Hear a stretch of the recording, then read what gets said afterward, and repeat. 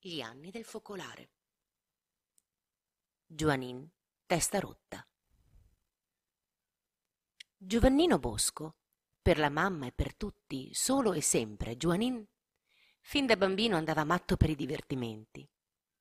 Fra tutti però preferiva il gioco della lippa, che consisteva nel ricacciare con un'asta di legno una specie di cilindro, anch'esso di legno, gettato da un compagno.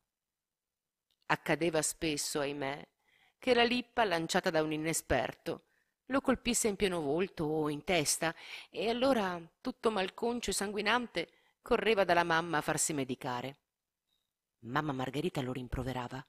Perché vai sempre con quei compagni? Non vedi che sono cattivi, che ti fanno male? Appunto perché sono cattivi vado con loro. Se ci sono io, stanno più buoni e non dicono parolacce. E intanto vieni a casa con la testa rotta. È stata una disgrazia. Sta bene, ma non andare più in loro compagnia.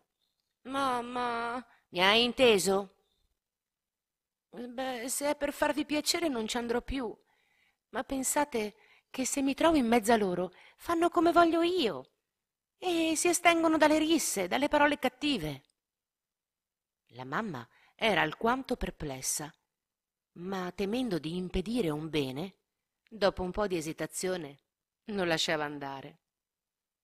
Giovannino, presago fin d'allora della sua missione fra i ragazzi, correva con la testa fasciata al gioco interrotto, atteso ed acclamato da tutti per la sua ingenua allegria e per i suoi tratti spiritosi, e gridava ai compagni in tono di scherzo Mi raccomando la testa!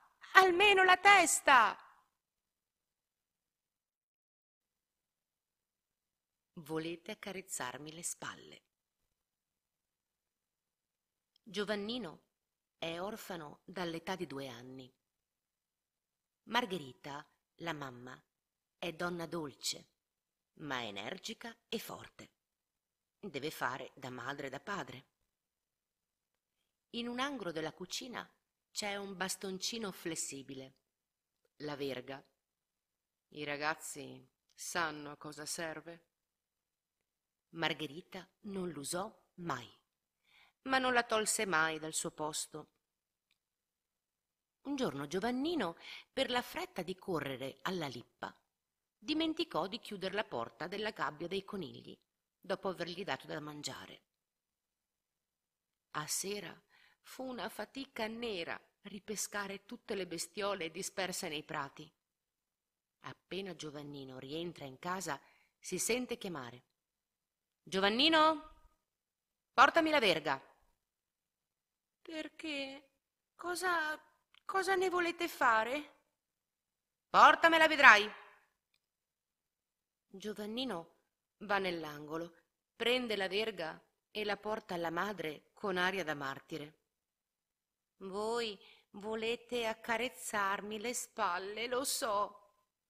E perché no, se mi fai di queste scappate?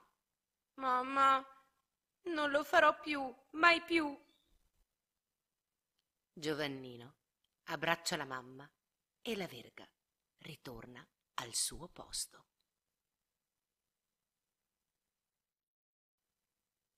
Perdono, mamma. Giovannino e il fratello Giuseppe tornano dal campo ove si miete. L'afa spacca le pietre e i ragazzi hanno una sete da svenire. Mamma Margherita trae dal pozzo una secchia d'acqua fresca e porge la mestola prima a Giuseppe, che è il più grande. Giovannino fa il muso, è offeso per quella preferenza, si volta di scatto, pesta un piede e rifiuta di bere.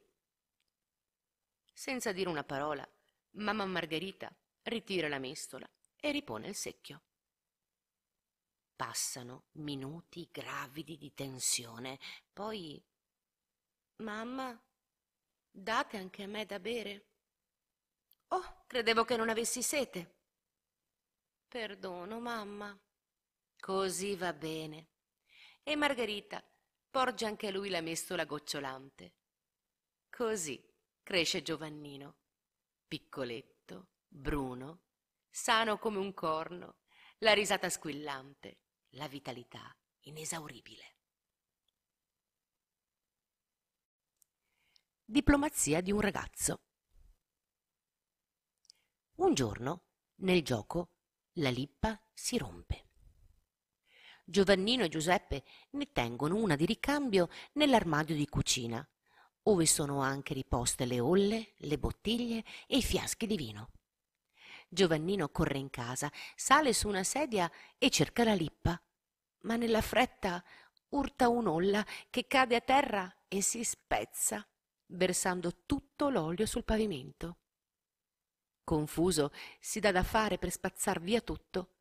Ma come farà a tener la cosa nascosta la mamma? L'olio è così caro. Pensa e ripensa, va incontro alla madre che è andata al mercato. D'un tratto la vede da lontano. Svelto, taglia un bel ramo da una siepe, lo pota ben bene e corre verso la mamma. Come state, mamma? Avete fatto un buon viaggio? Sì, Giovannino. E tu sei stato buono?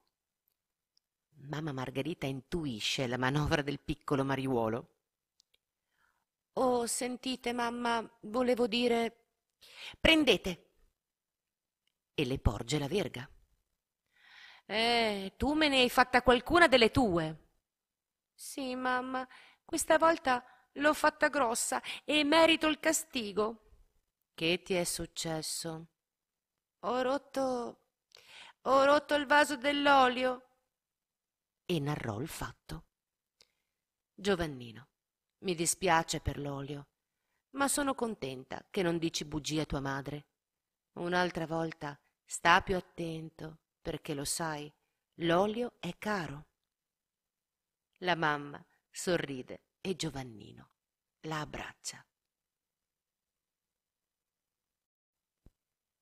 Disavventura di un cacciatore di nidi. Giovannino è abilissimo nell'arrampicarsi sugli alberi. Pare uno scoiattolo. Un giorno scala una grossa quercia per prendere una nidiata di uccellini. In un batter d'occhio è alla cima ma la nidiata si trova all'estremità di un lungo ramo che facilmente cede sotto i suoi piedi e si piega. Giovannino non si perde d'animo. Adagio, adagio, raggiunge il nido e uno ad uno si pone in seno gli uccellini. Fin qui la cosa è nata liscia, ma il guaio consisteva nel ritornare verso il tronco. Difatti, ecco che ad un tratto gli scivola un piede ed egli rimane sospeso per le mani. La posizione è critica assai. Giovannino lo intuisce e dopo disperati tentativi per rimettersi sul tronco, che sempre più cede, si lascia andare, molleggiandosi con precauzione e s'industria di cader ritto sulla punta dei piedi e rimbalzando in avanti. L'acrobazia riuscì a meraviglia. Ma restò intontito dallo stramazzone preso da ricordarsene per un bel pezzo. Gli spiriti folletti. Giovannino è coraggioso ed intrepido. Trovandosi una volta in casa dai nonni materni, sentì parlare di spiriti e dire che in quella casa s'udivano dei rumori più o meno duraturi, ma sempre strani e spaventosi. Una sera, nel più bello della veglia, si sente sul soffitto un colpo, come di un cesto pieno di bocce. Poi un rumore sordo e lento che va da un angolo all'altro della stanza. Tutti tremano. Che sarà mai? Gli spiriti, gli spiriti. Tutti fuggono. Giovannino solo grida. Voglio andare a vedere che cosa c'è, prendete il lume.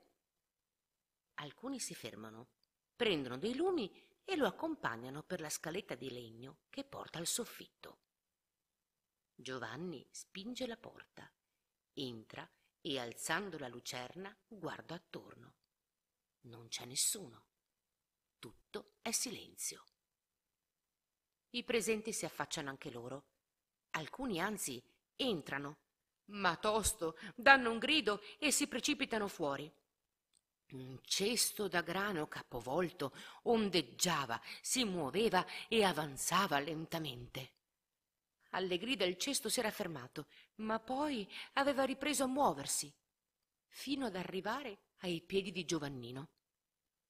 Attento, è un cesto stregato! Deposto il lume su una vecchia scranna, Giovannino si curva, stende le mani e lo tira a sé. Lascia, lascia! gli gridano in coro, ma egli non dà retta e coraggiosamente lo solleva. Là sotto c'era una grossa gallina che la padrona aveva messo in soffitta a covare e aveva dimenticata.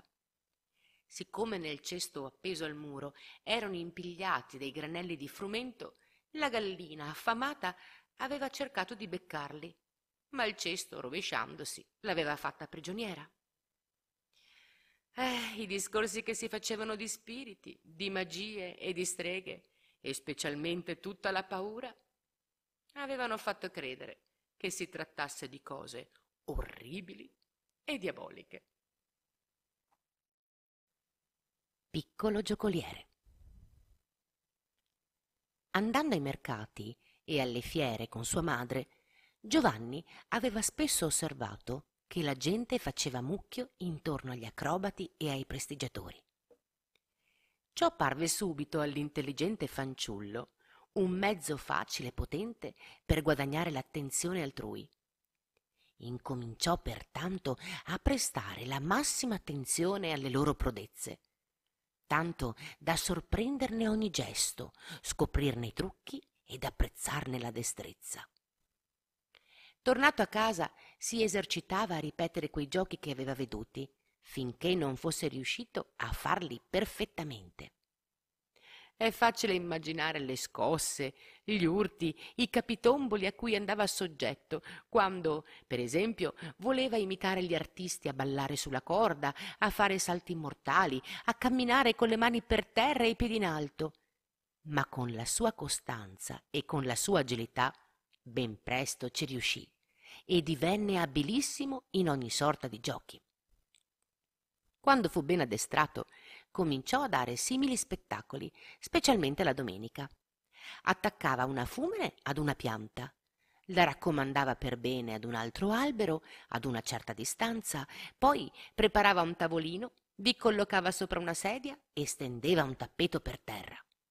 Quando ogni cosa era pronta e la gente radunata alla gran novità, egli faceva recitare il rosario, cantare una lode e poi saliva sulla sedia e ripeteva la predica udita la mattina alla messa, adornandola di fatterelli istruttivi. Se qualcuno faceva smorfia o brontolava, Giovanni, ritto sulla sedia come un re sul trono, lo zittiva severamente. Poi dava inizio allo spettacolo. Fare la rondinella, il salto mortale, camminare sulle mani coi piedi in alto, mangiare gli scudi e andarli a ripigliare sul naso altrui, moltiplicare le pallottole e le uova, cambiare l'acqua in vino, uccidere un pollo e farlo volar via. Erano le cose più ordinarie. Sulla corda camminava come per un sentiero, vi saltava e danzava, vi si appendeva ora con un piede, ora con tutti e due, talora con ambe le mani, talora con un'aria sola, e poi di nuovo si slanciava sopra con un'agilità sorprendente, accompagnando ogni cosa con motti sortite e amenità piacevolissime. Tutti ammiravano estatici, ridevano, gli battevano le mani, gli gridavano Evviva! Ed egli, trafelato e ansante, occupava gli intermezzi col canto di qualche lode e con la morale di qualche favola. Uno solo faceva lo gnorri, ed era il fratellastro Antonio, il quale lo scherniva dicendo pagliaccio farai il ciarlatano per tutta la vita piccole industrie per allestire quanto occorreva per gli spettacoli di Giovannino occorrevano spese. E lui, che era intelligente e sveglio, si aggiustava. Era bravissimo a catturare uccelli con la trappola, con la gabbia, col vischio, col laccio. Praticissimo poi di nidiate faceva buona raccolta di uccelli di ogni specie, che sapeva vendere assai bene. Fabbricava cappelli di paglia, canestri e cestelli che portava al mercato. Anche i funghi e le erbe aromatiche erano per lui fonte di guadagno e perfino le serpi che portava in farmacia. Aveva imparato a filare stoppa, cotone, lino, fiorone di bozzoli da seta. Riusciva anche a fare calze e maglie sui ferri e da tutto traeva profitto. La mamma, che osservava ogni cosa, lo lasciava fare perché intuiva lo scopo nobile del suo Giovannino, il quale, fin da quell'età, faceva presagire di sé grandi cose. Giovannino sfida per la prima volta un ciarlatano. Una domenica sera, in una cappella di un'altra borgata, vi doveva essere la predica. La chiesa era ormai piena di gente quando all'improvviso si ode un suono di tromba. Era quella di un ciarlatano. Non fu possibile trattenere i ragazzi e i giovanotti che si precipitarono fuori e le ragazze gli tennero dietro. Così fecero a poco a poco gli uomini e in chiesa non restarono che poche donnette.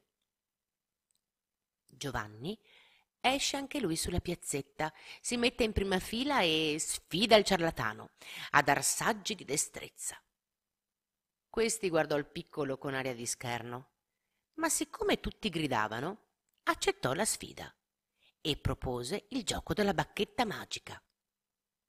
Tratta di fatti una bacchetta, invitò il ragazzo a provare.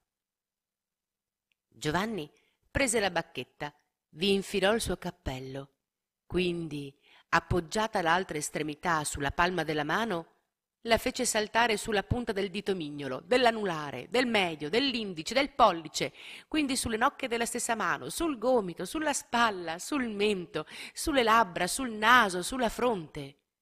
Indi, rifacendo lo stesso cammino, la bacchetta gli ritornò sulla palma della mano e la presentò al ciarlatano perché facesse altrettanto. La gente, che mirava estatica, scoppiò in applausi e tutti presero a gridare A voi, a voi, a voi. Non temo di perdere, esclamò il ciarlatano, ed afferrata la bacchetta con sdegno, la fece camminare quasi con ugual destrezza fin sulle labbra, ma qui, avendo il naso alquanto lungo, la bacchetta inciampò, perdette l'equilibrio e scivolò a terra. Le risate divennero omeriche. Le grida, le urla, gli schiamazzi toccarono le stelle e il poveretto, raccolte in fretta le sue carabattole, si eclissò sdegnato. Allora Giovanni, rivolto alla gente, gridò in tono perentorio E ora in chiesa, alla predica! Neppure uno mancò. Addio, piccolo merlo. Avendo un giorno preso un merlo, lo allevò con cura e lo addestrò al canto, zufolandogli all'orecchio note e ariette, di modo che dopo un po' di tempo quell'uccello era diventato il suo divertimento e la sua delizia. Ma ogni cosa quaggiù passa e non dura. Un brutto giorno, ritornando da scuola, trovò la gabbia vuota. Un gatto l'aveva sfondata e il merlo era sparito. Rimaneva un ciuffo di piume insanguinate. Giovanni si mise a piangere. Sua madre cercò di calmarlo, dicendogli che di merli nei nidi ne avrebbe trovati ancora. Ma Giovanni continuò a singhiozzare. Non gli importava niente degli altri merli. Era quello lì, il suo piccolo amico, che era stato ucciso, che non avrebbe mai più visto. Rimase triste alcuni giorni e nessuno riusciva a farlo ritornare allegro. Finalmente si fermò a riflettere sulla nullità delle cose mondane e pigliò una risoluzione superiore all'età sua. Propose di non attaccare mai più il cuore a cosa terrena. Pane nero e buon cuore. Giovanni Bosco aveva per compagno di pascolo un certo secondo Matta, servitorello di una fattoria vicina. Questi di solito riceveva per la colazione un pezzo di pane nero, mentre Giovanni riceveva dalla mamma una bella fetta di pane bianco. Spesso Giovannino diceva a secondo Mi fai un piacere? Volentieri. Facciamo cambio del pane? Perché il tuo deve essere più gustoso del mio, o almeno mi piace di più. Matta, nella sua semplicità, pensando che Bosco trovasse il suo pane realmente più gustoso, accettava subito. Così continuò per tre primavere, quantunque il pane nero e duro di Matta non fosse davvero una ghiottoneria. Solo quando fu adulto, secondo Matta, si rese conto della bontà di Giovannino Bosco.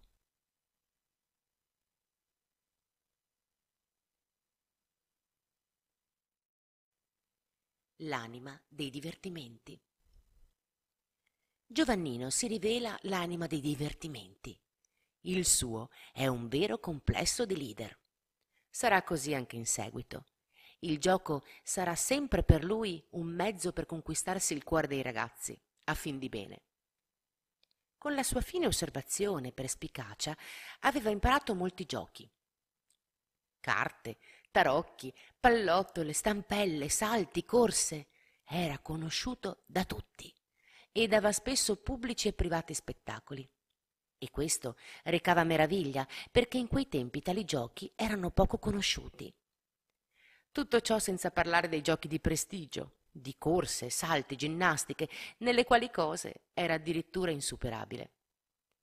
Egli aveva fatto suo il detto letare et bene facete, lasciar cantare le passere. Ogni volta che vedeva crocchi di compagni, amici o conoscenti e poteva temere che uscissero in qualche discorso poco onesto, bellamente vi si introduceva e cominciava a distrarli con parole cortesi. Poi intraprendeva qualche gioco gustoso. Ora li sfidava a prendere un soldo da terra col dito mignolo e con l'indice della stessa mano, ora a far arco della persona, rivoltandosi totalmente indietro così da toccare il suolo col capo. Ora a congiungere bene i piedi e a chinarsi a baciare la terra senza toccarla con le mani. Altre volte li sfidava a prendere con la bocca un pomo galleggiante in un mastello ripieno di acqua o una moneta nascosta in un recipiente pieno di farina, oppure a correre e saltare coi piedi legati da una funicella. Altre volte prendeva a declamare versi, parlare in latino e in greco, improvvisava sermoni, dialoghi, commedie. Così. Più nessuno pensava a discorsi pericolosi e partivano sempre con qualche salutare pensiero, nei quali Bosco era maestro perfetto. Sempre ridere e scherzare, ma senza mai peccare.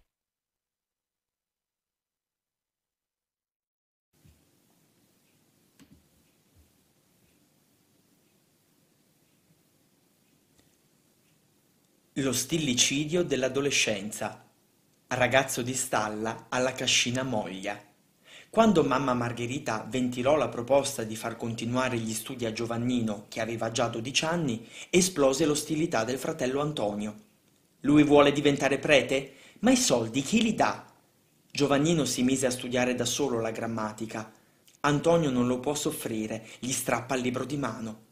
Adesso basta, voglio farla finita con questa grammatica. Io sono venuto su grande e grosso senza masticare sui libri. Anche il nostro asino non mastica libri ed è più grande di te, rispose risentito Giovannino. Antonio si avventò sul fratello. Giovannino fu pestato, nonostante le lacrime di mamma Margherita, la quale meditò a lungo quella notte sulla situazione domestica.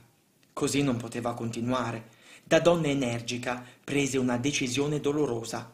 Il mattino dopo disse tristemente a Giovannino È meglio che tu vada via di casa. Tuo fratello non ti può più soffrire. Vai a nome mio nelle cascine qui intorno, se qualcuno ti può prendere come servente per un anno. Poi si vedrà. Giovannino, con il suo fagottello sulla spalla, uscì di casa e si accasò presso i fratelli Moglia di Castelnuovo. Faceva il ragazzo di stalla. Un giorno il giovane padrone Luigi Moglia condusse seco il piccolo garzone perché l'aiutasse a piantare le nuove viti. Giovannino legava con vimini, vicino a terra, le nuove viti ai rispettivi pali. Ad un certo punto, stanco del faticoso ed incomodo lavoro, esclamò Ah, che mal di schiena! Avanti, avanti, rispose il padrone. Se non vuoi aver mal di schiena quando sarai vecchio, bisogna che ti avvezzi adesso che sei giovane. Giovanni continuò il lavoro e poco dopo, guardandolo con aria sorridente, soggiunse Ebbene, queste viti che ora lego faranno l'uva più bella, daranno il vino migliore e dureranno più delle altre. Va là, bocc, che vuol dire minchione, rispose il moglia. Fosse vero. E fu proprio vero. Quel filare produsse ogni anno il doppio degli altri, che con l'andar del tempo perirono e più volte furono rinnovati, mentre le viti del filare di Don Bosco prosperarono con ammirazione da tutti dal 1828 al 1890, cioè per oltre sessant'anni. Quando dopo tanti anni i nipoti dei Moglia si recavano all'oratorio in Torino, portavano al santo di quell'uva, ricordando il prodigio continuo. Un altro giorno il vecchio Giuseppe, zio di Luigi Moglia, padrone della fattoria, arriva dalla campagna tutto sudato e con la zappa in spalla. È mezzodì e sulla torre di Moncucco scocca il suono delle ore. Il vecchio si siede a tirare il fiato e vede Giovannino in ginocchio sul fieno che recita l'Angelus, come mamma Margherita gli ha insegnato. Ma bravo! Noi padroni ci logoriamo la vita sulla zappa! gli disse in tono semiserio. E il garzone se la prende calma e se ne sta a pregare in pace. Ma quando c'è da lavorare, Barba Giuseppe, sapete che non mi tiro indietro, ribatté pronto Giovannino. Ma mia madre mi ha insegnato che, quando si prega, da due grani nascono quattro spighe. Se invece non si prega, da quattro chicchi nascono due spighe sole. Sarà meglio che preghiate un po' anche voi. Salute, conclude il vecchio. Adesso abbiamo anche il prete in casa. Nella bella stagione il garzone porta le mucche al pascolo e mentre gli animali brucano l'erba intorno, Giovannino, all'ombra d'un albero, perde la testa sui suoi libri. Perché leggi tanto? gli chiede Luigi Moglia. Voglio diventare prete. E dove li prendi i soldi che ci vogliono oggi per studiare? Se Dio vuole, qualcuno ci penserà. C'è in casa una bambinetta, Anna, che vedendo Giovannino intento a leggere, invece di badare ai suoi giochi, si indispettisce. Piantala di leggere, Giovanni. Ma io diventerò prete e dovrò predicare e confessare. Sì, prete, lo canzona la bambina. Un vaccaro tu diventerai. No, tu adesso mi prendi in giro, ma un giorno verrai a confessarti da me. E così fu.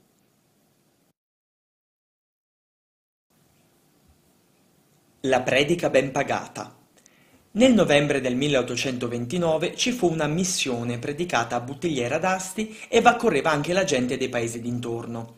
Giovanni Bosco vi andò assiduamente, tutto felice di poter ripetere la sera la predica a mamma Margherita. Una sera, tornando a casa, si trovò a camminare vicino a un vecchio prete, reduce anche lui dalla missione. Ragazzo, gli dice il vecchio prete con aria bonaria, ti do quattro soldi se mi sai dire quattro parole della predica di oggi. Giovanni attacca e recita l'intera predica, come se leggesse un libro. Olà, olà, bene. Che scuola hai fatto? Ho imparato a leggere e a scrivere mi piacerebbe studiare ancora, ma mio fratello più grande non ne vuole sapere. E perché vorresti studiare? Per farmi prete. Ebbene, vieni a stare con me. Il prete è don Giovanni Melchiorre Calosso, 70 anni, in pensione, che fa il cappellano a Morialdo. Margherita fu lieta di sistemare Giovannino presso il vecchio prete che gli avrebbe fatto scuola. Giovannino è alle stelle. Trovava di colpo quel che gli mancava. Confidenza paterna, senso di sicurezza, fiducia. Passò così un anno in un batter d'occhio. Orfano un'altra volta. Racconta Giovanni. Nessuno può immaginare la mia contentezza. Amavo Don Calosso come un padre. Quell'uomo di Dio mi portava tanto affetto che mi disse più volte non darti pena per l'avvenire, Giovannino. Finché vivrò non ti lascerò mancare niente. E se muoio provvederò a te ugualmente. Un disastro fece crollare tutte le speranze. Un mattino di novembre del 1830 Giovanni era a casa da mamma Margherita per farsi cambiare la biancheria, quando arriva una brutta notizia. Don Calosso è stato colto da un infarto. Il ragazzo vola a Morialdo e trova Don Calosso, morente, che non potendo più parlare, gli indica la chiave d'un cassetto, facendo segno di non consegnarla a nessuno. Per lui la morte del buon prete fu uno schianto. Vennero i nipoti di Don Calosso per i funerali Giovanni, scrupoloso e sincero come sempre, consegnò loro la chiave. Erano gente onesta che capiva la situazione e gli dissero Pare che lo zio volesse lasciare a te questo denaro.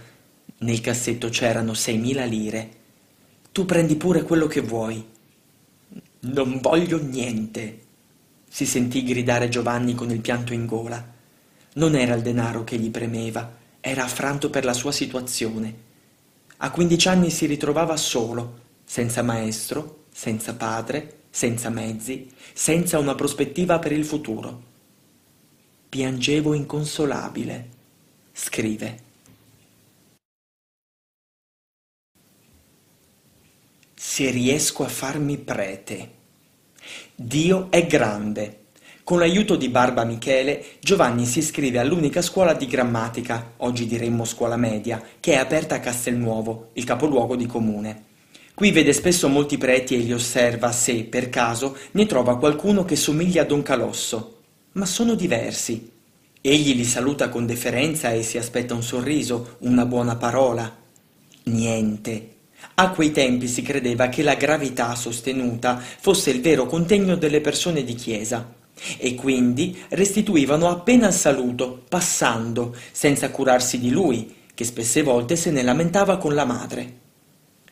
Che cosa costerebbe loro una buona parola, un buon suggerimento? Oh, quanto bene farebbe alla mia anima. Gesù non faceva così. Io, vedete, se riuscirò a farmi prete, voglio consacrare tutta la mia vita ai ragazzi. Non mi vedranno mai troppo serio, Sarò sempre il primo a parlare e a tenerli allegri. Li farò giocare, li farò cantare e con l'allegria tutti li vorrò salvare. E pareva che già pregustasse la sua futura nobilissima missione. A scuola, ma con i buoni. Nell'ambiente scolastico ci si ritrova tutti, buoni e cattivi. I ragazzi impegnati, di solito, sono disciplinati e silenziosi, gli scapestrati sono spavaldi e fanno chiasso. Giovanni fu adescato da questi. Vieni con noi, facciamo sega, mariniamo la scuola. Andiamo in giro a dar fastidio alle ragazze. Lasciatemi perdere, non ho denari da spendere. Come? Non hai denari? Ah, mio caro, è tempo di svegliarsi. Bisogna imparare a vivere al mondo. Su via, cercati i soldi, prendine dove ce n'è e godrai anche tu come noi.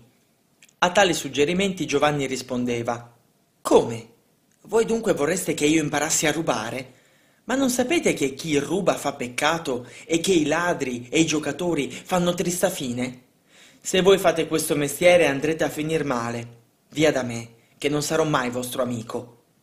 Tanto bastò perché da quel giorno i pochi cattivi lo lasciassero tranquillo, mentre i buoni si assiepavano attorno a lui. Uno scolaro assai dotato. Giovanni aveva passione per lo studio, buona capacità di apprendere, memoria prodigiosa, ma il suo maestro s'era ficcato in testa che Bosco, essendo della frazione dei Becchi e figlio di contadini, non poteva che essere scarso di mente. La sua stessa età, sedici anni ormai, lo dimostrava. Un giorno c'era compito in classe. Bosco, che era in prima grammatica, chiese al maestro che gli lasciasse svolgere il compito assegnato a quelli di terza grammatica. L'insegnante si offese. Come? E come pretendi, tu che sei dei becchi? Piuttosto dimmi un po', ti pare che questo sia pane per i tuoi denti? Bosco educatamente insistette di poter fare l'uno e l'altro compito. Fa pure come ti piace, ma non penserai che io legga le bestialità che metterai in carta. Il compito di terza era un passo di un autore classico assai scabroso. Bosco si raccolse, lavorò di lena e in breve tempo consegnò la sua traduzione. L'insegnante prese il foglio e lo gettò sul tavolo, senza guardarlo. La prego, professore, legga e mi dica gli errori che ho fatto. Legga, legga, professore, anche noi vogliamo sentire i suoi spropositi, fece coro la classe. L'insegnante lesse. Era una traduzione insolitamente fluida e corretta, ma egli, deponendo il foglio, disse in tono di scherno Io lo pensavo. Bosco ha copiato tutto da capo a fondo. E da chi avrei copiato, professore? obiettò serenamente Giovanni, indicando i compagni intenti ai loro elaborati ancora incompiuti. L'albero della cuccagna è una provvidenza, nelle vicinanze, a Montafia, paese vicino a Castelnuovo, c'era la sagra con le consuete attrazioni e giochi, tra i quali l'albero della cuccagna, un abete ben liscio e insaponato, in cima al quale svettava una bella corona di premi, tra i quali una borsa con venti belle lire. Mi farebbero comodo, pensò Giovanni, una folla stragrande assisteva allo spettacolo. I giovani del paese, l'uno dopo l'altro, si avvicinavano e tentavano la scalata. Uno giungeva ad un terzo, l'altro a metà, ma poi, non potendone più, scivolavano a terra. Le grida della gente, che ora incoraggiava, ora fischiava, andavano alle stelle. Giovanni, che intanto osservava attentamente, notò che tutti i contendenti davano la scalata con rapidità e la continuavano senza prendere fiato, per cui, arrivati ad un certo punto, si sentivano venir meno e trascinare a terra dal proprio peso. Venuto al suo turno, si presentò risoluto in mezzo allo spazio e prese ad arrampicarsi con calma, incrociando di quando in quanto le gambe per annodarle all'albero e sedersi sulle calcagna a riposare. Gli spettatori che non intendevano il perché di quella manovra si aspettavano di vedere anche lui, da un momento all'altro, ripiombare a terra. Ma Giovanni saliva, saliva e allorché fu vicino alla cima che dondolava perché molto sottile, si fece un silenzio generale, che poi scoppiò in frenetico applauso quando, aggrappatosi al cerchio, egli prese ad intascare gli oggetti del premio. Giunto a terra, sgattaiolò fra la gente e corse giubilante a casa.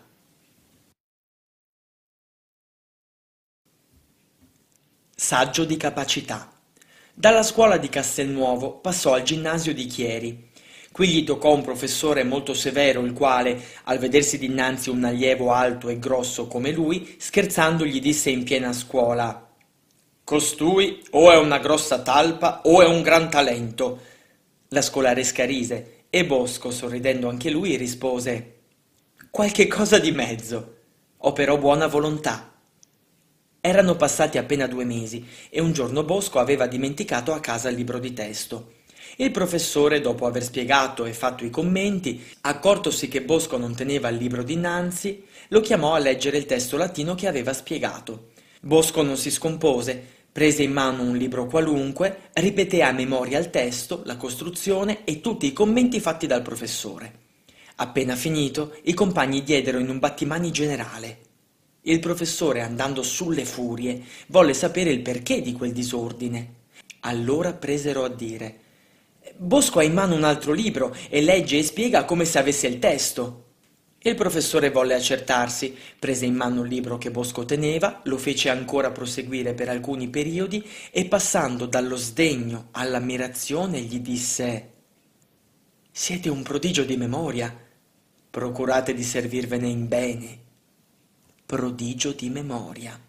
Nel leggere tutte queste cose di San Giovanni Bosco, studente, qualcuno potrà pensare che trascurasse lo studio.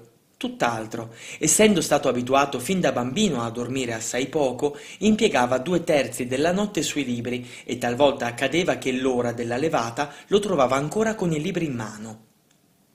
Messosi d'accordo con un libraio, si era associato alla lettura dei classici latini ed italiani e li leggeva non solo per divertimento, ma per penetrare il giusto senso e la bellezza.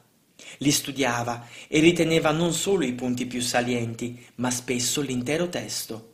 Non faceva distinzione fra leggere e studiare e con facilità poteva ripetere il contenuto di qualsiasi libro di italiano, latino o greco, letto o udito leggere.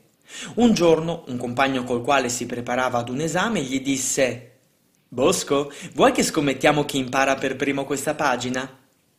Proviamo pure. Lettala appena, il compagno la recitò alla lettera. E adesso a te, soggiunse. Bosco la ripeté tale e quale e poi continuò. E ora sapresti dirla dalla fine al principio? Che stranezza! Esclamò il compagno. Ebbene, io te la dico, e prese a recitarla dall'ultima parola alla prima.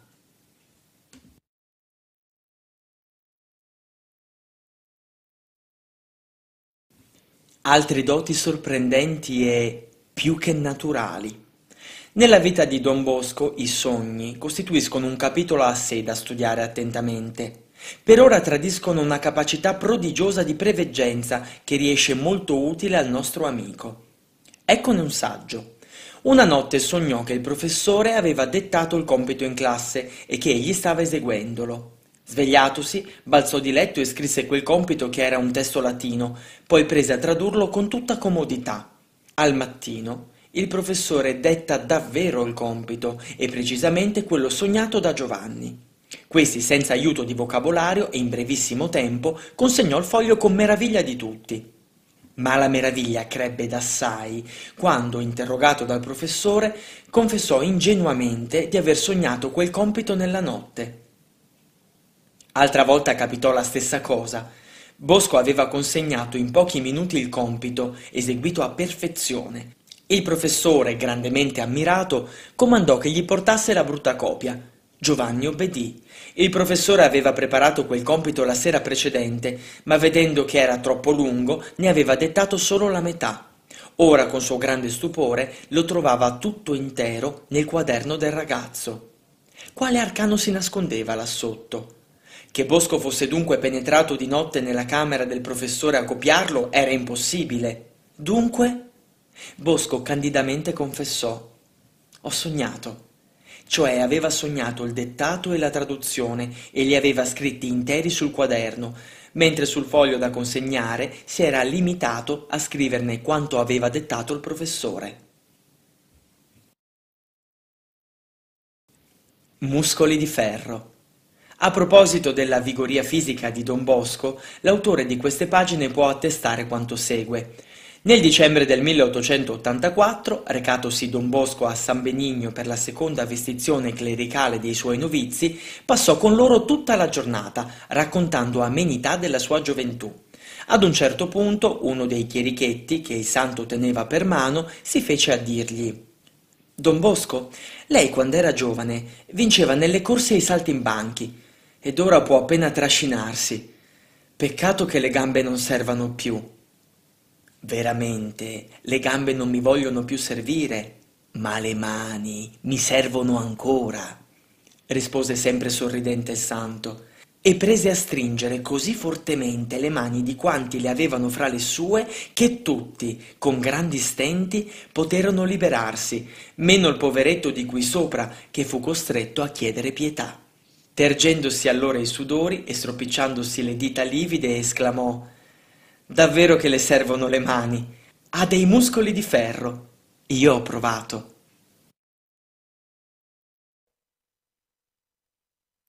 Anni verdi e sereni.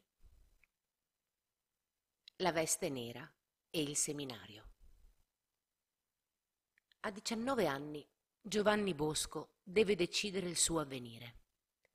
Ha ancora voglia di farsi prete? Anzi, pensa addirittura di farsi francescano. Inoltre a regolare domanda e viene accettato. Ma non è questa la volontà di Dio. La madre, Margherita Bosco, gli fa questo discorsetto. Sentimi bene, Giovanni. Io voglio che tu ci pensi bene e con calma. Quando avrai deciso, segui la tua strada senza guardare in faccia nessuno. La cosa più importante è che tu faccia la volontà del Signore. Il parroco vorrebbe che io ti facessi cambiare idea, perché in avvenire potrei aver bisogno di te. Ma io ti dico, in queste cose tua madre non c'entra. Dio è prima di tutto. Da te io non voglio niente, non mi aspetto niente. Io sono nata povera, sono vissuta povera e voglio morire povera, anzi, te lo voglio dire subito. Se ti facessi prete e per disgrazia diventassi ricco, non metterò mai piedi in casa tua. Ricordalo bene. Il suo amico, Luigi Comollo, intanto ha deciso di entrare nel seminario di Chieri. Bosco è ancora perplesso. L'amico Evasio Colli gli dice Vai a Torino a consigliarti con Don Cafasso. È il più bravo prete che io conosca. Bosco va a Torino e cerca di Don Giuseppe Cafasso, un pretino di 23 anni che lo ascolta con calma e attenzione. Questi alla fine taglia netto e gli dice Entrate in seminario. Per il denaro non ci pensate, qualcuno provvederà. Il 25 ottobre di quell'anno, 1834, Giovanni Bosco, nella chiesa di Castelnuovo, prima della messa grande, riceve dal parroco la veste da prete. La talare nera è stata cucita da mamma Margherita di notte. Bosco la riceve tutto commosso alle solenni parole del rito. Mio Dio, che io cominci davvero una vita nuova. Il 30 ottobre successivo entra in seminario. Il colpo di timone alla sua vita ormai l'ha dato per sempre.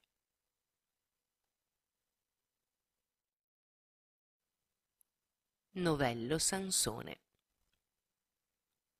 quando era nel ginnasio a Chieri un giorno, durante l'ingresso nella scuola, alcuni discepoli si diedero a molestare Luigi Comollo, che era il più intimo amico di Bosco e che era anche il più virtuoso della scolaresca. Bosco ne prese la difesa, ma essi, indispettiti, passarono alle busse con pugni e calci al povero Comollo. A quella vista Bosco perde il controllo di se stesso e abbrancato uno di quei mascalzoni per le spalle, tale novello Sansone se ne serve come di un manganello e sbatacchia per dritto e per rovescio quegli scalmanati. In quella entra il professore che vedendo braccia e gambe rotear per l'aria montò sulle furie e volle sapere il perché di quella scenata. Bosco, per nulla turbato, disse la pura verità ed il professore apostrofò quei cattivi soggetti dicendo vi meritereste un castigo assai più grave ma per questa volta vi basti quello ricevuto da Bosco. Attenti però a non più molestar nessuno, specialmente che è più saggio e più virtuoso di voi.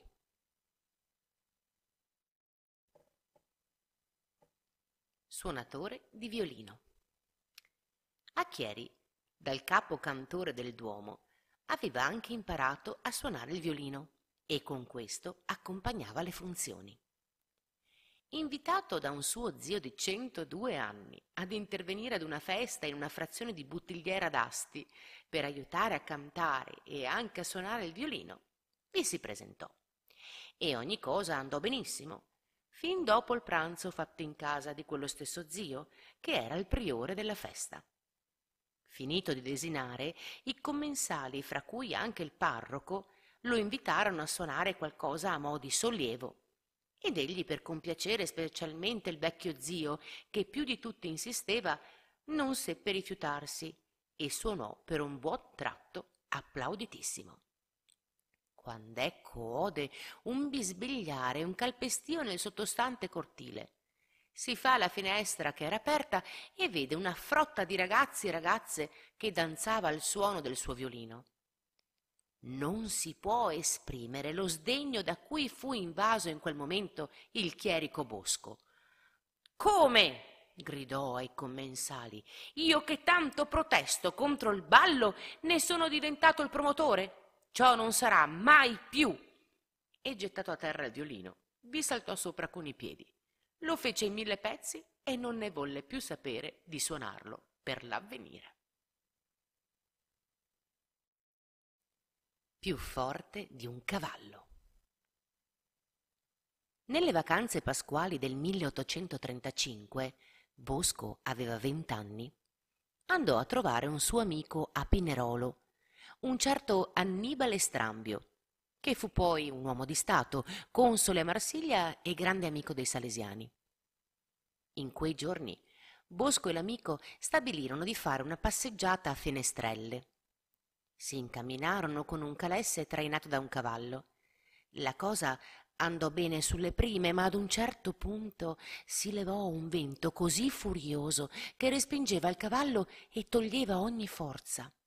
Anzi, sollevava un turbinio di sabbia e pietruzze che sbatteva nei loro volti e negli occhi del povero animale.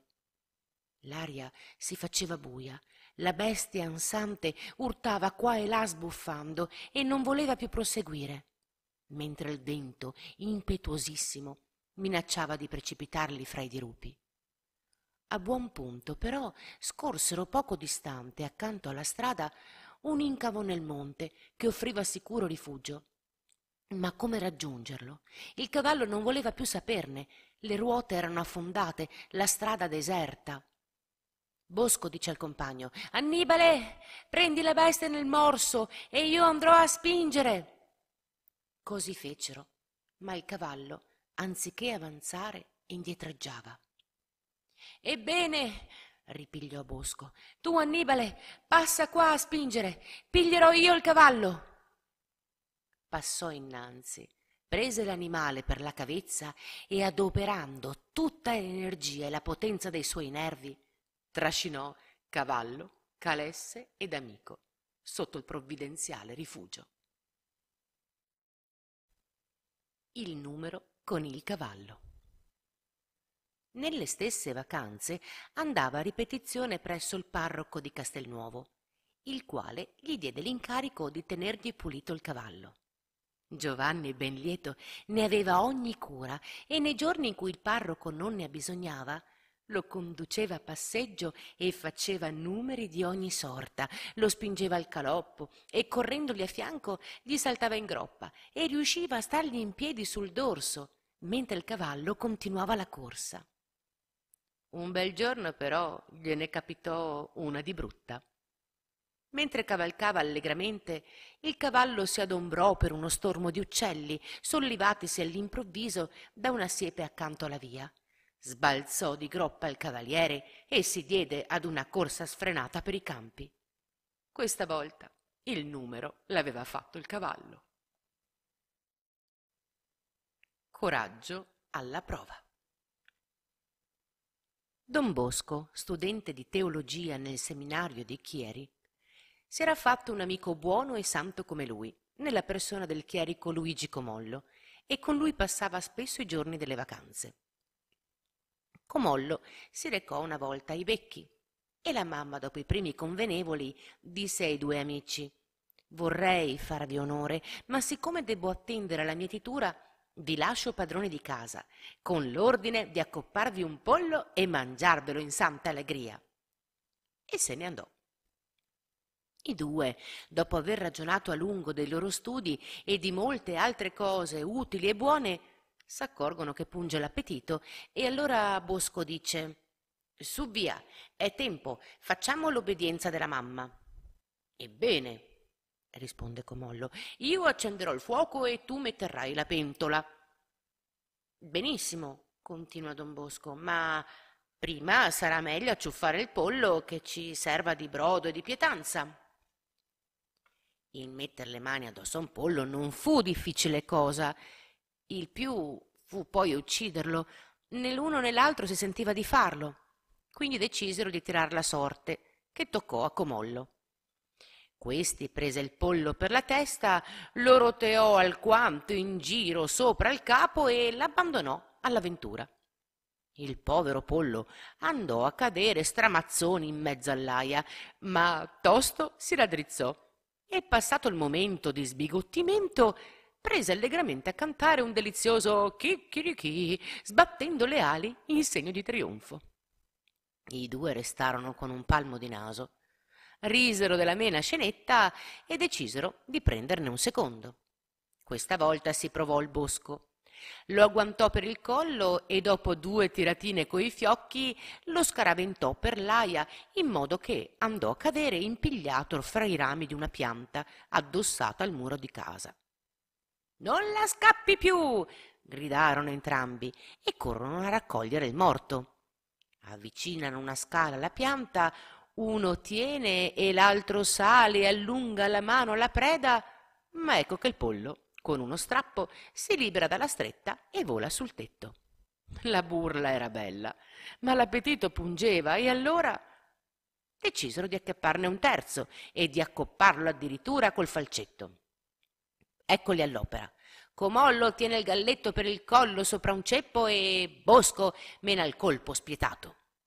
La testa del povero galletto, spiccata dal busto, salta un metro distante ed essi, spaventati alla vista di quel collo sanguinante, si danno alla fuga piangendo. Oh, sciocchi! disse poco dopo Bosco. Ce lo ha comandato la mamma, dunque coraggio! Senza altra difficoltà raccolgono il pollo, lo spennano, lo cuociono e pranzano in santa allegria. Un'allegra scampagnata. Nelle vacanze del 1836, Bosco, cedendo ai ripetuti inviti dell'amico Comollo, si era deciso a fare una scampagnata a Cinzano, paese distante circa tre ore di viaggio da Castelnuovo, ove era parroco lo zio di Comollo e vi si recò per l'ora di pranzo con tre dei suoi migliori amici. Giunti con un appetito da cacciatori, si sentono dire dalla persona di servizio, la signora Maddalena, che il parroco non c'è perché, insieme col nipote, era andato a Scholze per un'adunanza di sacerdoti. Uh, torneranno presto? Ah, certamente non prima di questa sera, e Dio capiranno, non posso ricevere nessuno. E allora, mormorarono tra loro i quattro amici, andare a Scholze a stomaco vuoto? Chi se la sente? Oh, ritornare a Castelnuovo digiuni? Peggio che peggio. Dunque, come si fa? Bosco, facile a superare ogni ostacolo, non si lascia abbattere per così poco. In un baleno studia il piano e si accinge all'attacco esclamando Oh, almeno ci fosse la signora Maddalena. So che è come padrona, la mano destra del signor Prevosto, una vera benedizione per questa casa. Vorrei almeno salutarla. Eh, salutare chi? risponde la serva. La signora Maddalena e fare la sua conoscenza, giacché mi fu parecchie volte decantata come persona modo, gentilissima, graziosissima. A questi colpi di signora e a questi panegirici inattesi, ella si sente cotta dalla gioia e tutta raggiante dice Ah, la Maddalena sono io in persona. E lei chi è che mi conosce così bene? Io sono Bosco dei Becchi, il compagno e l'amico del chierico Comollo, nipote del signor parroco. Ah, il chierico Bosco! L'ho sentito tante volte elogiare dal signor Prevosto. Viene dunque da Castelnuovo? Precisamente, e questi sono tre amici miei, e anche amici di Comollo, che ci ha ripetutamente invitati. Ma lei, dunque, è proprio la signor Maddalena, la padrona di casa? Oh, niente padrona, sono la povera serva. Faccio quello che posso nell'interesse di questa casa e del signor padrone, che da più di trent'anni mi tiene in piena fiducia. Oh, sappiamo tutto, sappiamo tutto, signora Maddalena. Lo dice sempre il signor Prevosto che, come la Maddalena, non ce n'è un'altra. economa, premurosa, attiva, che ha occhio a tutto, che arriva a tutto.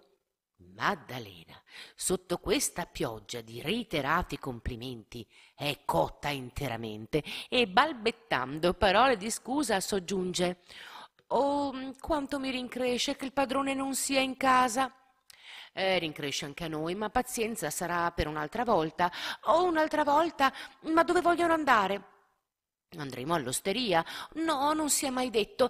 Passino, entrino, si accomodino, ci aggiusteremo. Ma non c'è il prevosto. Beh, se non c'è il prevosto ci sono io. Il prevosto sarà ben contento. Avanti, avanti. Oh, quanto disturbo! vanno esclamando uno dopo l'altro, entrando. Non vorremmo abusare della sua bontà. Lei ha tanto da fare. Non si diano pensiero e lasciano fare a me. S'accomodino e un boccone di pranzo sarà presto preparato. Va bene così? Oh, va benissimo, ma non c'è ma che tenga. Si troveranno contenti. Ho anche qui, battendosi sul fianco, le chiavi della cantina ringiovanita di trent'anni, si rimbocca le maniche, corre in cucina e ritorna, e va e viene, e apparecchia la tavola, e racconta le sue gesta, e inneggia la bontà del padrone e alla santità del nipote. In breve, il pranzo fu pronto, e che pranzo! Tutto andò a gonfie vele, tutto finì con gli evviva la cuoca. Alla prima occasione Bosco raccontò l'avventura al signor Prevosto, che ne rise proprio di cuore.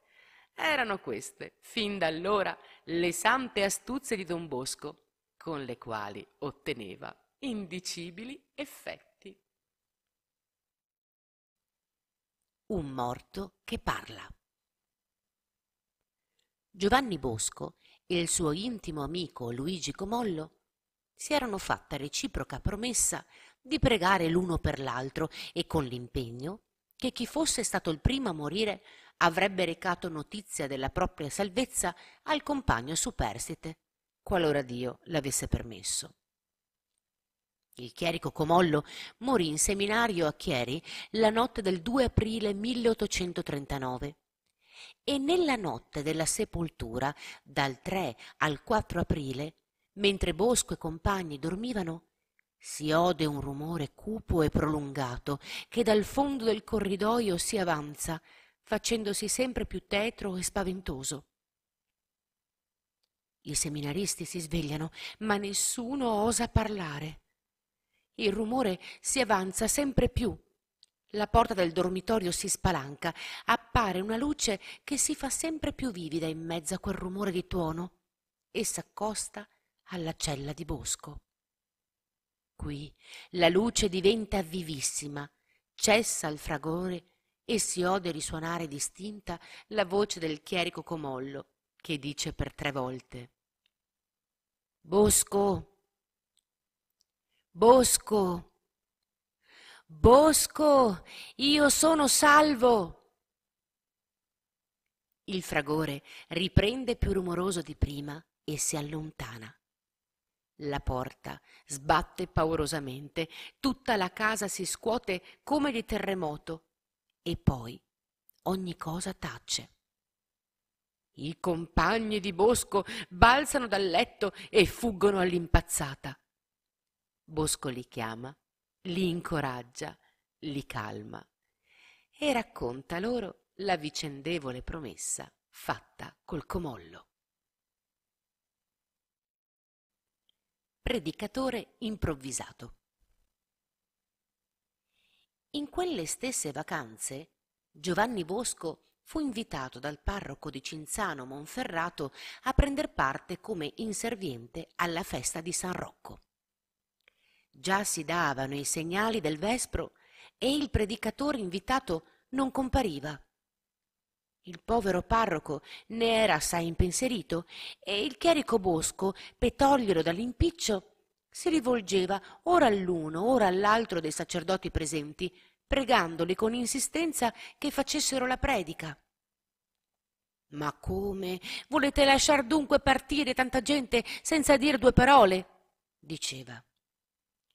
Uno di loro, seccato da quelle insistenze, rispose Ingenuo che sei, un discorso su San Rocco lì, su due piedi. Non è come bere un bicchiere d'acqua, sai. E fallo tu se te la senti. Bosco, alquanto ferito nel suo amor proprio, soggiunse. Ebbene, giacché ognuno si rifiuta, accetto. Cantati i vespri, egli salì sul pulpito e fece un discorso che fu sempre detto il migliore di quanti se ne erano uditi in quella circostanza. Ciò si ripeté altre volte. La grazia della parola l'aveva chiesta a Dio nella sua vestizione clericale e gli fu abbondantemente concessa. Berretta nuova Don Bosco, fin da giovanetto e da chierico, era d'una squisitezza d'animo straordinaria. In seminario a Chieri, vedendo che un suo compagno era messo in burla perché portava una berretta di una forma alquanto strana, un bel giorno gli si avvicinò e gli disse Giacomelli, mi lasci per un momento la tua berretta? E perché no? Prendila pure egli la prese e dopo qualche ora ritornò con una berretta nuova fiammante e gliela mise in capo dicendo guarda un po se ti va bene. Oh mi va egregiamente. E, e la mia? La tua la terrò per memoria sei contento? Contentissimo ma io tu con quella sembravi un semplice cappellano. Con questa Sembri un parroco coi fiocchi. Camperete, 90 anni. Nelle vacanze pasquali di quell'anno 1839, passando a far visita al suo antico padrone Luigi Moglia, prima di allontanarsi salì a salutare la moglie di lui, che era ammalata sentendola lamentarsi ed esclamare che la era finita per lei. Giovanni sorridendo le disse Fatevi coraggio, padrona, e state di buon umore. Voi non morrete, ma camperete fino ai novant'anni. Difatti, guarì e pose tanta fiducia in quella promessa di Giovanni Bosco che quantunque colpita in seguito da malattie anche gravi non volle mai prendere una medicina perché diceva Bosco mi ha assicurato che vivrò fino a novant'anni. È inutile quindi ogni rimedio. Sopravvisse difatti a Don Bosco stesso e moriva in età di anni novantuno. Tutti la chiamavano la vecchia di Don Bosco. Qui c'è un mago. Aveva creato tra i suoi compagni la Società dell'Allegria e come presidente Giovanni Bosco era solito dare saggi della sua abilità coi giochi di prestigio. Ora, siccome i più non sapevano darsi una spiegazione delle meraviglie che operava, si venne a poco a poco nella persuasione che egli fosse un mago e che operasse quei prodigi con l'intervento del diavolo. Così la pensava anche un certo Cumino Tommaso, suo padrone di casa. Il giorno del suo onomastico, Cumino aveva preparato un pollo in gelatina per i pensionati. Recato il piatto in tavola e scopertolo, con meraviglia di tutti ne saltò fuori un gallo che svolazzando si diede a cantare allegramente. Altra volta dopo aver fatto bollire una pentola di maccheroni, nell'atto di versarli nel piatto, trovò altrettanta crusca asciutta. Spesso, dopo aver riempito le bottiglie di vino, versandone nei bicchieri, vi trovava acqua limpida. Altre volte, invece, volendo bere acqua, trovava il bicchiere pieno di vino. Spesso ancora trovava le confetture convertite in fette di pane, il denaro nella borsa convertito in pezzi di latta, il cappello cambiato in cuffia, noci e nocciole di un sacchetto in minuta ghiaia. La gente esterefatta si chiedeva ma che sia un mago costui? O Dio o diavolo. A simili scherzi, che succedevano quasi ogni giorno, il buon Cumino, suo padrone, andava pensando. Costui o è un dio o è un diavolo, ma un dio non può esserlo. Quindi è un diavolo. Io debbo denunziarlo. Pertanto, non osando parlarne con i suoi, pensò di consigliarsi con un sacerdote vicino di casa sua. Andò a visitarlo e quasi esterefatto gli narrò una filastrocca di cose viste e non viste, dipinte con tale vivacità di colori che trasfuse la sua persuasione in quel buon sacerdote, il quale decise di riferire la cosa all'autorità ecclesiastica. Fu tosto incaricato un canonico che mandò a chiamare Bosco. Questi si presentò mentre quel canonico stava distribuendo l'elemosina dei poverelli. Fattolo entrare nel suo studio, prese a dirgli con tutta serietà. Caro Bosco, i superiori sono stati fin qui molto contenti del vostro studio e della vostra condotta, ma ora si raccontano tante cose di voi. Si dice che conoscete pensieri degli altri, che indovinate i denari che altri tiene in tasca, che fate vedere quello che è bianco nero e quello che è nero bianco, che conoscete le cose lontane e simili, insomma. Fate parlare di voi Fate sospettare che vi serviate della magia e che nelle vostre opere vi sia l'intervento del demonio. Ditemi dunque, in strettissima confidenza, in qual modo fate queste cose. Delle vostre confidenze non me ne servirò che per farvi del bene. Bosco, senza scomporsi, gli chiese cinque minuti di tempo a rispondere e gli domandò l'ora. Il canonico mise la mano in tasca e non trovò più il suo orologio. Eh, se non ha l'orologio, soggiunse Bosco, mi dia una moneta da quattro soldi. Il canonico frugò in ogni tasca e non trovò più la sua borsa. Oh, briccone! Prese allora a dirgli alzandosi incollerito. O voi servite il demonio o il demonio serve voi. Voi mi avete rubato la borsa e l'orologio. Non posso più tacere.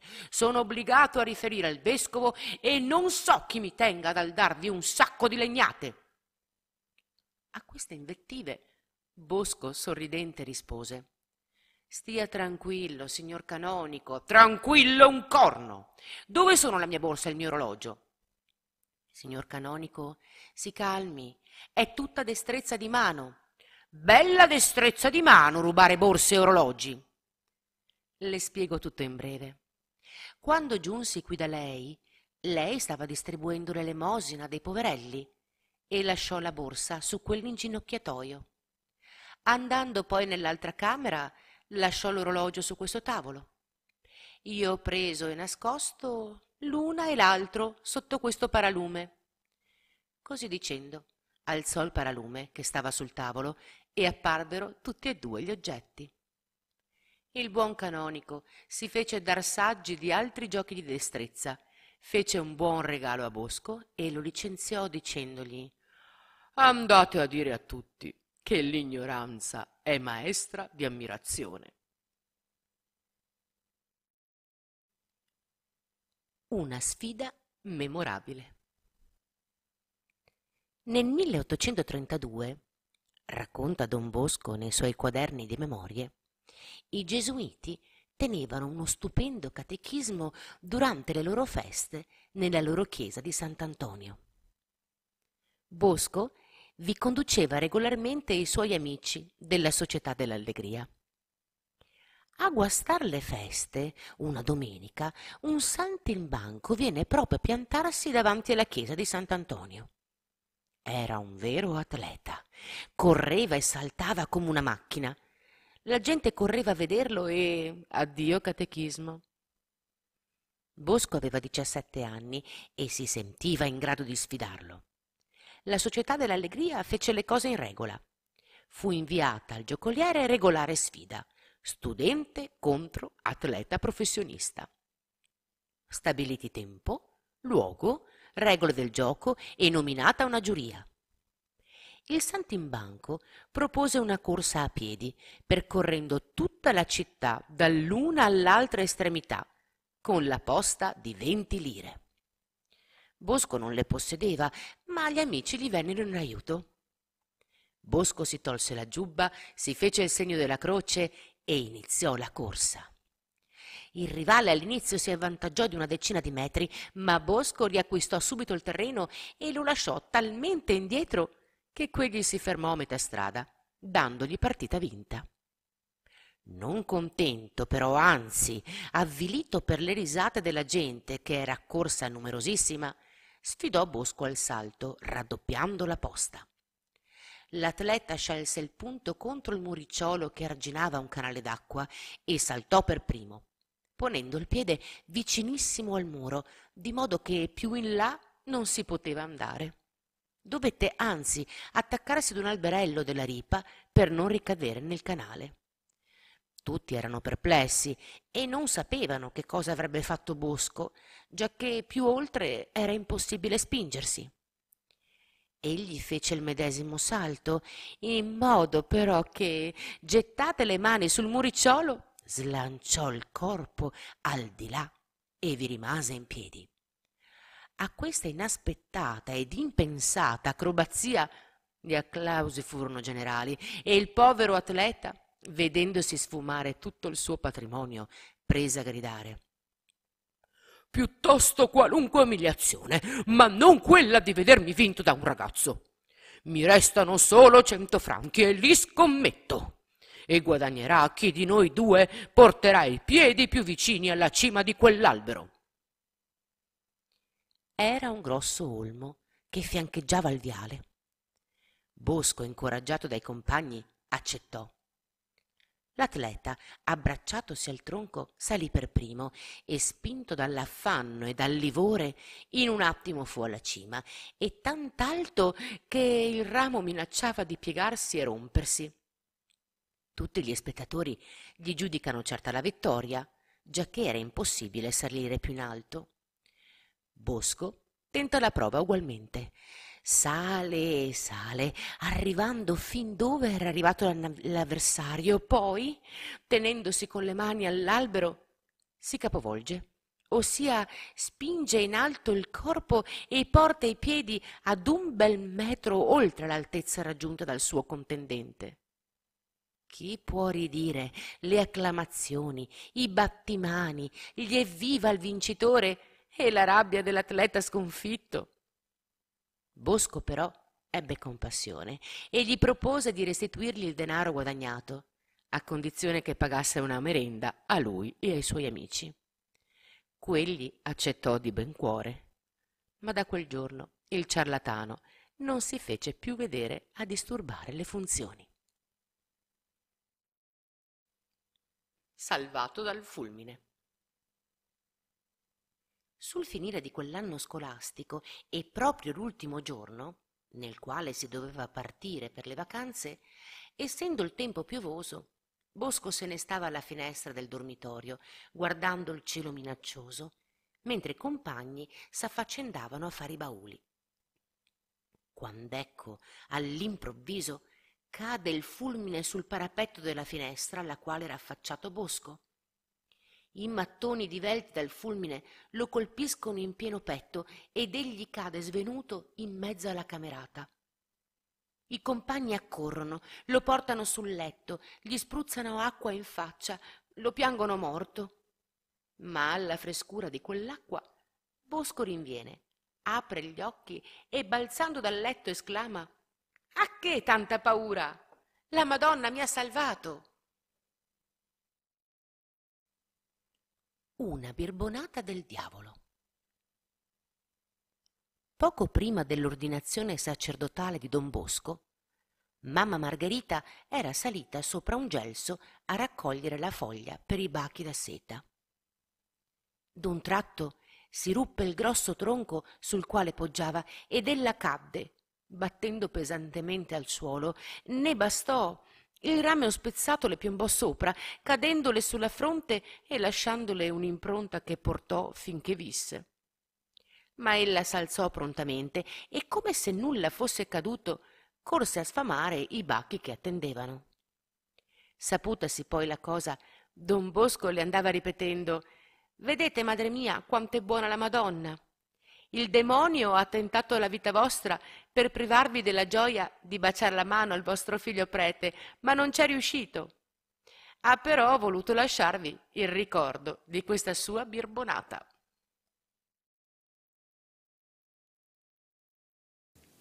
Il volto d'un giovane prete, sacerdote per sempre, il 5 giugno 1841, nella cappella dell'Arcivescovado di Torino, Giovanni Bosco è ordinato sacerdote dal suo arcivescovo, Monsignor Luigi Fransoni. È diventato Don Bosco, per sempre. Ecco come egli narra nelle memorie gli esordi del suo sacerdozio. La mia prima messa, scrive con semplicità, l'ho celebrata nella chiesa di San Francesco d'Assisi, assistito da Don Giuseppe Cafasso, mio insigne benefattore e direttore. Mi aspettavano ansiosamente al mio paese, era la festa della Santissima Trinità, dove da molti anni non si era avuta una prima messa, ma ho preferito celebrarla a Torino, senza rumore, all'altare dell'Angelo Custode. Quello posso chiamarlo il più bel giorno della mia vita. Nel momento in cui si ricordano i defunti, ho ricordato i miei cari, i miei benefattori, specialmente Don Calosso, che ho sempre considerato grande. Il giovedì seguente, festa del Corpus Domini, allora festa di precetto, Don Bosco dice la messa al suo paese. Le campane hanno suonato e squillato a lungo, tutta la gente è ammucchiata nella grande chiesa. Mi volevano bene, ricorderà Don Bosco, e ognuno era contento insieme con me. Quella sera mamma Margherita trova un momento per parlargli, da solo, e gli dice Ora sei prete, sei più vicino a Gesù io non ho letto i tuoi libri, ma ricordati che cominciare a dir messa vuol dire cominciare a soffrire. Non te ne accorgerai subito, ma poco a poco vedrai che tua madre ti ha detto la verità. D'ora innanzi pensa soltanto alla salvezza delle anime e non prenderti nessuna preoccupazione per me.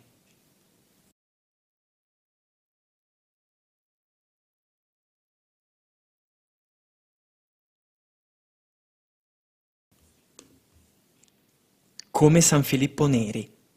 Pochi mesi dopo essere stato ordinato, Don Bosco partì a piedi per Torino, onde seguire il corso di preparazione al Ministero delle Confessioni. Quali fossero i suoi pensieri e le sue splendide fantasie quando, dal colle di Superga, vide apparire la città di Torino. Le espresse lui stesso nel tessere il panegirico di San Filippo Neri nella città di Alba. Quel giorno entrò in argomento in modo poetico, immaginò di trovarsi sopra uno dei colli di Roma, di avere la città distesa innanzi a sé e di vedere un giovane il quale, stanco dal lungo cammino, si era arrestato, assorto in gravi pensieri, con lo sguardo fisso allo splendido panorama. Quindi proseguì. Avviciniamoci ed interroghiamolo. Giovanotto, chi siete voi? Che cosa mirate con tanta ansietà? Io sono un povero forestiero, rimiro questa grande città e un pensiero mi occupa la mente, ma temo che sia follia o temerità. Quale pensiero? Consacrarmi al bene di tante povere anime, di tanti poveri fanciulli che per mancanza di istruzione religiosa camminano per la strada della perdizione. Avete scienza? Ho fatto poche scuole e non sono annoverato tra i dotti. Avete mezzi materiali? Niente, non ho un tozzo di pane oltre quel che ogni giorno mi dà il mio padrone.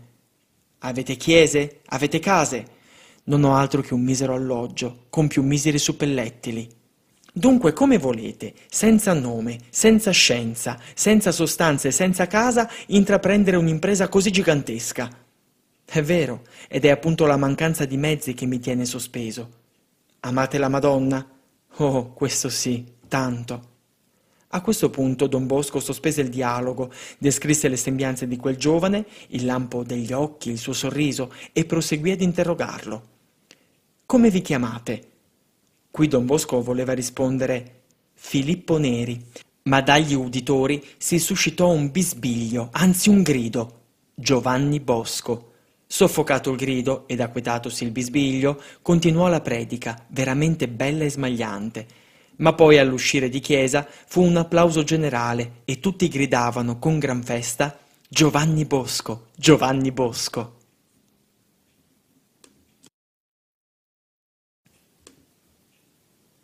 Astuzie sante. Fin dal principio della permanenza di Don Bosco a Torino si diffuse la fama della sua virtù e non poche famiglie andavano a gara per stringere relazioni con lui. Ora accadde che un giorno un'intera famiglia era venuta a fargli visita, avidissima di ascoltare la sua parola. Don Bosco, al vedere la poca modestia nel vestire della signora e delle figliole, e pur volendo toccarle al vivo, rivolse tosto il suo discorso alla più piccina, dicendole Vorrei che tu mi dessi una spiegazione.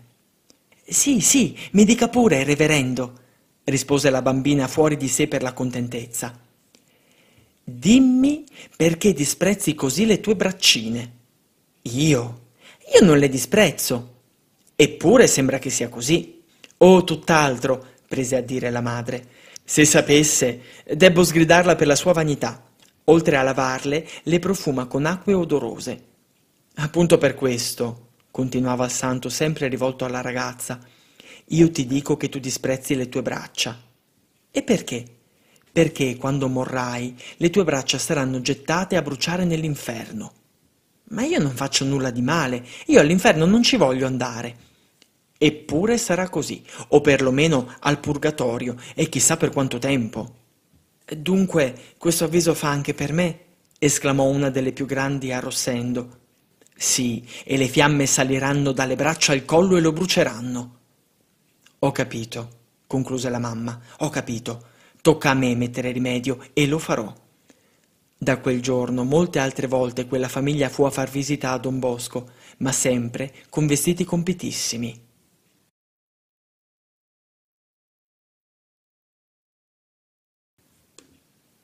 Pillole di pane. Nel 1844 a Montarla d'Asti cadeva ammalato di febbri ostinate un certo signor turco e nessuna prescrizione medica valeva a guarirlo. La famiglia ricorse a Don Bosco, il quale, consigliata al malato la confessione e la comunione, gli consegnò una scatola di pillole da prendere ogni giorno, in un dato numero, recitando tre salve regina alla Madonna.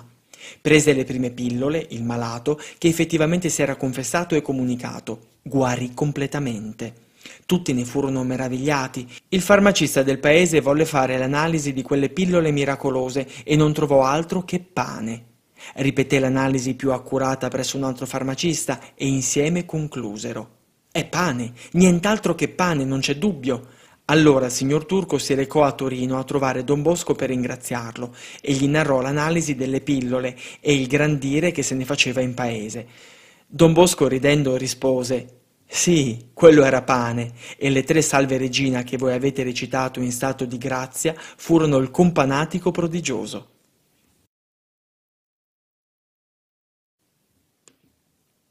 O la borsa o la vita.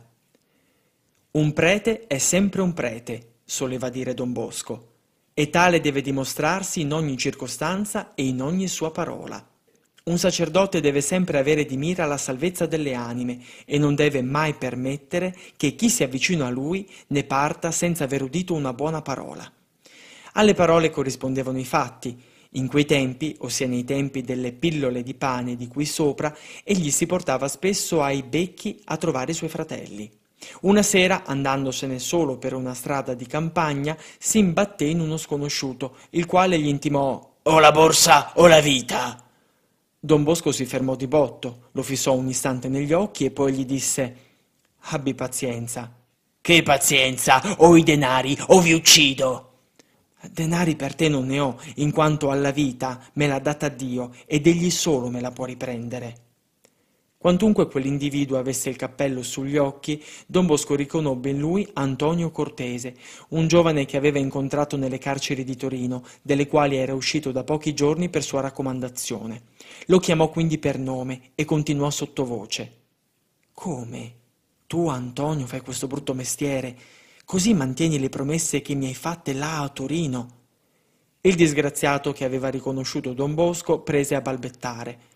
Oh, Don Bosco, mi perdoni, non l'avevo riconosciuto, le chiedo perdono. Non basta, mio caro Antonio, bisogna mutare vita. Glielo prometto. Non basta ancora, bisogna cominciare subito e confessarsi. Ebbene, sì, mi confesserò. Quando? Anche subito, se vuole, solo non sono preparato. ti preparerò io, ma tu prometti al Signore di farla finita per sempre con questa vitaccia. Sì, sì, lo prometto. Don Bosco, presolo per una mano, si ritirò sul margine della via e lo fece inginocchiare. Quel poveretto si confessò con tutti i segni di un vero pentimento. Il santo gli regalò una medaglia e quel poco denaro che aveva in tasca. Il giorno seguente lo condusse a Torino e gli procurò un impiego che disimpegnò onoratamente, divenendo un buon cristiano e virtuoso padre di famiglia.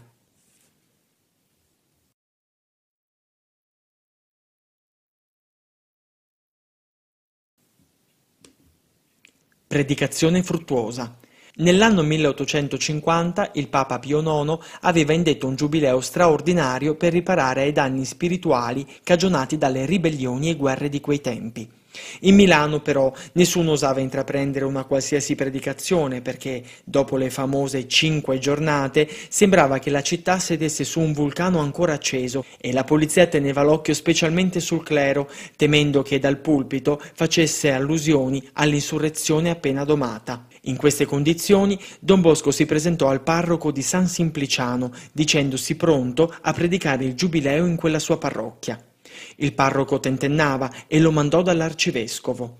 Ma anche l'arcivescovo era titubante e solo quando vide che Don Bosco era risoluto ed insisteva, si limitò a dirgli Signor Abate, io non ho nulla in contrario, ma se vi accadranno disgrazie io non c'entro. Sapete in che tempi ci troviamo, la vostra prudenza non sarà mai troppa. Grazie, eccellenza, rispose don Bosco. Lo predicherò come si predicava cinquecento anni fa. Mi dia la sua benedizione. Incominciò le sue prediche sulla necessità della conversione, sul ritorno dei peccatori a Dio, sui novissimi, senza mai il più piccolo accenno alle vicende politiche. La folla accorreva con curiosità ed ansietà sempre maggiori e i frutti furono straordinari. Dalla parrocchia di San Simpliciano passò a Santa Maria Nuova, a San Carlo, a Sant'Ostorgio e contemporaneamente predicava anche a Monza dai Barnabiti. Per questa coincidenza di predicazione si ingegnò nel popolo la persuasione che Don Bosco predicasse a Milano e a Monza nello stesso tempo. Tale notizia volò a Torino, ove al suo ritorno tutti lo andavano interrogando ed egli, ridendo, rispondeva Già, già, a Milano mi hanno tenuto per una masca, folletto.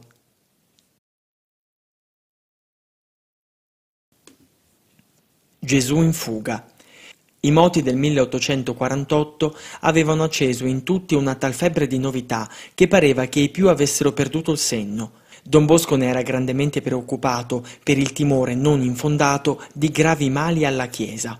Celebrando un giorno nell'istituto del Buon Pastore, ora all'elevazione, quando una suora mandò all'improvviso un grido altissimo che turbò tutta la comunità.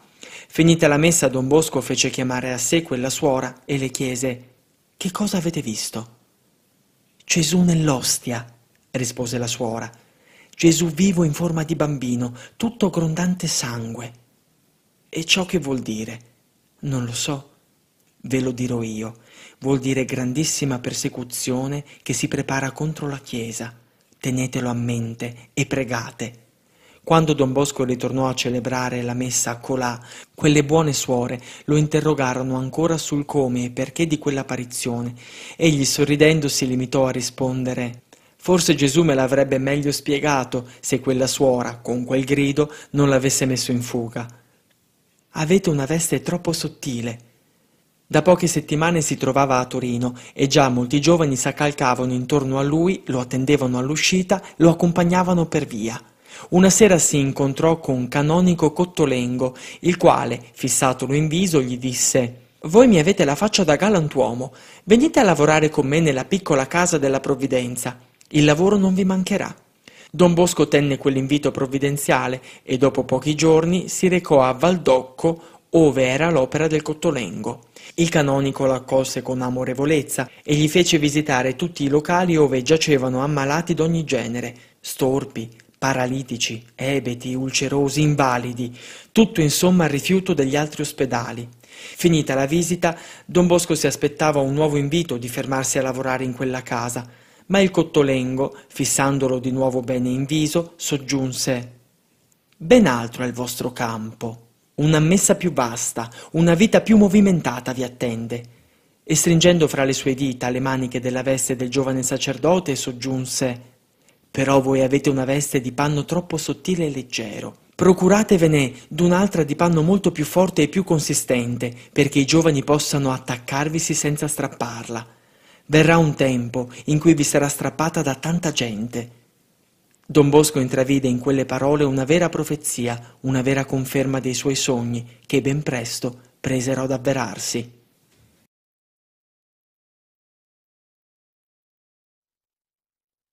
I giovani, la grande passione.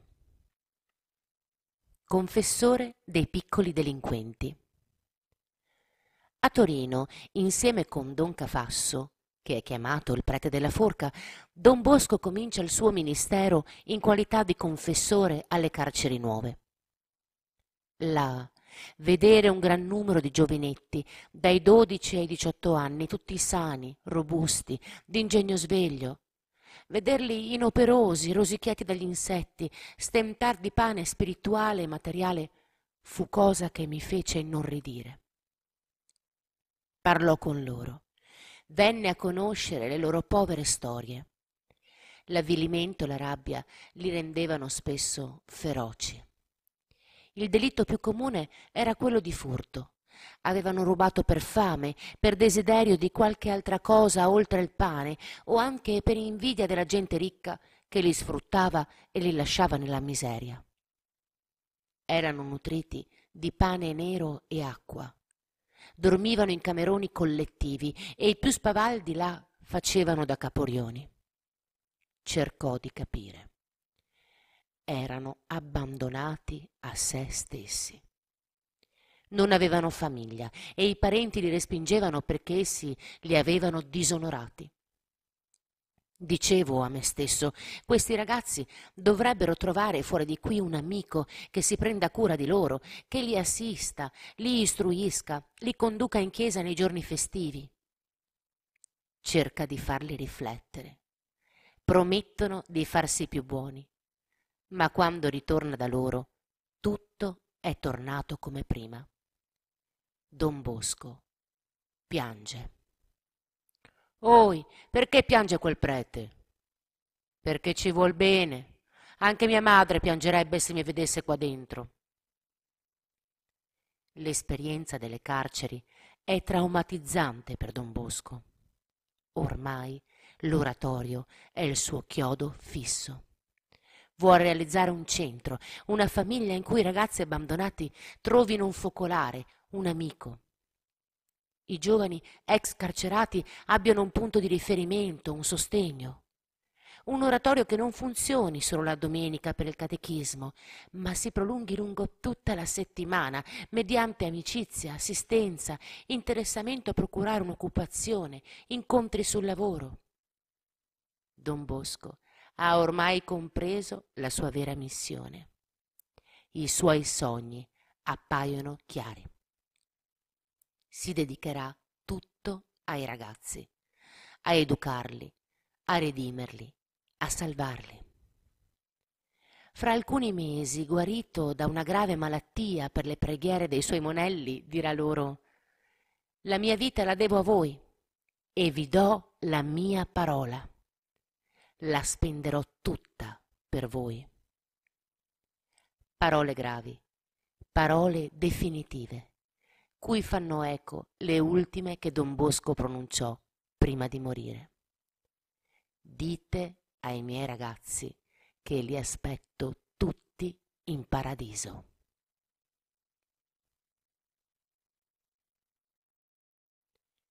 L'incontro provvidenziale. La mattina dell'8 dicembre 1841 Don Bosco si trovava nella sacrestia di San Francesco d'Assisi ove era vicecurato, e stava vestendosi per celebrare la messa. Il sacrestano, vedendo un giovanetto in un canto, lo invitò a servire. Non so, rispose il ragazzo tutto mortificato. Bestione che sei! esclamò il sacrestano. Se non sai servire messa, perché vieni in sacrestia? Prende la pertica dello spolverino e giù colpi sulle spalle e sulla testa del malcapitato. L'altro intanto se la dà a gambe, gridando, e don Bosco, prendendo le difese, apostrofa il sacrestano dicendo Che fate? Perché battete quel poveretto? Non sa servire la messa e viene in sacrestia. Chiamatelo, ho bisogno di parlargli, è mio amico. Il sacrestano gli corre dietro, lo chiama, lo persuade a ritornare in sacrestia e lo presenta a don Bosco, che con amorevolezza gli dice Hai già udito la messa? No. Vieni dunque ad ascoltarla. Dopo ho da parlarti di una cosa che ti farà piacere. Celebrata la messa, prese ad interrogarlo. Mio buon amico, come ti chiami? Bartolomeo Garelli. Di che paese sei? Di Asti. Quanti anni hai? Sedici. Sai leggere e scrivere? No, non so niente. Che mestiere fai? Il garzone di un muratore. E tuo padre e tua madre? Sono morti tutti e due da un pezzo.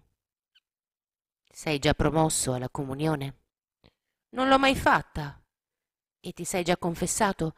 Sì, ma quando ero piccolo. Vai al catechismo.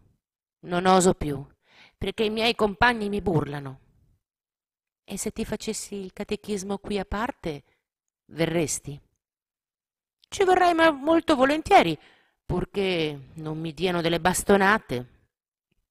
Sta tranquillo, d'ora innanzi sarai mio amico. Quando vuoi che incominciamo?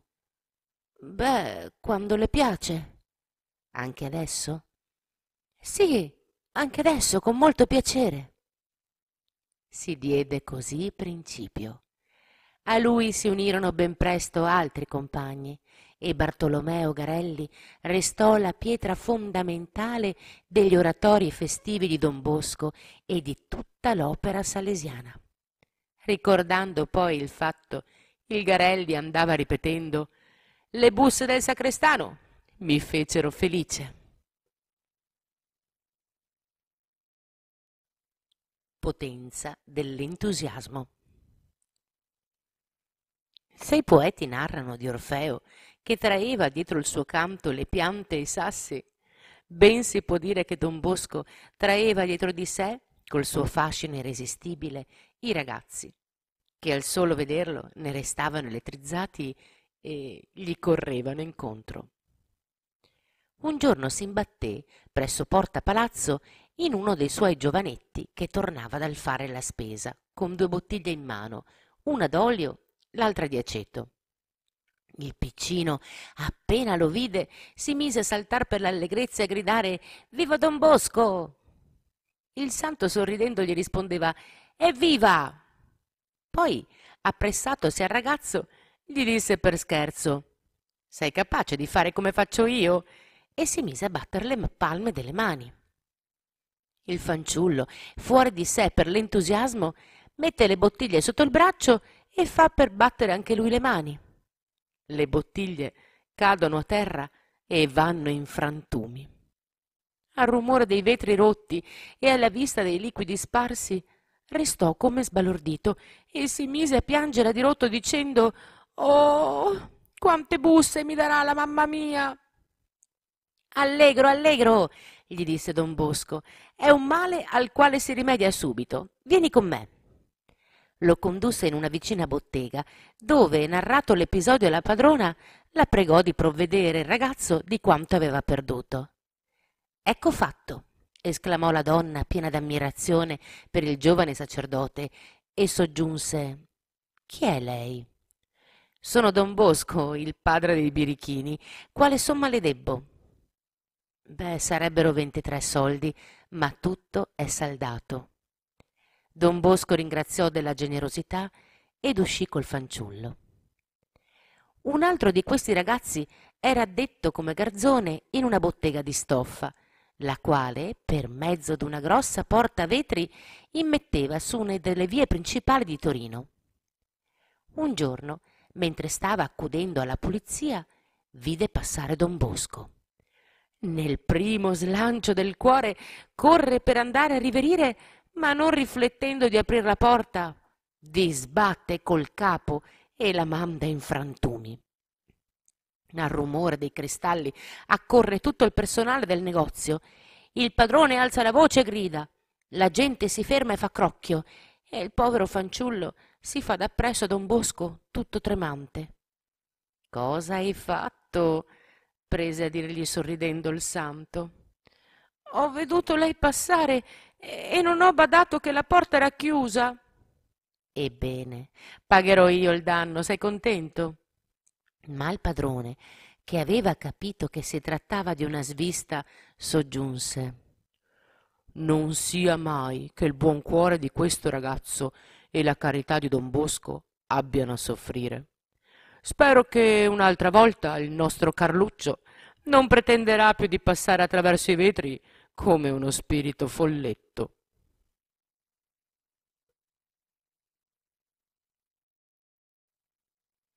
La cuffia di una impertinente. Don Bosco, vedendo che i locali ove teneva il catechismo non bastavano più ad accogliere tutti i suoi giovani, andò in cerca di un sito più spazioso e lo trovò presso la cappella dell'antico cimitero, detto di San Pietro in Vincoli. Accordatosi col cappellano, la domenica 25 maggio 1844 condusse il suo piccolo mondo a San Pietro. Il luogo ampio e libero eccitò nei giovani il più vivo entusiasmo e li rese frenetici di gioia. Ma, ahimè, avevano appena incominciato a gustarla che si mutava tosto in grande amarezza per opera d'una donna.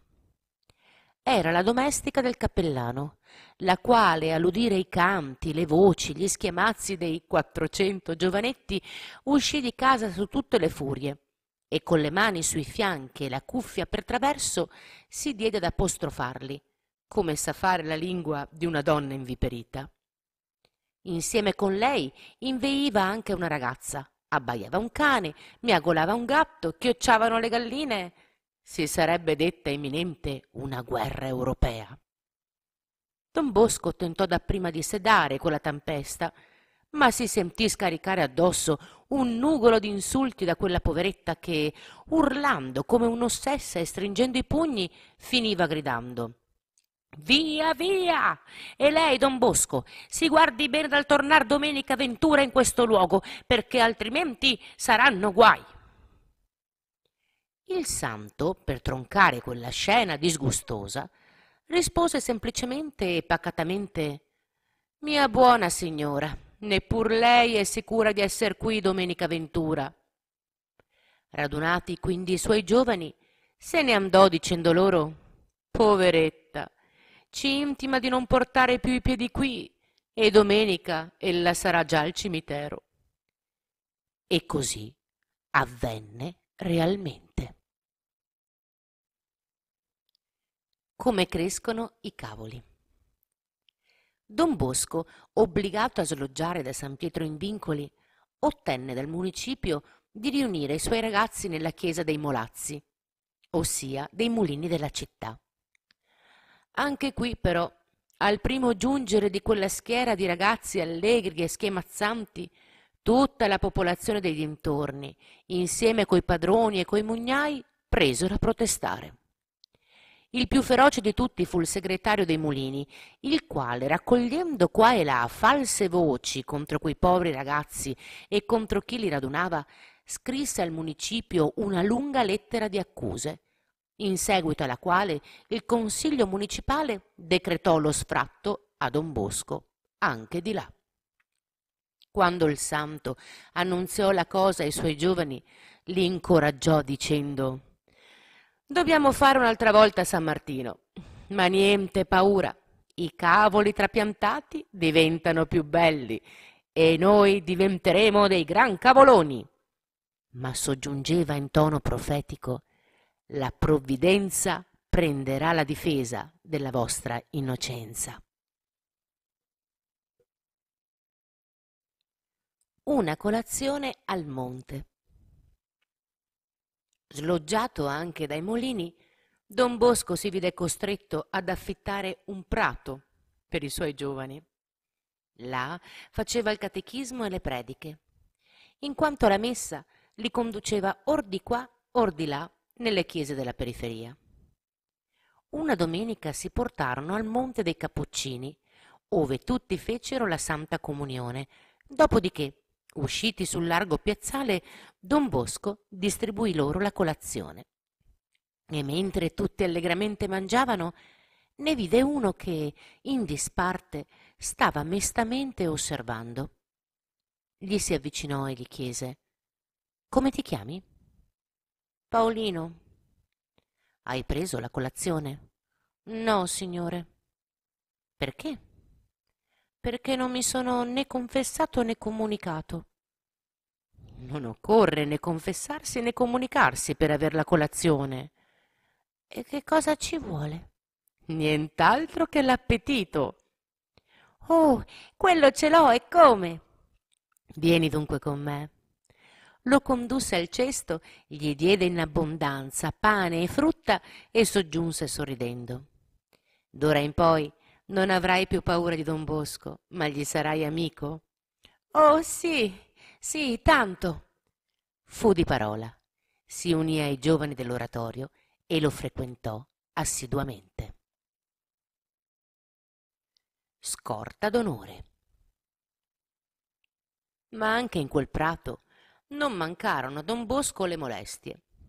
Un giorno vi si recò in persona niente meno che il marchese Michele Cavour, sindaco di Torino, il quale, vedendo don Bosco seduto per terra fra un circolo di giovani, domandò Ma chi è quel prete? È don Bosco. Don Bosco? esclamò stupito il marchese. O egli un pazzo oppure un illuso? E fattolo chiamare a sé, gli disse mio buon prete, prendete il mio consiglio. Lasciate perdere quei mascalzoni. Essi non daranno che dispiaceri a voi e fastidi alle autorità. Io vedo che queste adunanze sono pericolose e perciò non posso più tollerarle. Alle calme ed umili osservazioni del santo il marchese finì col soggiungere. Ma che importa a voi di questi monelli? Lasciateli nelle loro case, non prendetevi delle responsabilità. Mi importa la loro istruzione religiosa, la loro salvezza, rispose don Bosco. Oh, intanto io vi farò sorvegliare. E da quel giorno la questura ogni domenica continuò per un bel pezzo a mandare carabinieri e guardie a passeggiare nei dintorni di quel prato e dovunque egli conducesse i suoi giovani. Don Bosco sorrideva nel vedersi accompagnato come un sovrano da quella scorta d'onore e usava chiamare quei tempi i più romantici del suo oratorio. Cantori in barca Don Bosco si serviva del canto e della musica come di mezzo potente per attirare e trattenere i suoi giovani. E questi canti accrescevano potentemente l'entusiasmo nei fanciulli e l'ammirazione nelle popolazioni. Un giorno condusse i suoi birichini ad una passeggiata in barca sul Po, fino alla Madonna del Pilone. Quando le tre barche furono in mezzo al fiume, intonarono una lode. A quel canto la gente che si trovava sulle sponde si mise a seguire il corso delle barche. Una compagnia di trombettieri, che a caso si trovavano là di passaggio, diedero fiato alle trombe e presero ad accompagnare quel motivo facilissimo con mirabile effetto. Man mano che le barche del canto avanzavano, la gente s'accresceva e quando si giunse alla Madonna del Pilone, tutti gli abitanti uscirono fuori dalle case per portarsi a far festa ai giovani cantori e a regalar loro frutta e dolci.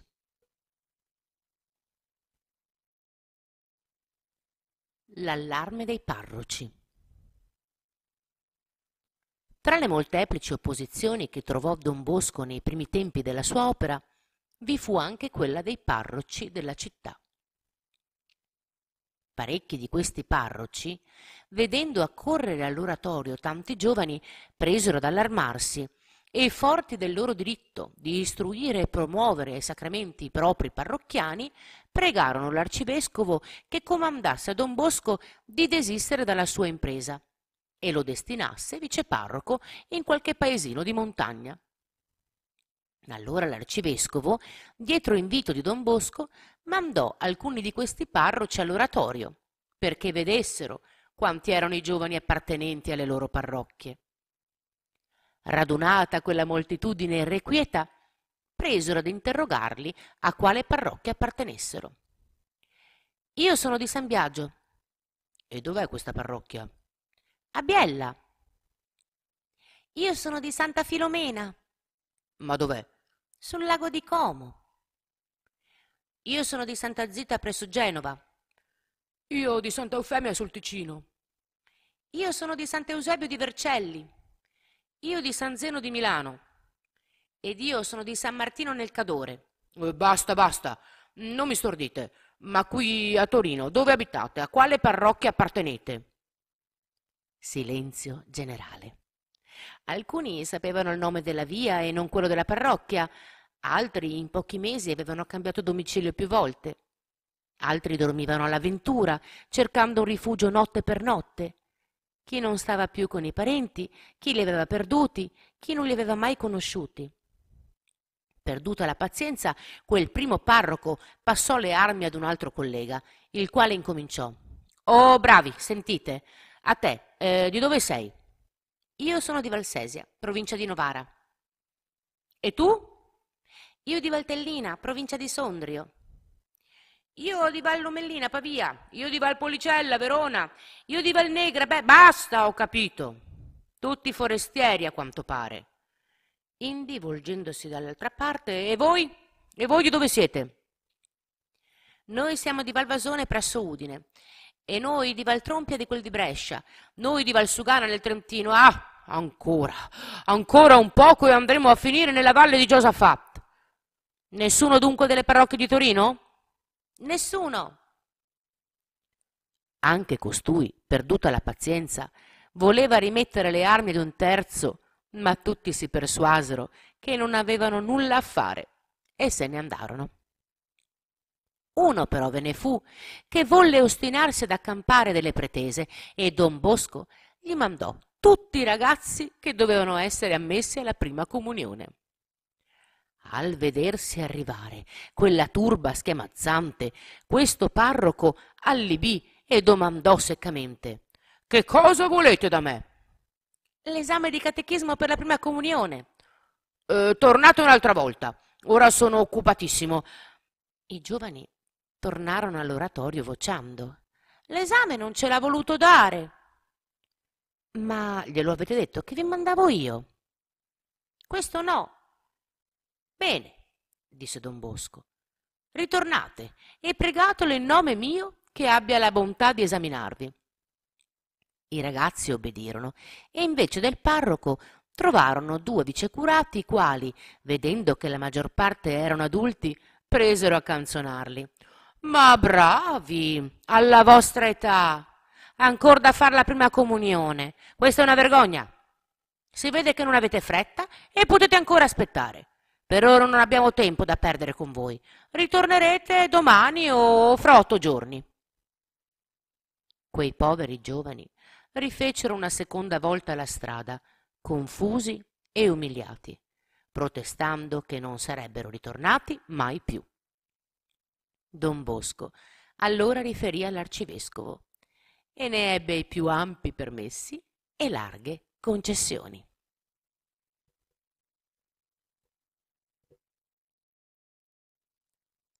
Piange e ride con i suoi figlioli. Nel mese di luglio del 1846 Don Bosco fu assalito da una potentissima bronchite che lo ridusse in fin di vita. Tutti pregavano per lui. Una notte pareva che dovesse essere l'ultima di sua vita. Il teologo Borel, che lo assisteva, si sentì ispirato a suggerirgli che facesse anche lui una preghiera per la sua guarigione. Don Bosco taceva e il teologo replicò Don Bosco, lei sa che lo Spirito Santo ci consiglia di pregare nelle nostre infermità. Dunque, preghi a questo fine. Lasciamo che faccia il Dio la sua volontà. Ebbene, dica almeno con me, Signore, se così vi piace, fatemi guarire. E don Bosco taceva ancora. Mi faccia il piacere, caro don Bosco, glielo domando a nome dei suoi figli piangenti. Dica con me e lo dica di cuore. Signore. Il malato, per consolarlo, prese a ripetere. Signore. Se a voi piace, se a voi piace, fatemi guarire. Fatemi guarire.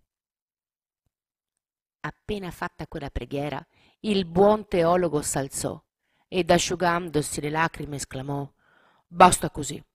Lei guarirà certamente, ne sono sicuro. Ne si sbagliò. Don Bosco prese sonno e quando si svegliò era ritornato a vita novella. I medici, recatisi a fargli visita col timore di trovarlo morto, toccandogli il polso gli dissero Caro Don Bosco, si alzi e vada a ringraziare la sua Madonna, che ne ha ben ragione. La notizia di quella improvvisa guarigione inondò di consolazione il cuore di tutti. La domenica lo adagiarono su un seggiolone e lo portarono in giro, come in trionfo.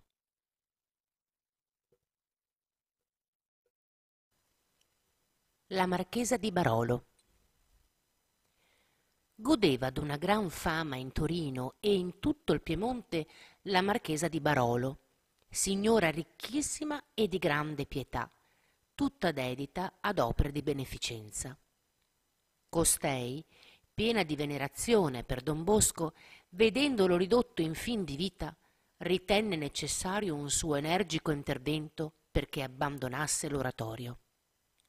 Un bel giorno, chiamatolo a sé, prese a dirgli Don Bosco, intendo farle una proposta per lei assai vantaggiosa.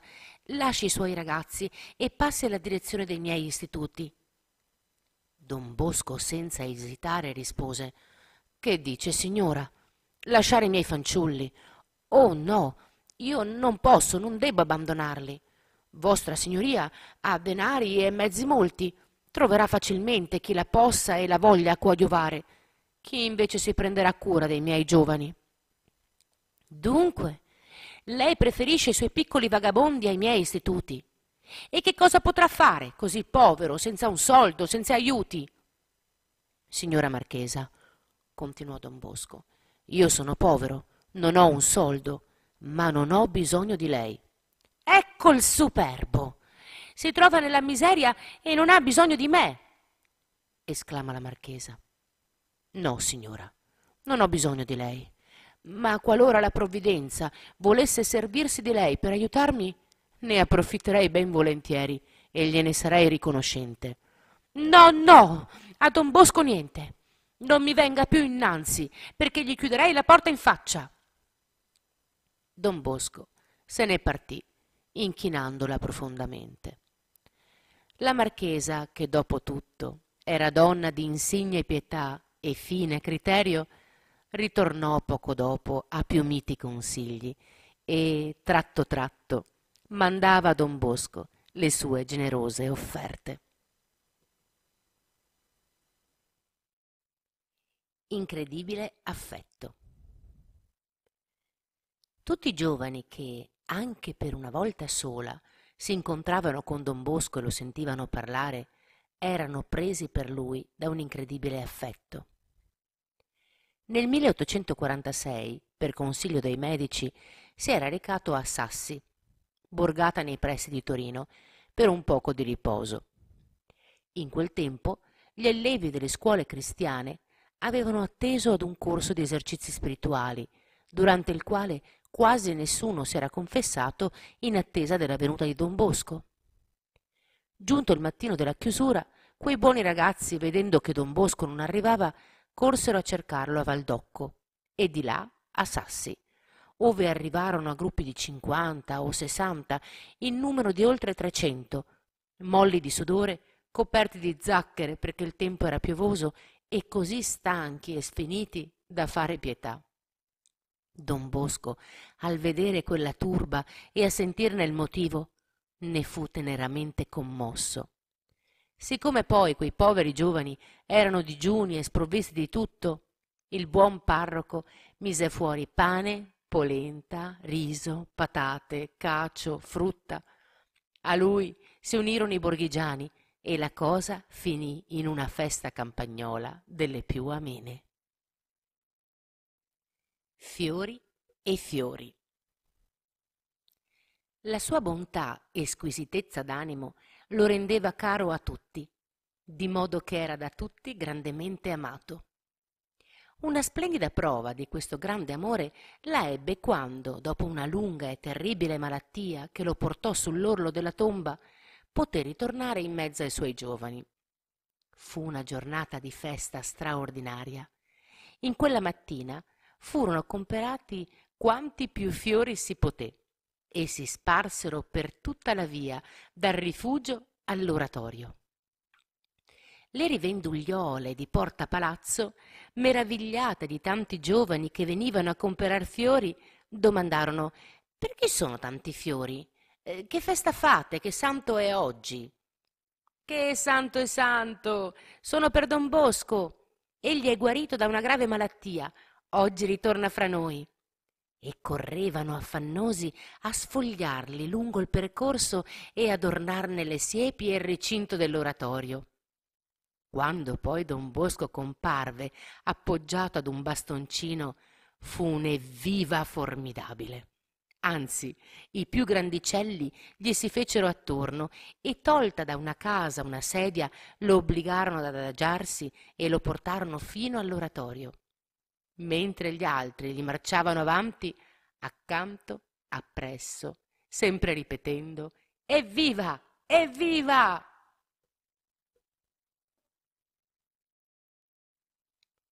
È creduto pazzo. Né solo le autorità civili molestavano il povero Don Bosco e tentavano di impedirne lo sviluppo della sua opera, ma anche i suoi colleghi sacerdoti. Anzi, costoro si erano messi in testa che don Bosco stesse dando i numeri e che tutto questo affaccendarsi appresso ai ragazzi fosse una vera mania.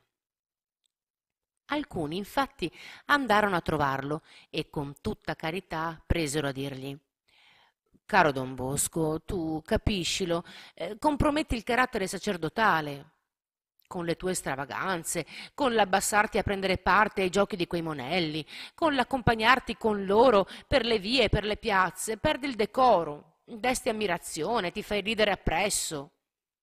E siccome don Bosco, sicuro dell'opera sua, dava segno di non essere persuaso della logica di quegli avvisi, essi andavano continuando. Ma tu hai perso la testa, non ragioni più. Povero e caro Don Bosco, non bisogna ostinarsi. Tu non puoi far l'impossibile. Non vedi che anche la provvidenza è contraria alla tua opera e che non trovi nessuno che ti voglia affittare un locale? Oh, la provvidenza! esclamò a questo punto don Bosco, alzando le mani al cielo. La provvidenza mi aiuterà. Lei mi ha inviati questi ragazzi e io non respingerò neppure uno di loro. Ritenetelo bene. Voi siete in errore. La provvidenza farà tutto ciò che è necessario. E poiché non mi si vuole affittare un locale, ne fabbricherò uno io, con l'aiuto di Maria Santissima. Vi saranno vasti edifizi, con scuole, laboratori, officine di ogni specie, spaziosi cortili e porticati, una magnifica chiesa. E poi anche chierici, catechisti, assistenti, professori, capi d'arte e numerosi sacerdoti. Vedrete, vedrete. All'udire tali parole, quei suoi amici si sentirono profondamente commossi Essi vi vedevano una prova certa della pazzia del loro amato collega e se ne andarono crollando il capo e ripetendo fra loro Poveretto, davvero gli ha dato di volta il cervello, occorre subito provvedere. Don Bosco attendeva gli eventi, pronto ad ogni più dura lotta. Al manicomio Quei tali, presi gli accordi con la curia vescovile, andarono a parlare col direttore del manicomio. Ottenuto un posto al creduto pazzo, due di loro, i più svelti e coraggiosi, accettarono di eseguire il pietoso disegno. Presero a Nolo una vettura chiusa, si recarono all'abitazione di Don Bosco e, fatti i primi convenevoli, lo invitarono ad una passeggiata dicendogli un po' d'aria ti farà bene, caro Don Bosco. Vieni, abbiamo qui una carrozza che ci aspetta. Il santo si avvide subito del gioco che gli volevano fare, ma accolse l'invito esclamando Corbezzoli, una carrozza, e viva la carrozza! Veramente non ci sono assuefatto, ma via, andiamo. Giunti alla vettura, lo invitarono ad entrare per primo, ma egli si scusò dicendo Oh no, sarebbe una mancanza di rispetto per parte mia, favoriscano loro per primi. Quelli salirono senza alcun sospetto, persuasi che don Bosco li avrebbe seguiti, ma egli, appena li vide dentro, chiuse con fragore lo sportello gridando al cocchiere Presto, al manicomio! Il vetturino sferza il cavallo e più veloce che non si dica giunge alla meta ove, trovato il portone spalancato e gli infermieri pronti in attesa, entra di corsa. Il custode chiude prontamente il portone, gli infermieri circondano la carrozza, aprono gli sportelli e invece di un pazzo ne vedono due. Quantunque entrambi protestassero energicamente, furono condotti al piano superiore ed essendo assenti medici e direttore, perché era l'ora del mezzogiorno, dovettero adattarsi a pranzare coi ricoverati. Solo verso sera, chiarito l'equivoco, poterono essere messi in libertà. La cosa fece in un baleno il giro della città e da quel giorno si corressero le idee nei riguardi del santo e l'ammirazione verso di lui s'accrebbe assai. Campane che suonano da sé. Ad applaudire al fatto del manicomio e a ridere coi cittadini si unirono anche le campane della Madonna di Campagna, quasi volessero attestare la grande bontà della provvidenza che proteggeva il nostro santo. La Domenica delle Palme, ultimo giorno in cui era permesso a Don Bosco di fermarsi in quel prato, egli annunziò ai suoi giovani che si sarebbe andati ad ascoltare la messa alla Madonna di Campagna, ufficiata dai Cappuccini. La proposta fu accettata con giubilo. Per via si recitò il rosario e si cantarono le litanie e lodi sacre. Quando la lunga schiera di quei quattrocento ragazzi mise piede nel viale che dà al convento, ecco che le campane del santuario presero a suonare a festa.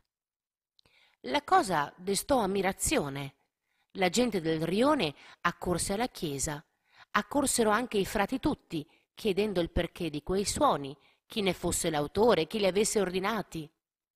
Ma nessuno aveva dato ordini, nessuno aveva toccato le campane e si dovette constatare che veramente le campane avevano suonato da sé. Don Bosco era confuso per la protezione così palese della provvidenza. Minacce e castigo. Ma che? Il demonio che mai lascia tranquilli i santi suscitò ben presto altri nemici, i quali fecero di tutto per disperdere Don Bosco e l'opera sua.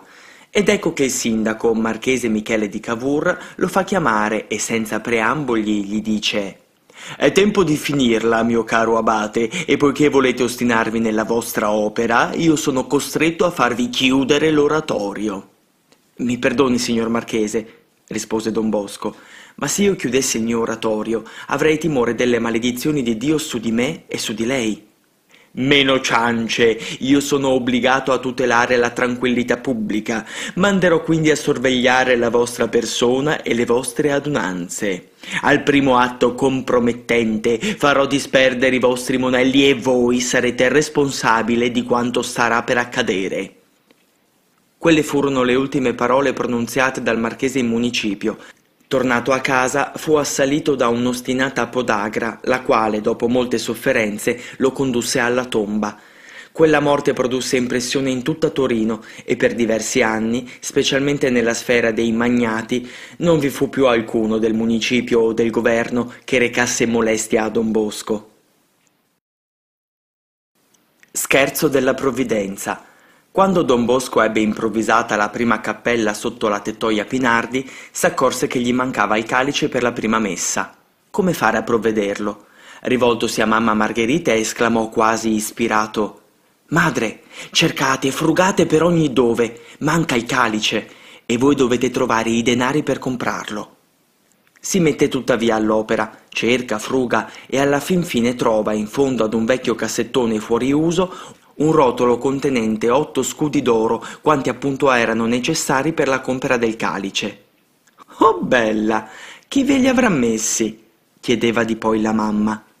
Oh bella, ribatteva don Bosco, li ha messi colà la provvidenza, che ci ha voluto fare uno scherzo. Altro scherzo della provvidenza. Un giorno entrò da don Bosco un forestiero che lo salutò con la solita formula. Oh, don Bosco, come sta? Senza un quattrino, rispose don Bosco. Cosa singolare, replicò il forestiero. E se in questo momento ella avesse bisogno urgente di una somma, come farebbe? Mi rivolgerei alla provvidenza. Sì, provvidenza, provvidenza è una bella parola, ma se ne abbisognasse in questo momento. In tal caso direi a lei, mio buon signore, Vada in anticamera e troverà una persona che, in questo momento, reca appunto un'offerta a Don Bosco. Come? Dice davvero? Ma non c'era nessuno quando io entrai. Chi gliel'ha detto? Nessuno me l'ha detto, ma io lo so, e lo sa la provvidenza. Quel signore, fuori di sé per la meraviglia, va nell'anticamera, ove trova davvero un altro signore a cui chiede Viene da Don Bosco? Sì, vengo a portare un'offerta. Il santo si presenta sulla porta ed esclama Vede se io avevo ragione di confidare nella provvidenza? Carnevale che non guasta. Un giorno mamma Margherita gli corre incontro tutta ansante gridando Oh Giovanni, Giovanni se sapessi! Che cosa? Hai guadagnato un terno all'otto? Altro che guadagno, perdita, mio caro, perdita. Ti hanno rubato la veste nuova, la sola buona che hai. Era stata stesa al sole e te l'hanno rubata. Se l'hanno rubata, pazienza, che vuoi farci? Bisogna cercare il ladro, deve essere vicino. Vuoi che faccia il poliziotto? Ecco, sempre lo stesso, non ti importa niente. Ed ora come farai ad uscire? Oh, bella, Prenderò uno di quei cappotti regalati dal municipio ed uscirò vestito da militare. Bella figura, sarà un carnevale. Un po' di carnevale non guasterà niente. Poi cambiando tono soggiunse Guardate, madre, il ladro ne aveva forse più bisogno di me, forse è già pentito, e se venisse a confessarsi, io mi contenterei del fermo proposito di non farlo più, e gli regalerei la veste o l'equivalente, gli darei l'assunzione in lungo e in largo. Pregate intanto la Madonna che me ne mandi un'altra. La coda del diavolo. Il grappino, al quale evidentemente non garbava che tutti quei ragazzi corressero presso a Don Bosco, cercò in tutti i modi di rovinargli l'opera. Nei primi tempi un uragano travolse ben due volte i ponti della nuova costruzione, una terza volta un fulmine cadde così vicino da mettere in serio pericolo la vita di Don Bosco e dei suoi ragazzi. Appena la prima costruzione fu ultimata, accaddero cose strane e singolari. Appena andava a letto, ecco che con rumori strani cercava di disturbarlo. Erano terribili colpi di pietra, rumori assordanti di ogni genere su tutto il soffitto della stanza, e quasi non bastasse, una volta gli sollevò il letto e lo sbatté ripetutamente a terra con veemenza inaudita. Don Bosco, non potendo più dormire da molto tempo, era dimagrito e minacciava un'altra malattia, per cui si decise di farla finita. Si armò di un quadretto della Madonna, salì con quello sul solaio e fece un giro tutto attorno tenendo sollevato il quadro e gridando Diavolo, diavolo, via di qua! Diavolo, diavolo, via di qua! Poi appese il quadretto al muro e pregò la Madonna di liberarlo da quei disturbi e scherzi diabolici. Da quel momento tutto finì come per incanto, né si udirono più rumori né voci. Il quadretto stette colà appeso per ben sei anni, fino a che quella casa venne demolita per farne un'altra. Eppure caleranno. La casa era divenuta stretta e da tempo Don Bosco stava meditando di comprare la casa vicina di Francesco Pinardi per poter ampliare l'oratorio, ma questi pretendeva una somma assai rilevante. Caso volle che la sera del 19 febbraio 1851, nell'osteria di fronte a detta casa, succedesse una rissa violentissima con feriti e contusi. Il Pinardi, stanco di assistere a tali scene, si portò tosto da Don Bosco e gli disse Don Bosco, è una cosa che non va più, è una continua disperazione, risse e sempre risse. Se dunque vuol comprare la mia casa, eccomi disposto a cedergliela. E per quanto? Per quello che le ho detto, ottantamila. Non posso fare offerte? Perché? Perché il prezzo è esagerato. Mi rimetto a lei. Me la date per il suo valore? Parola d'onore. Sentite, signore, io l'ho fatta stimare e mi si assicurò che, nello stato attuale, vale dalle 26 alle 28 mila. Io ve ne offro 30 mila, va bene? Sia pure, ma pagherà in contanti? Pagherò in contanti. Quando faremo il contratto? Quando vi piacerà? Un'altra settimana? Come volete. Si strinsero la mano e si lasciarono. Ma dove prendere i denari per pagarla? Ecco il pensiero assillante di Don Bosco in quei giorni. Ricordò in buon punto che il venerabile Antonio Rosmini gli aveva promesso ventimila lire, ma venti non erano trenta, e le altre dieci? A quelle pensò ancora la stessa provvidenza.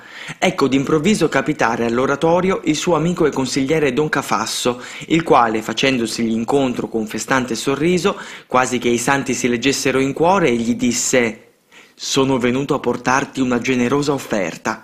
Sono diecimila lire che la contessa Casazza ti manda per le tue opere. Deo grazias! esclamò Don Bosco.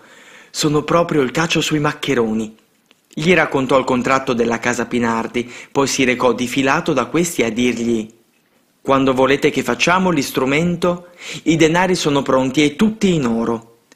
La parola stuzzicò il signor Pinardi, che accettò di andare subito dal notaio Giuseppe Cotta. Al momento di firmare, don Bosco tirò fuori il suo sacchettino e spiattellò, l'una dopo l'altra, le trentamila lire d'oro. Ma le spese per il contratto? E il regalo promesso alla signora del Pinardi? Restavano 3.500 lire da sborsare. Don Bosco, che non vi aveva pensato, Restò un istante perplesso, ma il suo buon umorismo cambiò subito la momentanea confusione in amenità. Prese a scuotere il sacchetto che ancora teneva in mano, dicendo Spero che caleranno. Eh, devono calare. Notaio e testimone scoppiarono in una risata ed il signor Cotta, grande benefattore di Don Bosco, esclamò Vuol dire che le 3500 lire le aggiungerò io. Va bene così? Vedete un po' se sono calate, continuò don Bosco. Oh, lo sapevo che la provvidenza non mi avrebbe lasciato negli imbrogli. L'ospizio fallito. Una sera dell'aprile 1847, rincasando a tarda ora dalla visita a un malato, mentre appunto pensava a tanti poveri giovani che, privi di tetto, vagavano tutta la notte in cattive compagnie, venne ad imbattersi in un crocchio di ragazzetti i quali, al vedere un prete, cominciarono a lanciar frizzi poco gentili. Don Bosco avrebbe voluto evitarli, ma accortosi che non era più in tempo, pensò di fare buon viso a cattiva sorte e avvicinatosi li salutò dicendo Buonasera, miei cari amici, come state? Poco bene, signor teologo. Abbiamo sete e non abbiamo quattrini, rispose uno. Non ci offrirebbe una pinta, doppio giro? soggiunse un altro. Sì, sì, una pinta, presero a gridare gli altri in coro. Ci paghi una pinta! E lo accerchiarono in modo da impedirgli il passo. Ben volentieri, ma voglio bere anch'io in vostra compagnia. Sicuro? Oh, che buon prete! Se tutti i preti fossero così. Andiamo dunque alla trattoria delle Alpi qui presso. Don Bosco fa portare una, poi un'altra bottiglia, e quando li vede mansueti e benevoli dice Ora mi dovete fare un piacere. Dica, dica, non uno, ma due, ma tre. D'ora in avanti vogliamo essere suoi amici. Ebbene, ora tornate alle vostre case, domenica poi vi attendo tutti all'oratorio. Ma noi non abbiamo casa, dormiamo qua e là, nelle stalle, sul fieno. Allora facciamo così, venite con me e per questa sera ci aggiusteremo alla meglio. Seguito da quel gruppo che si sarebbe detto di malandrini, arrivò a casa e li consegnò a mamma Margherita dicendo Madre, ecco i primi ospiti, pensate a ricoverarli. Fatto recitar loro il Paternoster e l'Ave Maria che avevano dimenticato, per una scala a pioli li condusse sul fienile, diede a ciascuno una coperta ed un lenzuolo e raccomandando loro il silenzio e il buon ordine, scese soddisfatto e contento, credendo di aver dato così principio all'ideato ospizio. Così però non la pensava il Signore, né di tal gente voleva servirsi la provvidenza, Fattosi appena giorno, don Bosco esce di camera per destare i suoi amici e dir loro una buona parola. Con meraviglia non ode rumore. Li crede addormentati, li chiama, poi sale per svegliarli. Ma che? I mariuoli se l'erano svignata, portandosi via coperte e lenzuola. Il suo tentativo era andato fallito. Fulmine provvidenziale. Altri giovani vennero a bussare alla porta di Don Bosco in cerca di pane e di alloggio, e Don Bosco e la mamma si ingegnarono in tutti i modi per ricoverarli. Ma ben presto ogni posto fu occupato, perfino la cucina si tramutava di notte in dormitorio. Come fare? Addocchiò una casa lì presso e la domandò in affitto.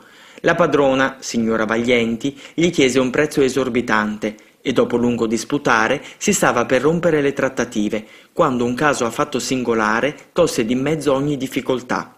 Il cielo, che si era improvvisamente rannuvolato, divenne scuro scuro, ed ecco che si vede all'improvviso un guizzo di lampo vivissimo, e poi si sente un colpo di fulmine così gagliardo da far tremare la casa dalle fondamenta al tetto.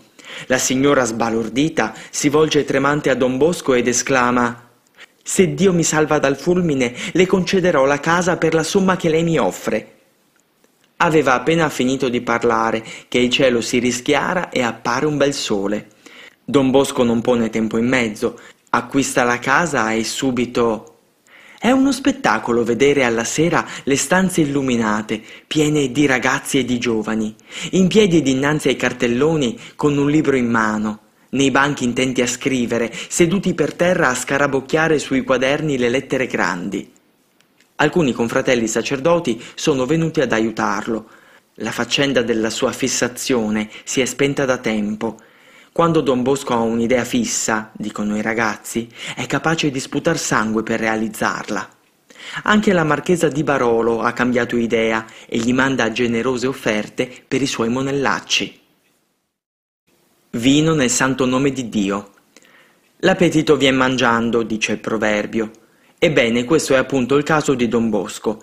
Comperata la casa, sente tosto il bisogno di dare principio ad una chiesa, ove radunare comodamente in preghiera tutti i suoi ragazzi, e dice a mamma Margherita Madre, ora voglio innalzare una bella chiesa in onore di San Francesco di Sales, nostro protettore.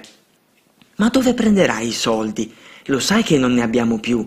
Tutto ci divorano questi poveri figliuoli. Pensaci bene prima, intenditi col Signore.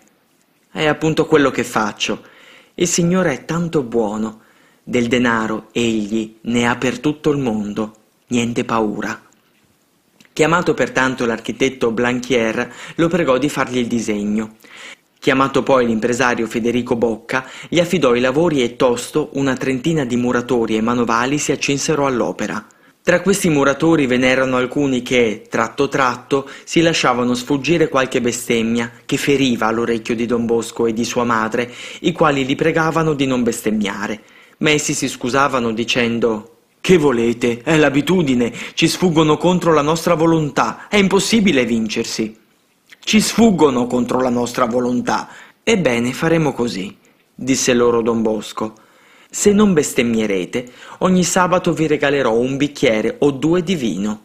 Questo linguaggio fu più potente e persuasivo d'ogni predica, e per l'amore del vino promisero e mantennero la parola. Per più di un anno mamma Margherita ogni sabato recava loro un barilotto di vino e quando chiedevano Mamma Margherita, che vino è questo? Essa rispondeva È vino del santo nome di Dio. Mangerò un cane. Quando Don Bosco lanciò l'idea di costruire la chiesa, un suo collega, Don Cogliotti, gli lanciò questa sfida. Povero Don Bosco, se tu riuscirai a costruire una chiesa, come tu dici, io mangerò un cane. Di chiese Don Bosco ne costruì non una, ma decine in diverse parti d'Italia. Ma Don Cogliotti di cani non ne mangiò neppure uno. Il santo, incontrandolo altre volte, gli diceva ridendo Eh, Cogliotti, e il cane? La chiesa di San Francesco di Sales fu consacrata il 22 giugno 1852. Fu la chiesa madre, la porziuncola della famiglia salesiana, il cuore pulsante di Valdocco fino al 1868, quando fu consacrato il sontuoso santuario dedicato a Maria Ausiliatrice. Un caffè dal boia. Dopo la morte di San Giuseppe Cafasso, 23-6-1860, era divenuto confessore delle carceri e vi si recava ogni settimana per tale ufficio. Un giorno, dopo aver atteso per più ore alle confessioni, uscì nei corridoi talmente spossato che quasi più non ci vedeva. Ed invece della porta di uscita, infilò la porta dell'alloggio del boia e si trovò davanti ad un uomo, una donna ed una loro ragazza che stavano cenando.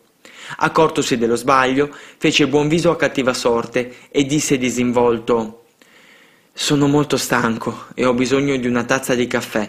Avreste la bontà di favorirmelo? Ma sì, venga pure avanti, reverendo, si accomodi. L'uomo porge una sedia e la donna e la figlia s'accingono a preparare una tazza di caffè. Il carnefice intanto continuò. Ma lei, reverendo, sa in casa di chi è venuto?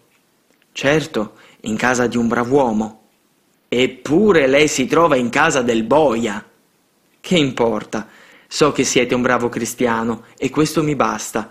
Voglio che siamo amici. Quel povero uomo, che non si era mai sentito trattare così bene da persona distinta, cadeva dalle nuvole e si sprofondava in mille gentilezze. Venne intanto il caffè e, siccome fu recata una tazza sola, don Bosco s'affrettò a chiederne una seconda, dicendo «Oh, bisogna che la prendiamo insieme». «E questo poi no», rispose il carnefice. E io che mando la gente all'altro mondo prendere il caffè con lei che la manda in paradiso. Appunto, appunto, fra tutte e due compiamo un'opera salutare. Voi riguardo la società e io riguardo a Dio. La seconda tazza fu portata, il santo la porse al boia ed entrambi lo sorbirono allegramente.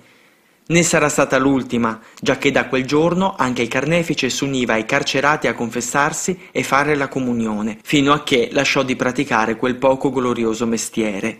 Il santo si compiaceva di raccontare l'episodio toccatogli e finiva col dire Dunque, io e il boia siamo due buoni amici.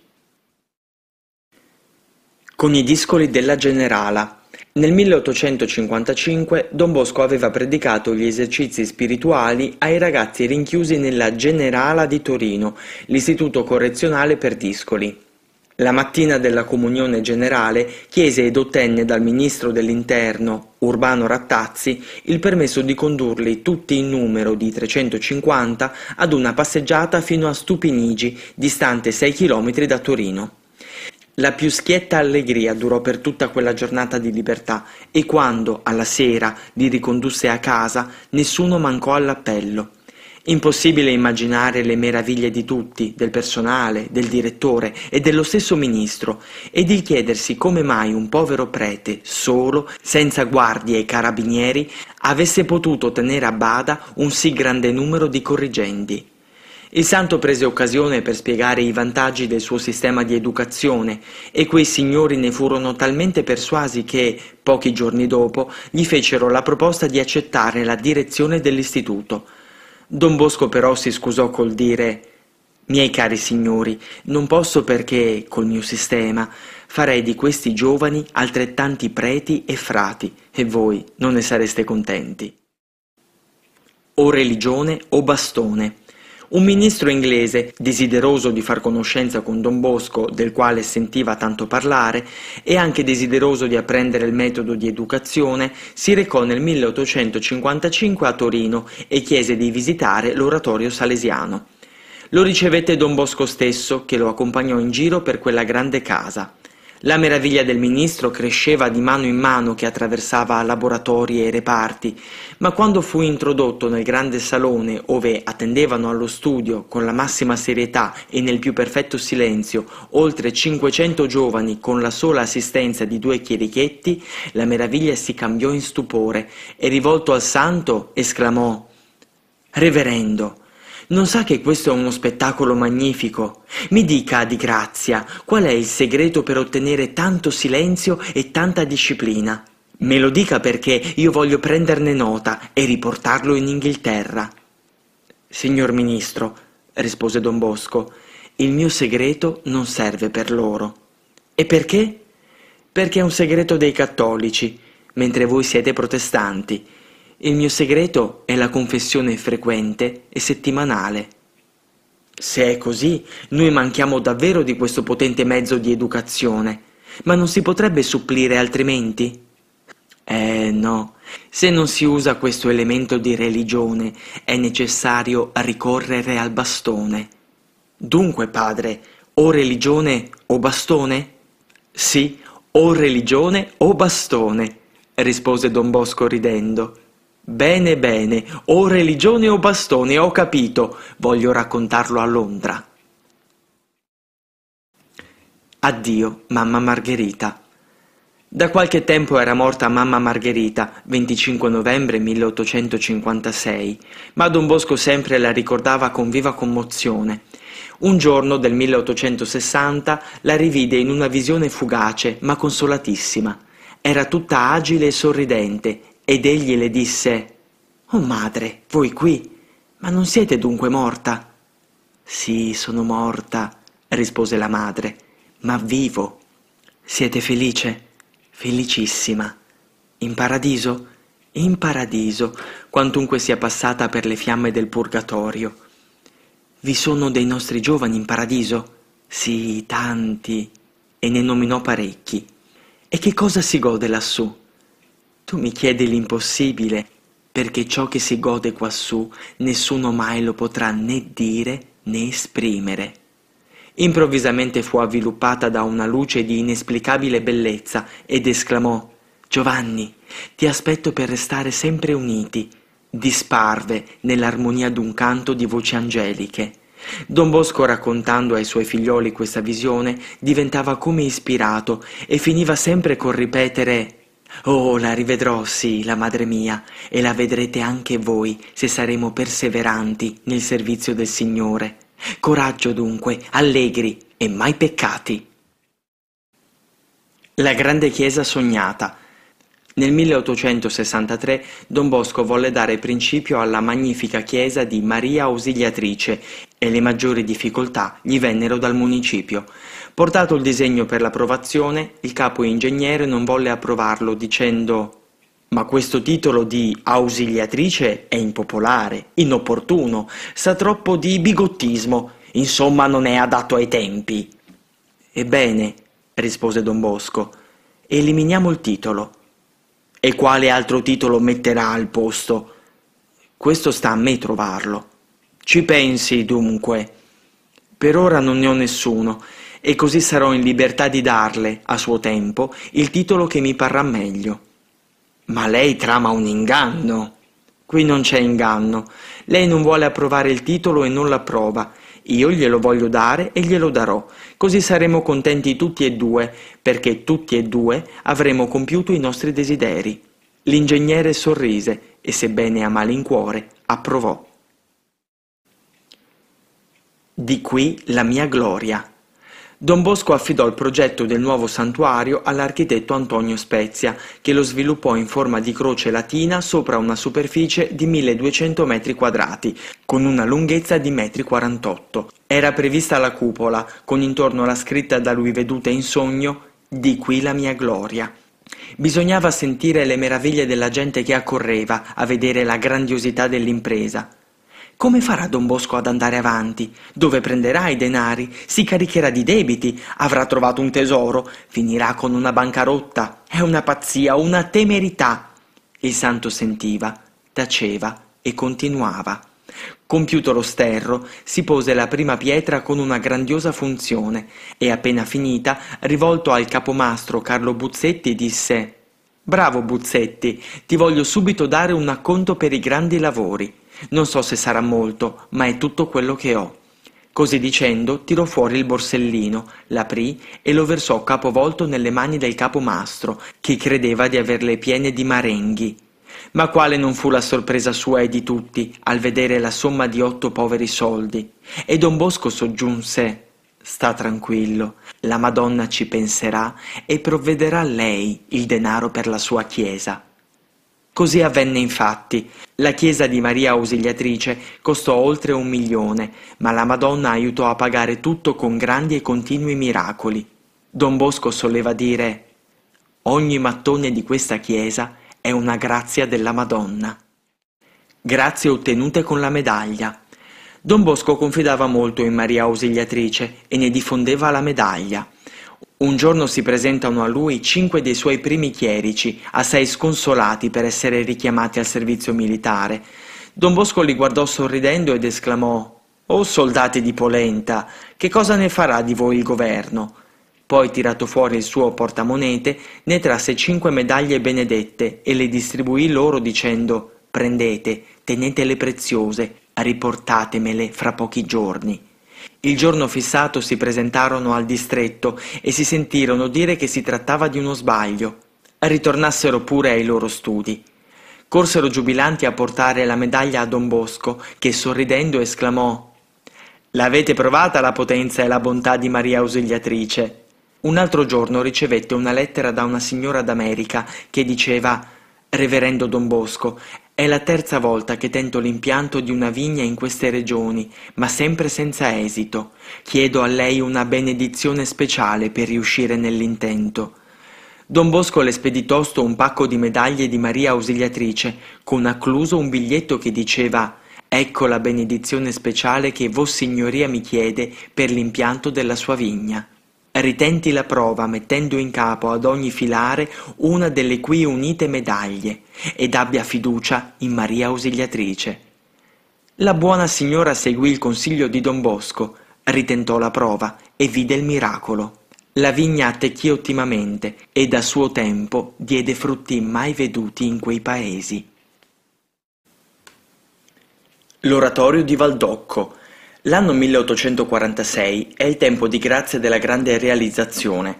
Don Bosco riesce ad acquistare una fatiscente tettoia da Francesco Pinardi e vi inaugura un oratorio stabile nella regione Valdocco. Don Bosco trasforma la tettoia in cappella. Nel giorno di Pasqua la benedice. Centinaia di ragazzi la stipano all'inverosimile. Poi, afferrando al volo la pagnotta che Don Bosco va pescando da un'immensa cesta, sciamano sui prati intorno, esplodendo per la gioia di avere, finalmente, una casa tutta per loro. La vita nell'oratorio. Si moltiplicano le ostie. Il giorno della Natività di Maria Santissima del 1847 circa 650 giovani erano stati confessati ed erano pronti per la comunione. Don Bosco incominciò la messa e la continuò, credendo che nel tabernacolo vi fossero le ostie consacrate. La pisside, invece, era quasi vuota ed il sacrestano si era dimenticato di mettere sull'altare l'altra pisside da consacrare. Giunto alla comunione, don bosco s'accorse della dimenticanza del sacrista ma come fare non c'era rimedio alzò gli occhi al cielo trasse un gran respiro poi cominciò e continuò la comunione a tutti, come se nulla fosse.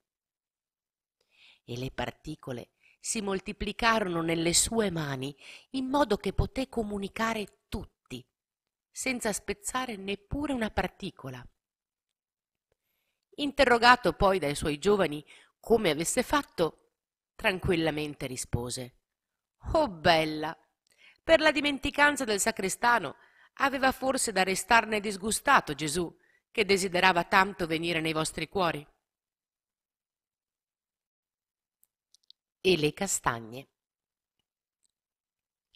La domenica dopo la festa dei santi del 1849 si era fatto nell'oratorio l'esercizio della buona morte, ossia la confessione e la comunione da tutti i giovani interni ed esterni.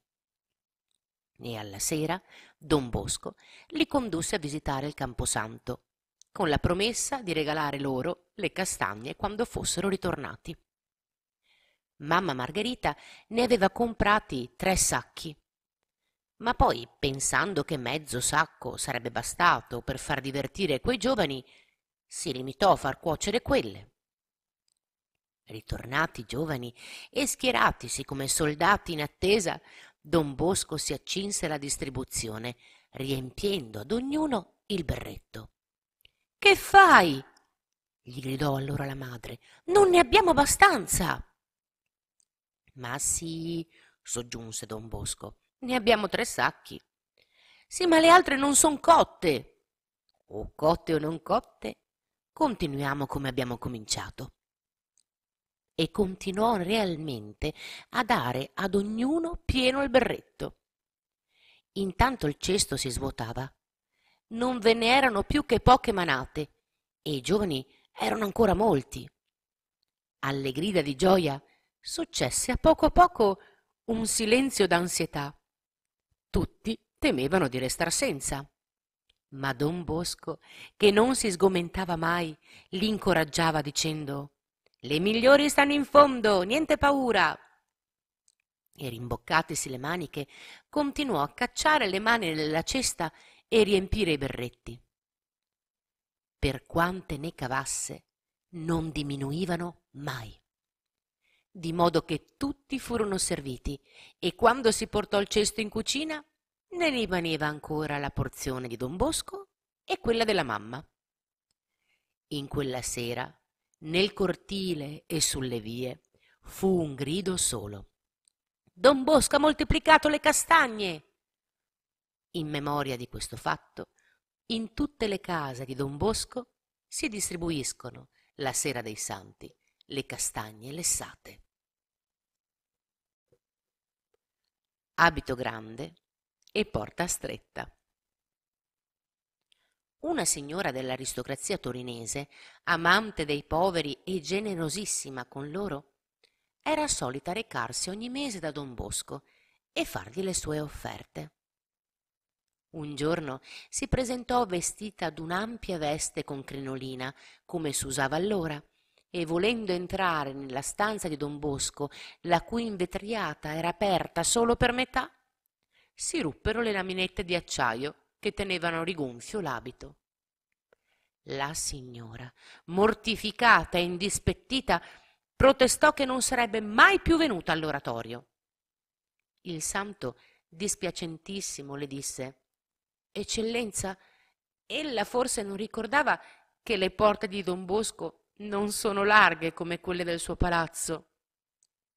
Queste parole non valsero a rabbonire la dama, la quale, fatta avvicinare la carrozza, se ne partì, ripetendo che non avrebbe mai più messo piede nell'oratorio.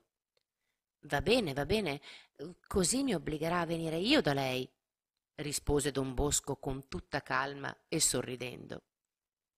Difatti prese a recarsi ogni otto giorni dalla dama, la quale alla terza volta esclamò come va che siete ritornato così presto? Se vostra eccellenza non viene più da me, rispose don Bosco, bisogna bene che io venga da lei, altrimenti come potrò tirare avanti con i miei giovani che mancano di tutto?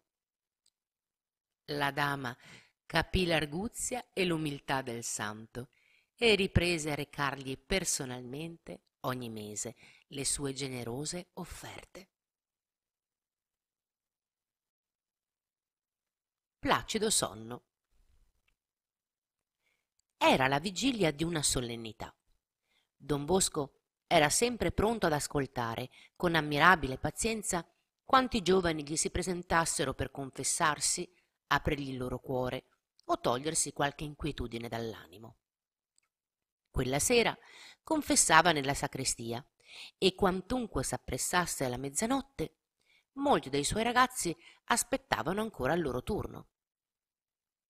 Affaticato per il duro lavoro della giornata e spossato per la veglia della notte antecedente, fu a poco a poco vinto dal sonno e la sua testa venne piano piano a posarsi sulla spalla del piccolo penitente che si stava confessando.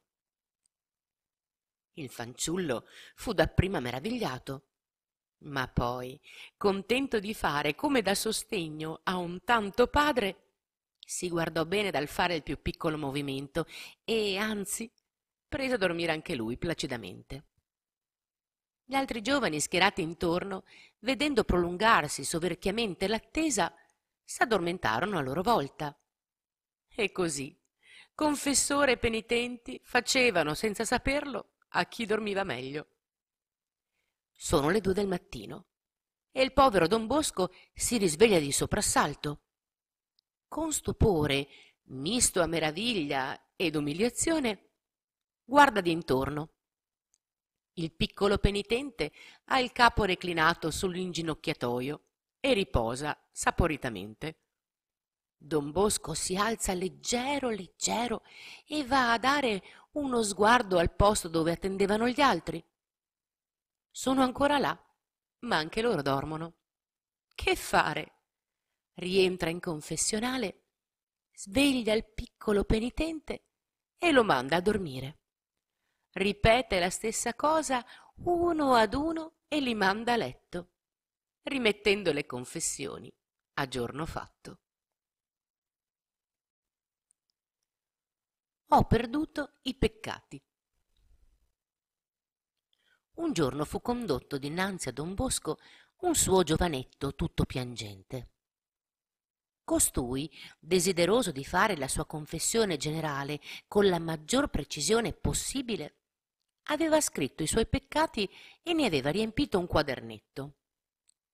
Ma non si sa come, aveva perduto il volumetto delle ingloriose sue gesta e per quanto frugasse in ogni tasca, il manoscritto più non lo trovava e a nessuno voleva palesare il motivo della sua desolazione. Don Bosco fattolo appressare a sé, prese ad interrogarlo. Che hai, caro Giacomino? Ti senti male?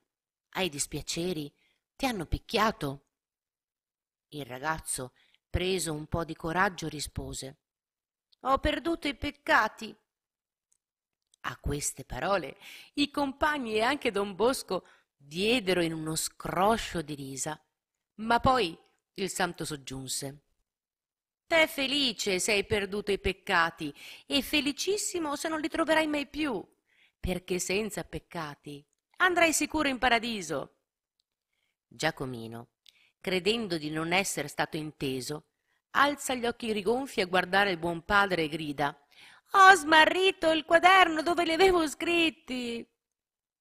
Allora don Bosco, che aveva trovato il quadernetto, trattolo di tasca, esclama Sta tranquillo, mio caro. I tuoi peccati son caduti in buone mani. Eccoli qui.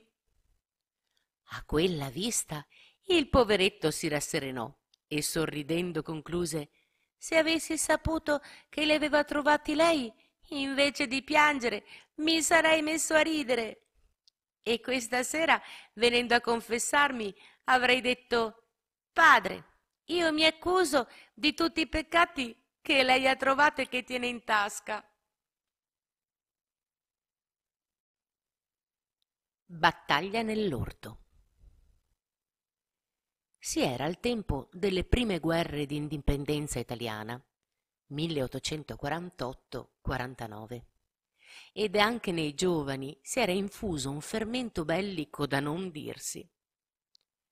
Don Bosco, che sapeva servirsi di tutto per attirare maggiormente i fanciulli, permetteva che si facessero anche nell'oratorio delle guerricciole innocenti con bastoni, fucili, sciabole di legno.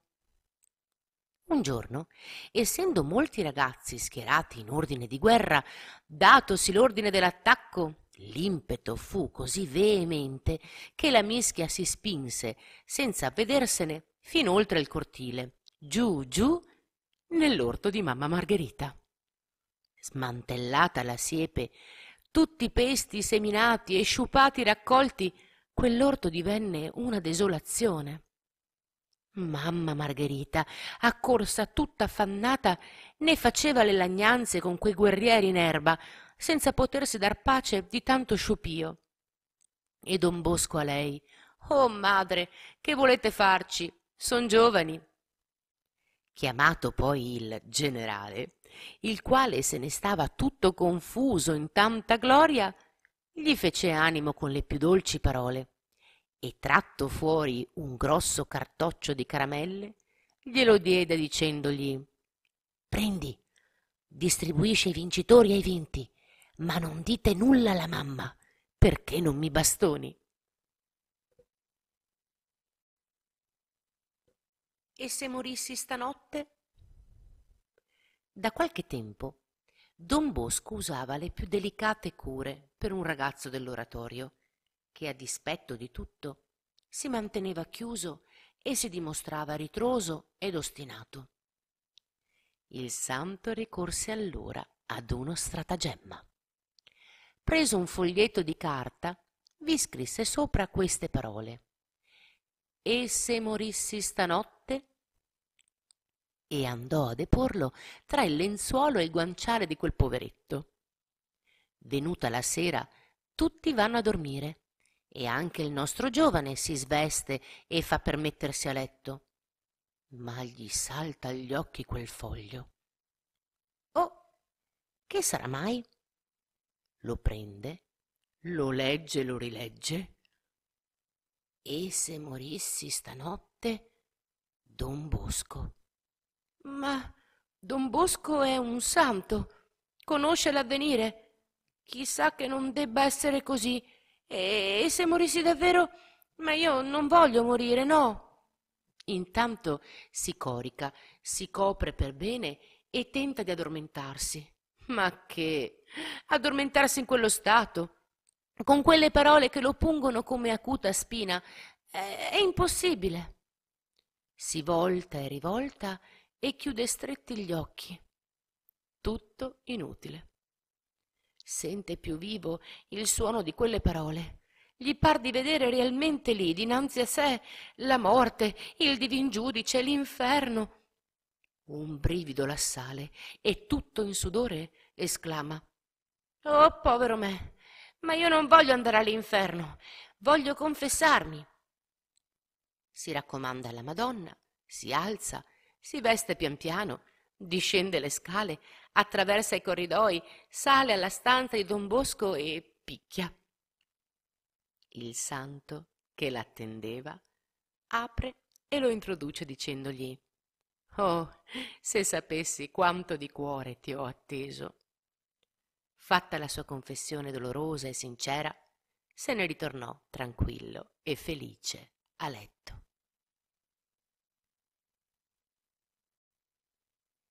non gli ho firmato il passaporto. Uno dei migliori giovani dell'oratorio era caduto gravemente ammalato. Don Bosco era assente. Al suo arrivo, Superiore e giovani gli vanno incontro, pregandolo di correre subito al letto del moribondo. Don Bosco, per nulla allarmato a quella notizia, non s'affrettò punto Anzi, disse sorridendo, eh no, Davico non muore. Non gli ho ancora firmato il passaporto. Giunto poi appresso il malato, che era in delirio, si chinò e gli disse una parola all'orecchio. Poi fece inginocchiare i presenti perché pregassero Savio Domenico, di cui Davico portava il nome. Appena finita quella breve preghiera, il malato s'alza a sedere sul letto ed esclama Sono guarito! Sono guarito! Ebbene, vieni a cena con me, soggiunse don Bosco fra le meraviglie di tutti. Pareva una follia far alzare uno ed invitarlo a cena mentre poco prima era moribondo. Il giovane si alzò, andò a cena con lui e quella sera vi fu grande allegria perché tutti vedevano che Davico stava benissimo. Risuscita un morto. Nel 1849 cadeva gravemente ammalato un giovane sui quindici anni di nome Carlo, che frequentava l'oratorio come esterno. Era figlio dell'albergatore di una vicina trattoria e quando il medico lo diede spacciato si pensò di chiamargli un sacerdote. Carlo voleva Don Bosco, suo confessore solito, e Don Bosco era fuori Torino. Nella notte il ragazzo morì, sempre chiamando Don Bosco. Quando questi giunse e seppe di Carlo, si affrettò a quella casa quando vi giunse il cameriere che gli fece incontro e singhiozzò. Troppo tardi, don Bosco, troppo tardi. Carlo è morto stanotte. Ma che egli dorme. E siccome il cameriere lo guardava con aria ironica, soggiunse Volete scommettere una pinta che Carlo non è morto?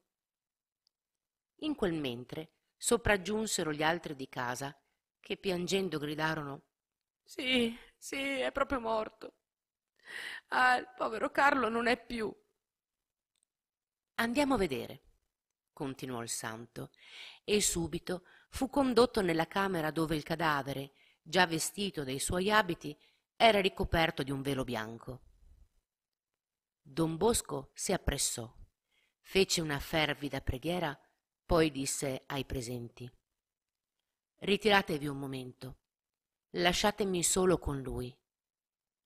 Dopo quella preghiera, in tono di comando, lo chiamò. Carlo, Carlo, alzati. A quella voce il giovane si muove e come svegliandosi da un profondo sonno apre gli occhi, li volge attorno e dice dove sono? Oh, don Bosco, è proprio lei. Se sapesse quanto l'ho sospirato. Ho bisogno di lei. Ha fatto bene a svegliarmi. Intanto la madre, che origliava, udita la voce del figlio, si precipitò nella stanza. Don Bosco gridò Aspettate, non è ancora tempo. Andate a richiamare la famiglia, vi avvertirò io. Rivolto di nuovo a Carlo, continuò Sono qui per te di pure tutto quello che vuoi. Oh, don Bosco, io dovevo essere all'inferno. L'ultima volta che mi confessai non osai palesare un peccato. Ora ho fatto un sogno spaventoso. Ho sognato di essere sull'orlo di un'immensa caverna. Molti demoni mi spingevano, volevano precipitarmi dentro. Quando ho sentito la sua voce, voglio confessarmi e cominciò subito la sua confessione, coi segni del più grande pentimento. Appena finito, ad un cenno di don Bosco, rientra la madre con tutti quei di casa e Carlo, volgendosi a loro, grida Don Bosco mi ha salvato, mi ero confessato male. Don Bosco mi ha salvato dall'inferno. Stette circa due ore, pienamente padrone della sua mente, rispondendo a tutte le interrogazioni ma intanto, per quanto si muovesse e parlasse, il suo corpo era sempre freddo, la sua faccia cerea, i suoi occhi smorti e smarriti. Finalmente don Bosco gli chiese Ora sei in grazia di Dio. Il paradiso è aperto per te. Vuoi andare lassù o rimanere con noi? E Carlo rispose risoluto e festante Desidero andare in paradiso. Arrivederci in paradiso. E si lasciò cadere sul guanciale, immobile, riaddormentato nel Signore. La fama di questo fatto durò viva per molti anni. Tutti ne parlavano e da tutti si conosceva il posto, l'insegna di quella locanda, il nome e il cognome del giovane e della famiglia. Guai a Torino. Tra i giovani dell'oratorio v'era un certo Gabriele Fassio, tredicenne, di illibati costumi e di grande pietà. Don Bosco ne aveva grande stima e spesso esclamava quanto è buono, ma presto morrà. E fu profeta. Caduto ammalato e ridotto agli estremi, dopo aver ricevuto tutti i conforti religiosi, come ispirato dall'alto, si pose a gridare Guai a Torino! Guai a Torino!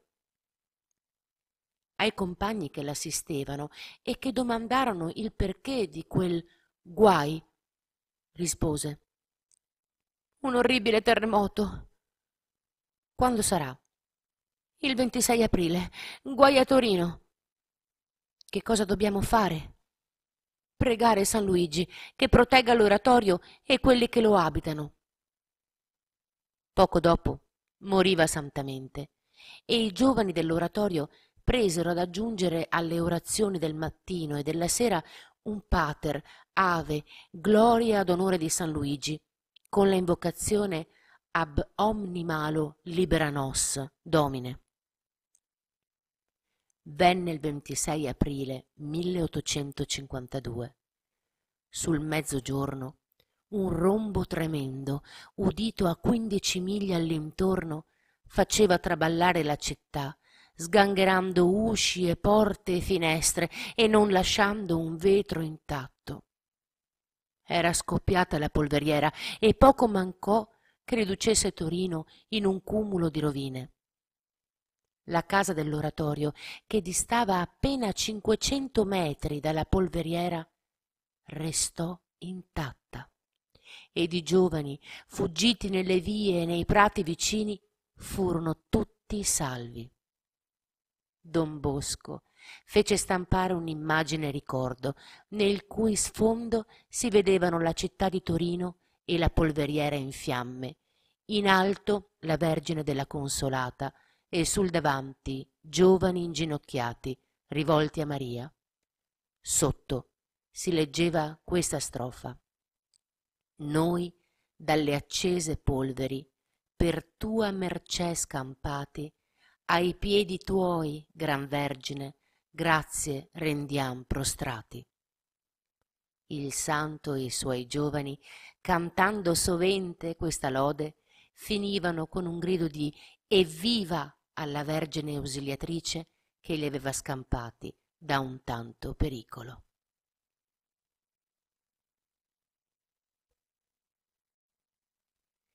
Il colera del 1854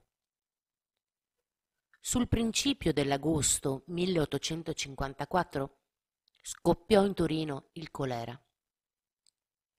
Don Bosco l'aveva preannunziato e già fin dal mese di maggio aveva detto ai suoi giovani Quest'anno ci sarà il colera a Torino e vi farà grande strage, ma se voi farete ciò che vi dico, sarete salvi. E che cosa dobbiamo fare? Prima di tutto, vivere in grazia di Dio, poi portare al collo una medaglia che io benedirò e darò a tutti, e recitare un pater, ave e gloria ad onore di San Luigi.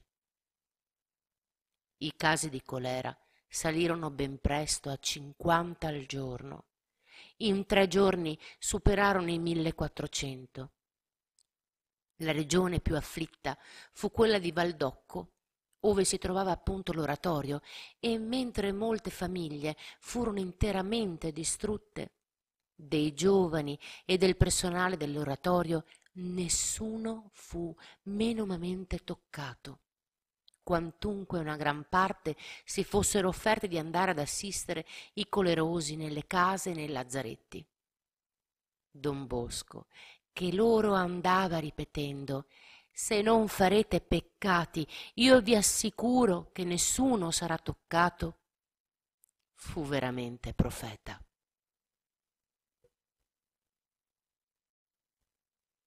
Berta in sacco. Un giovane di nome Pietro, che era stato parecchi anni con Don Bosco all'oratorio, finì col cadere nelle reti dei valdesi e a scriversi alla loro setta. Essendosi gravemente ammalato, questi si erano piazzati accanto al suo letto per impedirgli di chiamare il prete cattolico. Don Bosco, saputolo, corse alla casa dell'infermo. Gli apre un pastore che gli dice Chi cerca, signor abate? Cerco di parlare al povero ammalato. Non può ricevere nessuno. È rigorosamente proibito dal medico. Il medico certamente non intende di estendere a me la sua proibizione, mi lasci passare. Farò una semplice commissione. Così dicendo, si fa strada ed entra esclamando Oh Pietro mio, come stai? Ti ricordi ancora di me? Mi riconosci? Oh sì, lei è Don Bosco, l'antico amico della mia anima. Il pastore a questo punto grida a Don Bosco Insomma, la prego di ritirarsi. Lei non ha niente a che fare con questo giovane. Ho invece molto da fare e da dire con lui. E lei chi è che comanda qui dentro? Io sono ministro Valdese. E io sono Don Bosco, il direttore dell'oratorio di Valdocco. Ebbene, che cosa vuole da questo ragazzo? Voglio aiutarlo a salvarsi l'anima, mentre lei lo vuole perdere. Ma egli non ha nulla a che fare con lei. E perché mai? Perché si è ascritto alla Chiesa Valdese. Io l'ho iscritto prima di lei nel catalogo dei miei figli, ma lei turba la coscienza di questo povero infermo e dovrà pentirsene. Quando si tratta di salvare un'anima, non temo conseguenze. Ripeto che lei deve andarsene subito da qui. Sappia, signor Abate, che io ho l'autorità. Ed io ripeto che rispetto tutti. Ma non temo nessuno, perché sono sicuro che l'infermo è pentito di aver dato il nome alla vostra setta e desidera morire cattolico. Questa è una seduzione, una menzogna, grida più forte il ministro e volgendosi al malato l'interroga. Non è vero, Pietro, che volete continuare nella chiesa evangelica? No, risponde il giovane. Io, io sono cattolico e voglio vivere e morire da cattolico. A questa aperta e franca confessione il ministro se ne andò gridando Ritornerò a tempo migliore. Il tempo migliore è appunto questo, soggiunse don Bosco accompagnandolo alla porta. Quindi, rivolto al giovane, con aria sorridente e rassicurante, gli disse Vedi, Pietro, che gli abbiamo fatto mettere Berta in sacco. Chiuso la bocca. Oh, quanto è buono il Signore! Sappi essere fedele. Lo confessò e gli ridiede la pace. Il giovane, guarito da quella malattia, rimase poi fedele alla sua fede.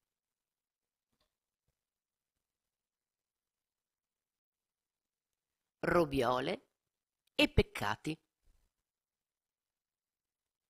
Nell'aprile del 1876 si era ammalato un alunno della terza ginnasiale, che era la consolazione e anche la speranza dei superiori per la sua ottima condotta e per l'eccellente riuscita negli studi.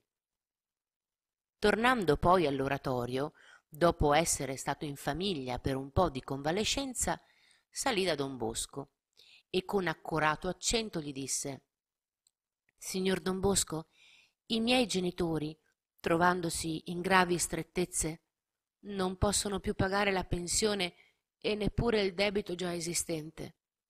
L'unica cosa che abbiamo potuto fare per compensarla in qualche modo si fu di mandarle queste sei robiole. Così dicendo, trasse da un sacchetto sei piccole forme di cacio brianzolo.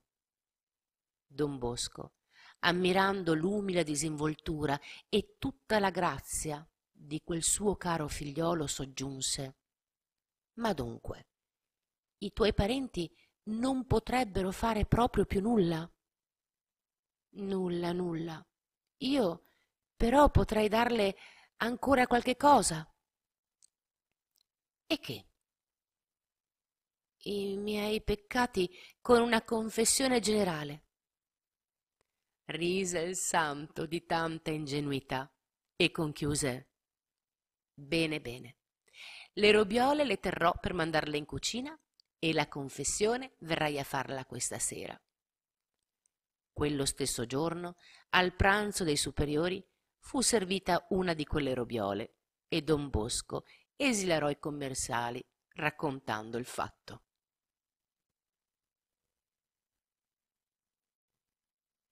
La lezione di don Bosco Cedendo all'insistenza di un buon parroco della diocesi di Alba, era andato a predicarvi nella circostanza dei fedeli defunti la sera del 2 novembre, scendeva da quelle colline per andare alla stazione di Bra. Ma avendo smarrita la via ed essendo l'ora tarda e la pioggia dirotta, si vide costretto a chiedere ospitalità al cappellano di una chiesetta che sorgeva a fianco della strada. Fu accolto con un po di malumore ed esposto ad una specie di interrogatorio. Chi è lei? Eh, un povero prete di Torino. Ho smarrito la via, chiedo un po' di ricovero. E quale ufficio esercita in Torino? Ufficio una chiesetta dalle parti di Valdocco. E avrà anche da cenare? Eh, se nella sua carità vuole darmi qualche cosa, accetterò volentieri. Mi rincresce di non aver niente in casa. Posso offrire un po' di pane e formaggio? Ma sì, anche troppo. Gliene sarò riconoscente. E forse stasera farebbe conto di fermarsi qui? Ah, vede bene con questo tempo, tanto più che il treno è già partito. Già, eh, che io non avrei più letti disponibili. In quanto a questo, si rimedia subito. Due sedie bastano. Se è così, si accomodi. Mi dispiace di doverla trattare in questo modo. Mentre la perpetua metteva in tavola il pane e il formaggio, il padrone continuò. Dunque, lei viene da Torino? Sì, signore. Conosce, conosce forse un certo don Giovanni Bosco? Mm, sì, un poco. Io non mi sono mai incontrato con lui, ma, ma vorrei pregarlo di un favore. È facile ad accordare favori a chi si rivolge a lui? Beh, quando può, è ben contento di essere utile al prossimo. Avevo pensato di scrivergli domani una lettera per far ricoverare un povero orfano nel suo oratorio. Lo accetterà volentieri, glielo posso assicurare. Davvero? Ma lei è un amico con Don Bosco? Sì, eh, amicissimo fin dall'infanzia. Dunque mi otterrà il favore. Il favore è bello ottenuto. Vada per la carità che mi fa presentemente. Ma dunque lei... Eh, lei, insomma, lei chi è? Sono Don Bosco in persona. Oh, Don Bosco? Lei? Lei è Don Bosco? Oh, se me lo avesse detto subito. Mm, eh, mi perdoni se non l'ho trattato bene. Oh, chi l'avrebbe immaginato? Eh, la, lasci, lasci qua quel formaggio. Mi ricordo che è rimasto qualche poco d'avanzo è tutto confuso, affannato, chiama la perpetua, fa porre in tavola una tovaglia e ordina una minestrina e alcune uova al tegame, corre ad un armadio, trae fuori un mezzo pollo arrosto e non sa darsi pace, mentre don Bosco sorride vedendolo così affaccendato. Finita la cena, fu condotto a dormire in un soffice letto e al mattino il cappellano l'accompagnò alla stazione ripetendo tratto tratto le più umili scuse. Nell'accomiatarsi, don Bosco gli disse Veda, signor cappellano, prendiamo lezione da quello che accade. Se non abbiamo nulla, non diamo nulla. Se abbiamo poco, Diamo poco e se abbiamo molto, diamo ciò che crediamo conveniente. Ma lasciamoci sempre guidare dalla carità, la quale tornerà sempre a nostro vantaggio.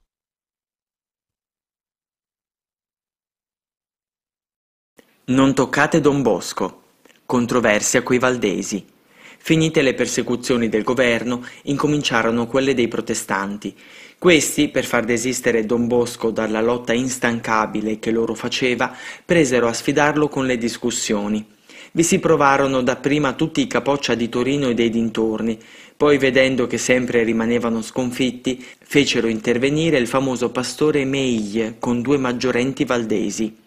Costoro si recarono all'oratorio di Valdocco e dopo i primi complimenti intavolarono una disputa che durò dalle undici alle diciotto e che finì in modo comico. La disputa si svolgeva sul purgatorio. Don Bosco l'aveva provato con la ragione, con la storia e con la sacra scrittura, servendosi del testo latino, ma uno dei contraddittori, che voleva fare il saputo, non volendosi arrendere, disse il testo latino non basta, bisogna andare alla fonte, bisogna consultare il testo greco. A queste parole Don Bosco si alza, va allo scaffale, ne toglie la Bibbia in greco ed appressatosi al ministro soggiunse Ecco, signore, il testo greco, consulti pure e lo troverà in pieno accordo col testo latino. Quel tale, che conosceva il greco come l'asino i marenghi, non osando confessare la propria ignoranza, prende il libro e si pone a sfogliarlo da capo a fondo, fingendo di cercare il passo in questione. Ma che? Volle il caso che prendesse il libro a rovescio. Don Bosco, che se n'era accorto, lo lasciò sfogliare per un pezzo, trattenendo a stento il riso. Poi pietosamente gli disse Scusi, signor ministro, Forse non troverà più la citazione perché tiene il libro a rovescio. Lo volti così e glielo mise per il suo verso. Come rimanesse colui è facile immaginare. Rosso in faccia come un gambero cotto, gettò il libro sul tavolo ed alzatosi di botto, troncò la discussione e se ne andò. Me ne rido. Vedendo che con le dispute non la potevano vincere, i valdesi ricorsero ad altri mezzi per farlo tacere. Una domenica dell'agosto 1853 si presentarono all'oratorio due signori che domandarono di parlare col santo.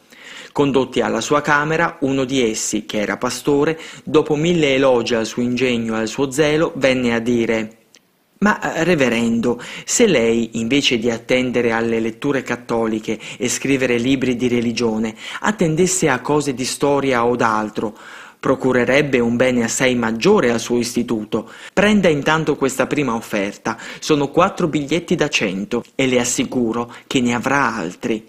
Don Bosco rifiutò con sdegno la subdola proposta, ed essi, alzandosi in piedi, dissero con volto alterato e voce minacciosa lei fa male a rifiutare e ci offende. Se esce di casa, è poi sicuro di rientrare? Don Bosco, dopo essersi assicurato che alla porta stava qualcuno dei suoi giovani in guardia, rispose Vedo che lor signori non conoscono bene chi sono. I preti cattolici sono pronti anche a morire per la gloria di Dio e per il bene delle anime. Cessino dalle loro minacce, perché io me ne rido. A queste parole l'irritazione di quei signori non ebbe più ritegno e fattisi dappresso stavano per mettergli le mani addosso. Don Bosco impugnò prudentemente la sedia esclamando se volessi adoperare la forza, mi sentirei di far loro provare quanto costi una violazione di domicilio. Ma no, la forza del sacerdote sta nella pazienza e nel perdono. Tuttavia, è tempo di finirla.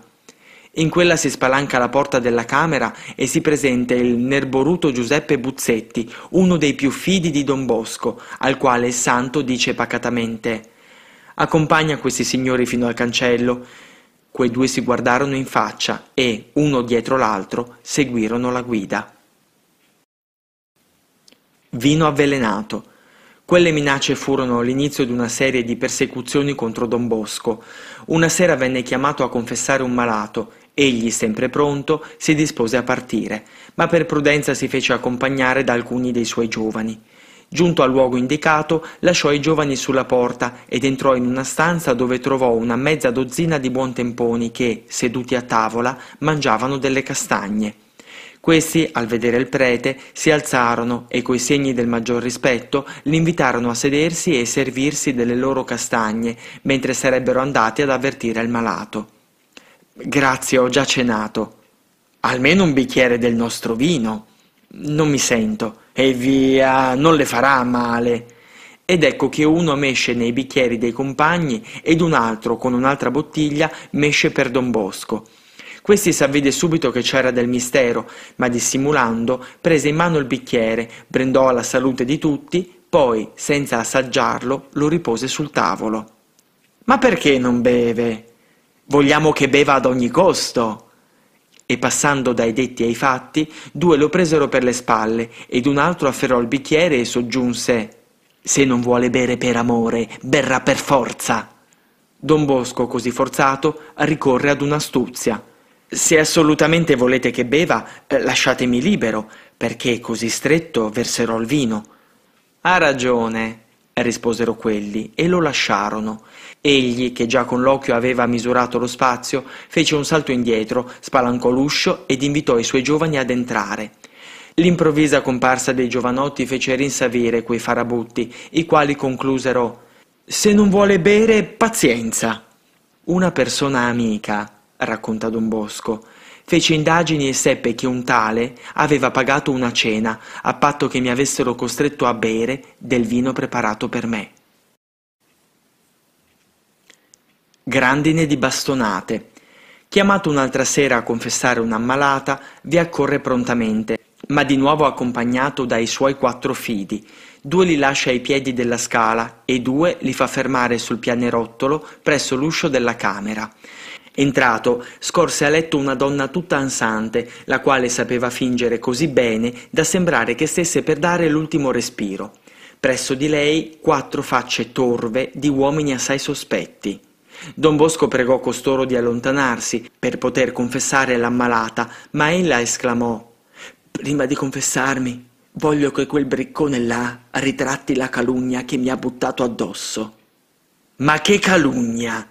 rispose quegli inferocendosi. Sì, no, taci, infame, a me infame. E tutti urlarono e impugnarono i bastoni. Intanto si spengono i lumi e in un buio completo incomincia una grandine di bastonate, tutte dirette a Don Bosco, che, capito il gioco, abbraccia una scranna e se la caccia in testa a capovolta, cercando riparo e modo di guadagnare la porta.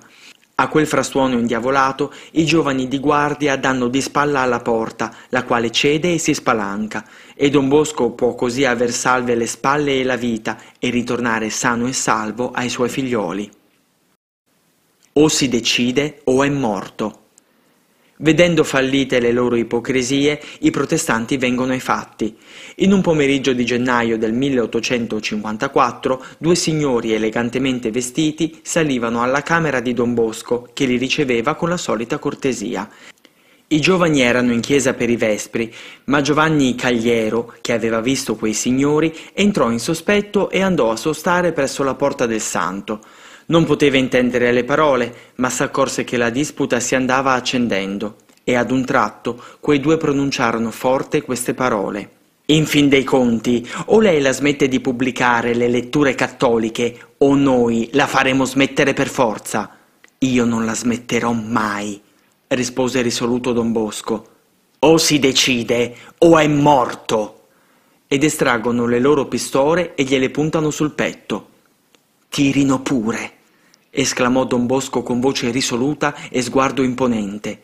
Ma in quell'istante sode un gran colpo alla porta. Era Cagliero, che temendo qualche disgrazia aveva dato un fortissimo pugno all'uscio che s'era spalancato, mentre a tutta voce s'era messo a gridare Aiuto! Aiuto!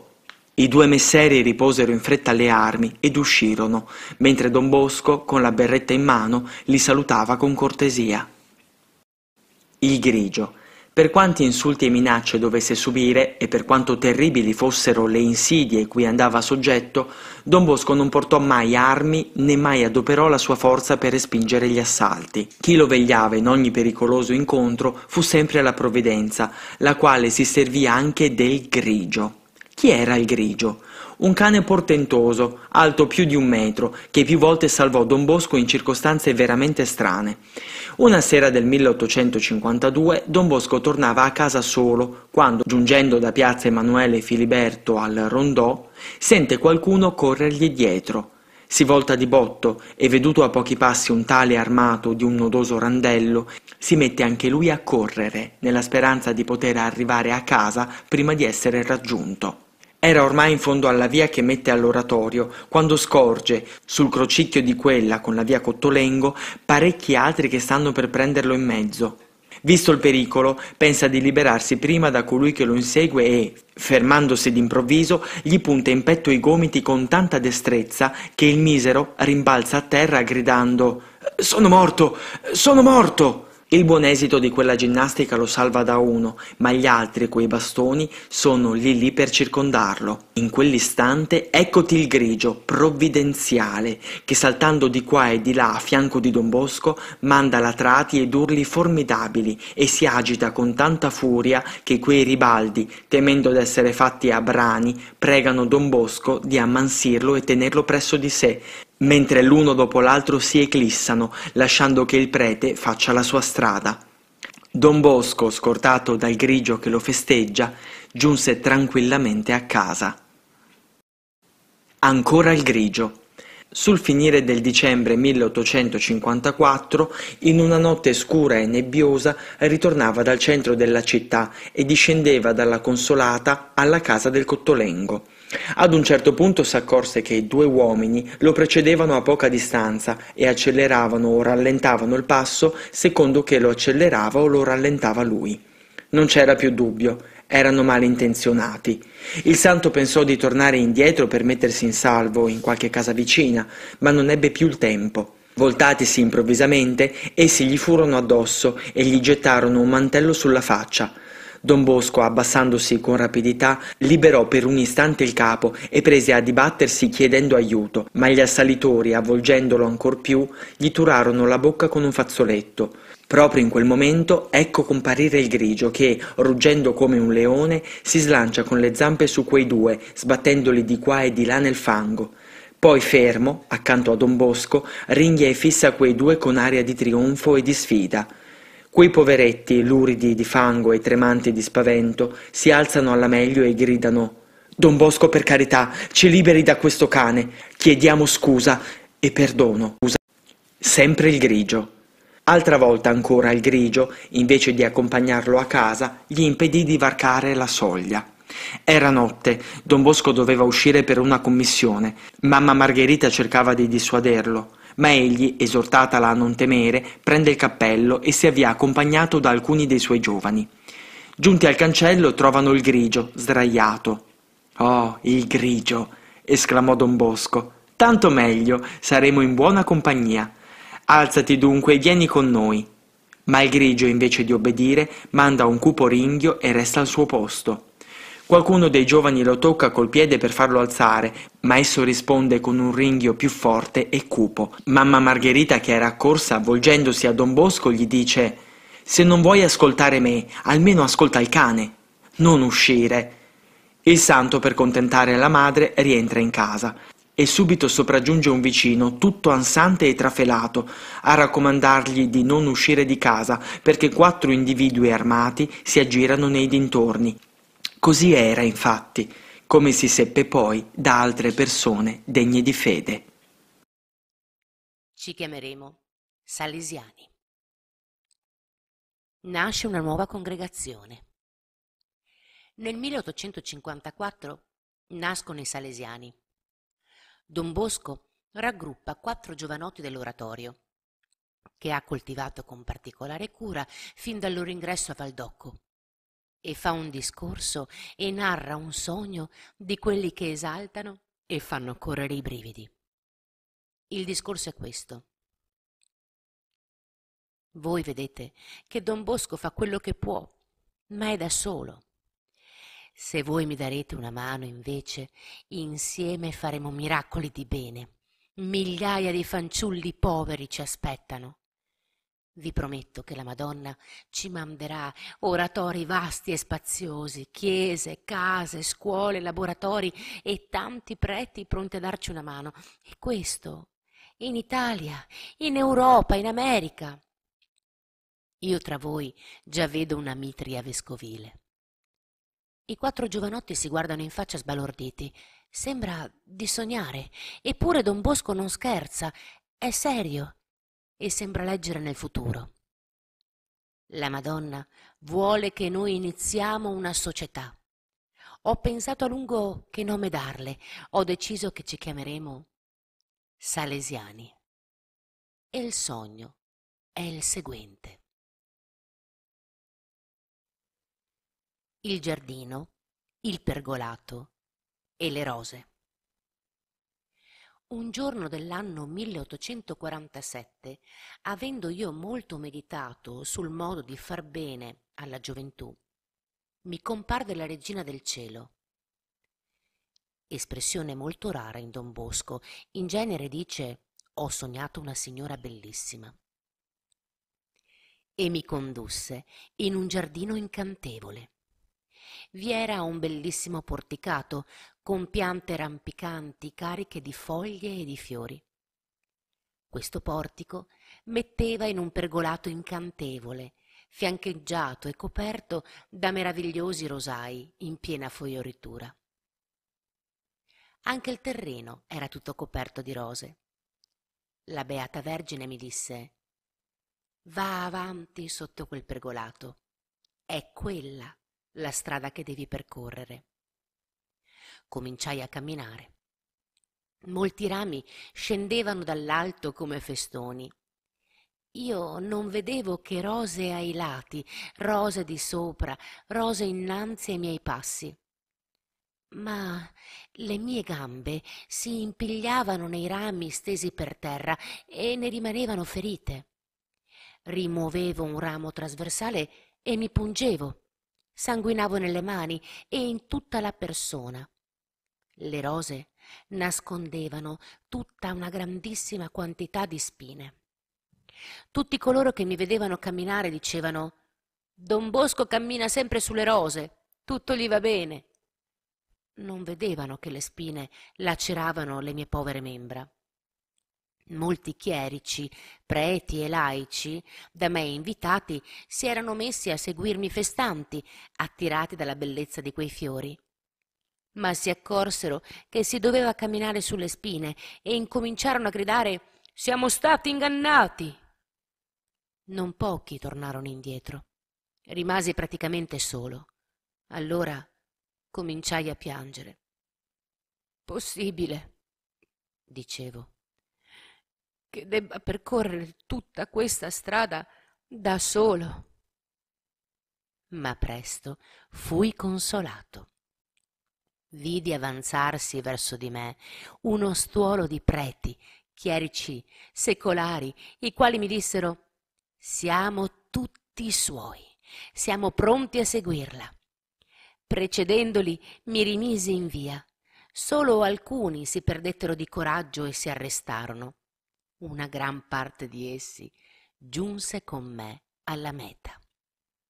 Percorso tutto il pergolato, mi trovai in un bellissimo giardino. I miei pochi seguaci erano dimagriti, scarmigliati, sanguinanti. Allora si levò una brezza leggera e a quel soffio tutti guarirono. Soffiò un altro vento e come per incanto mi trovai circondato da un numero immenso di giovani e di chierici, di laici coadiutori e anche di preti che si misero a lavorare con me guidando quella gioventù. Parecchi li riconobbi, molti non li conoscevo ancora. Allora la Santa Vergine, che era stata la mia guida, mi interrogò.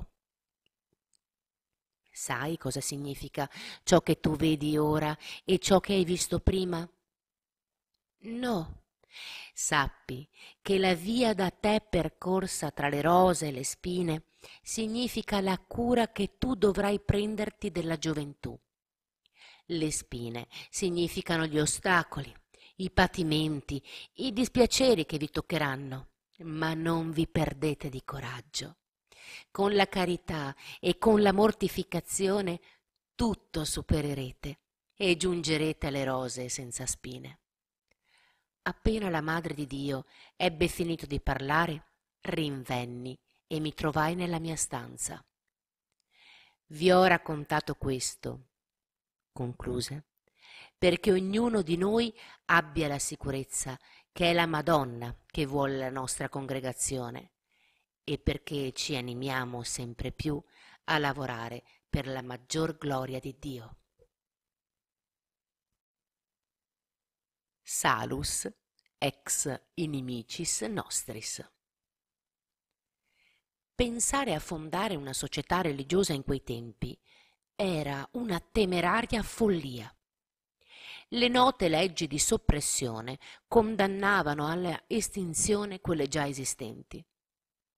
Un giorno il ministro Rattazzi, che come si sa aveva la sua parte in quelle famigerate leggi, gli disse quasi d'improvviso Caro Don Bosco, io ammiro lo scopo eminentemente filantropico dell'opera sua e faccio voti che viva molti anni per il bene di tanti giovani. Ma lei è mortale come ogni altro e se venisse a mancare, che cosa ne sarebbe di questa sua opera? Ha già pensato a questo caso? Eccellenza, rispose Don Bosco, è questo il mio maggior fastidio. E se lei istituisse una società di gente, sacerdoti o laici sotto certe norme, imbevuti del suo spirito, animati dallo stesso zelo, che fossero suoi aiutanti e poi suoi continuatori?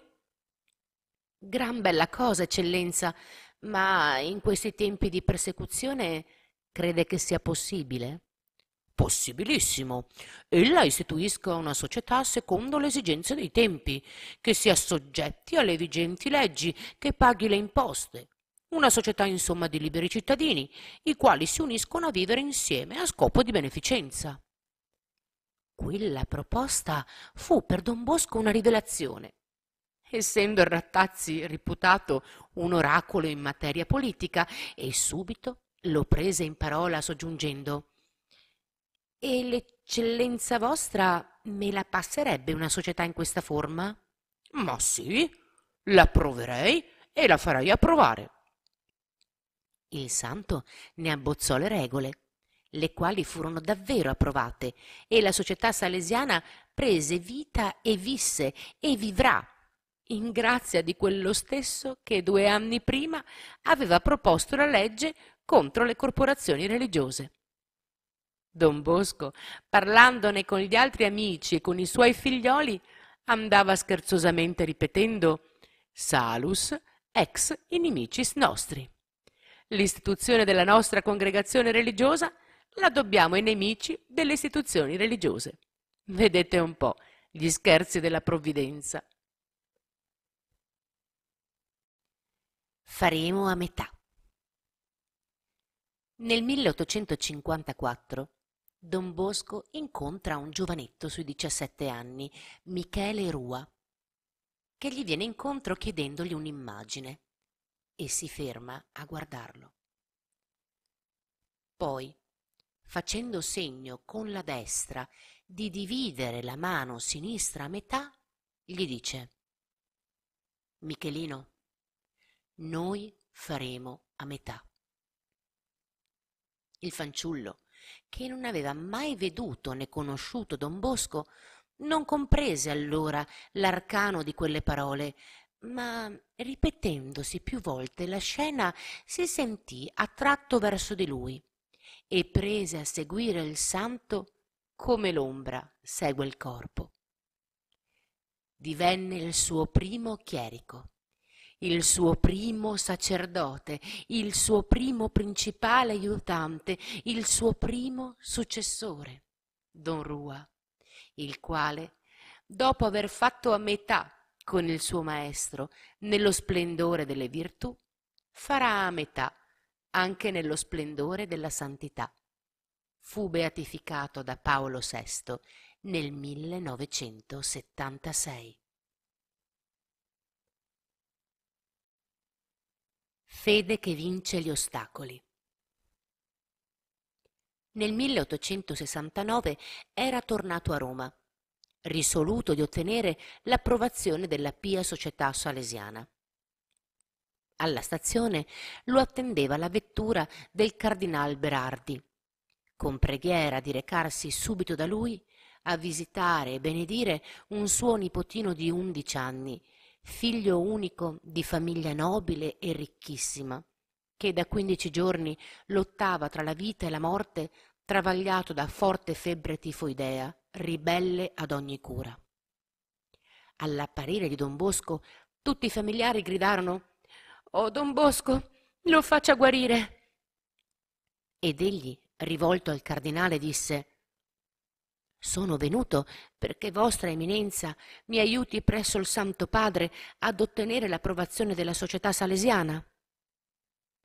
Ebbene, ella faccia guarire questo mio nipote ed io andrò, parlerò, farò di tutto presso il Santo Padre. Don Bosco raccomanda a tutti di aver fiducia in Maria Ausiliatrice s'appressa al lentuccio dell'infermo, lo benedice e all'istante il bambino è libero dalla febbre e perfettamente guarito. Tutti acclamarono al santo, mentre egli esclamava Rendete grazie a Maria Ausiliatrice.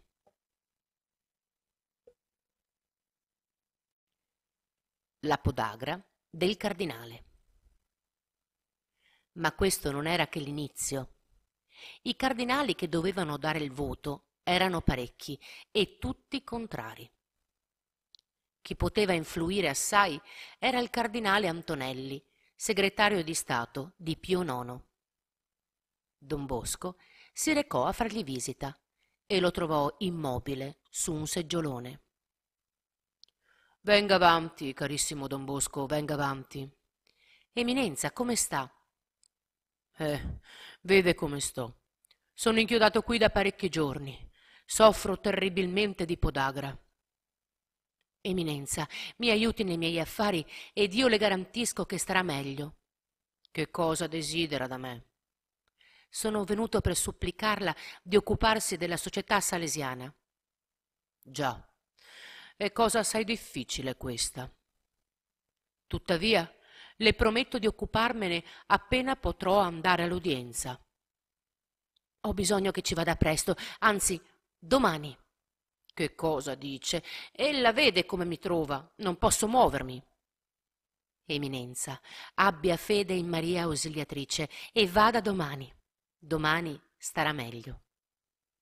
E se poi mi accadrà il peggio? Sarò io responsabile. La Madonna sa come fare. Va bene.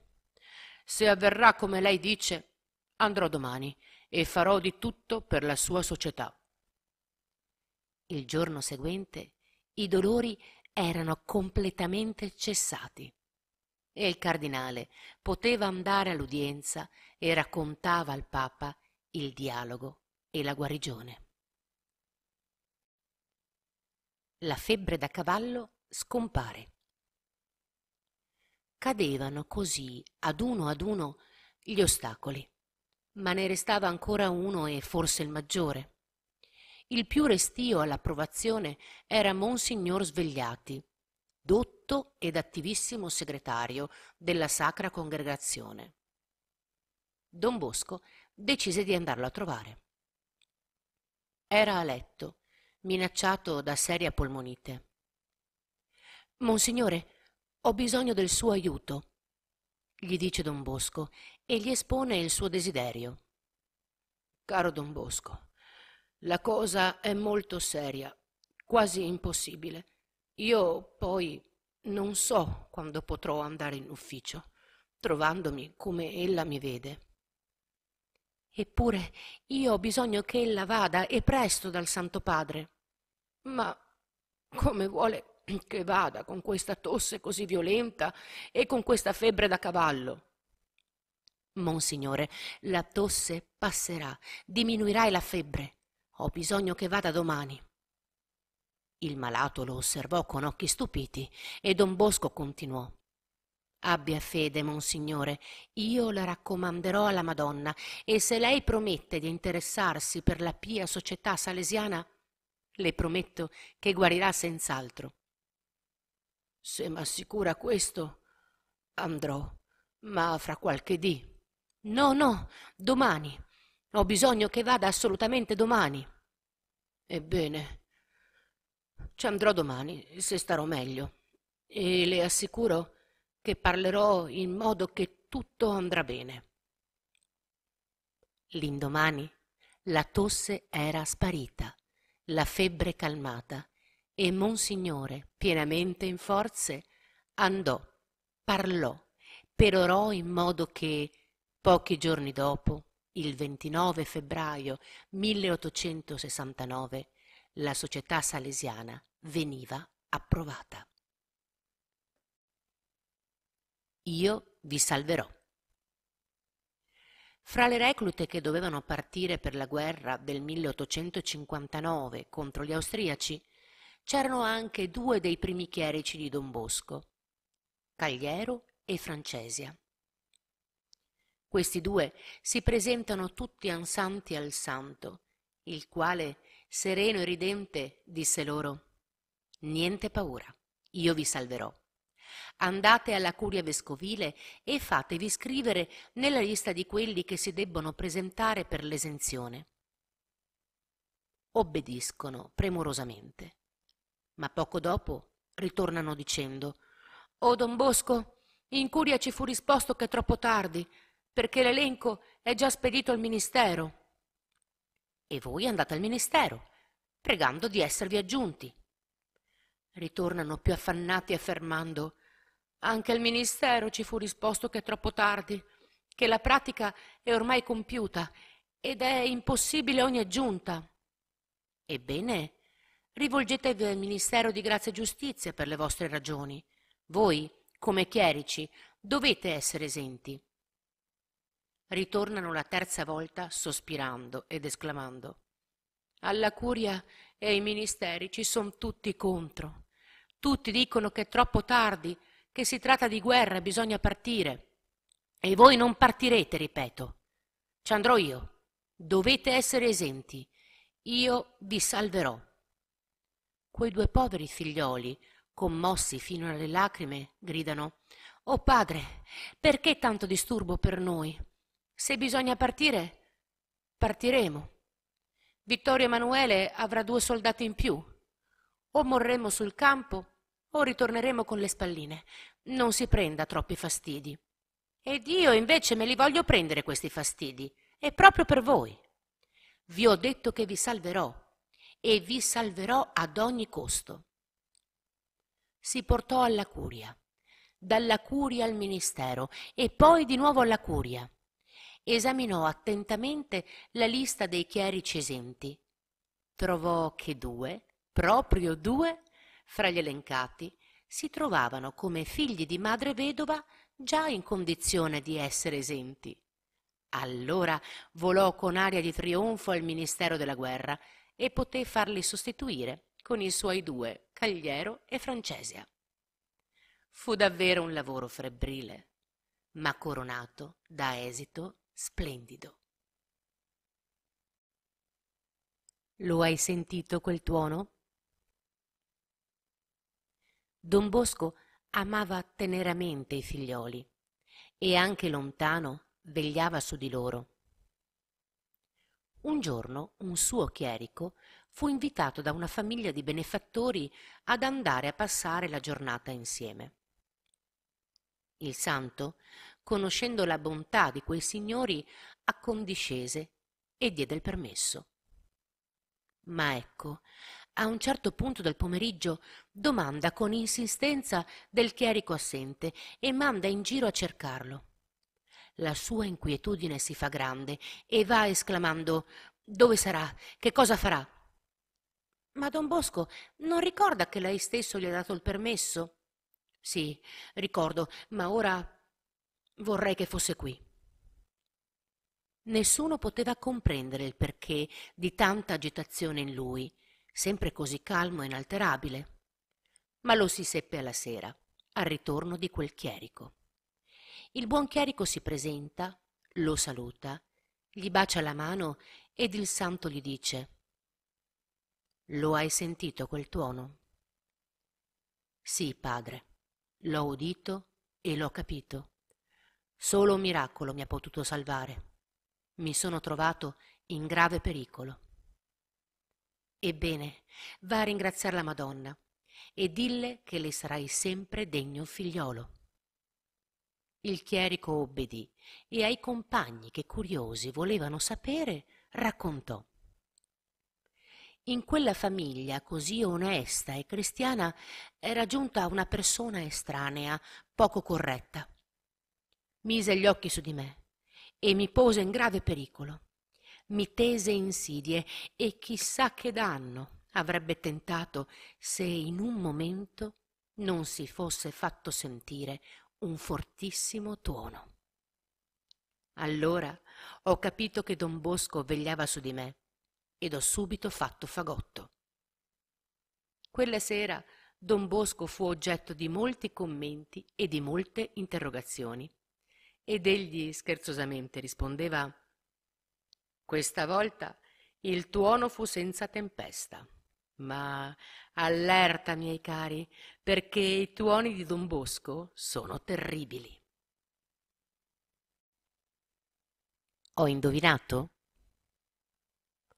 Nelle vacanze scolastiche dell'anno 1878 si presentò a Valdocco il capostazione di Torino, accompagnato da un ragazzo sui sedici anni, figlio di un suo amico e studente di tecnica, chiedendo di visitare l'oratorio.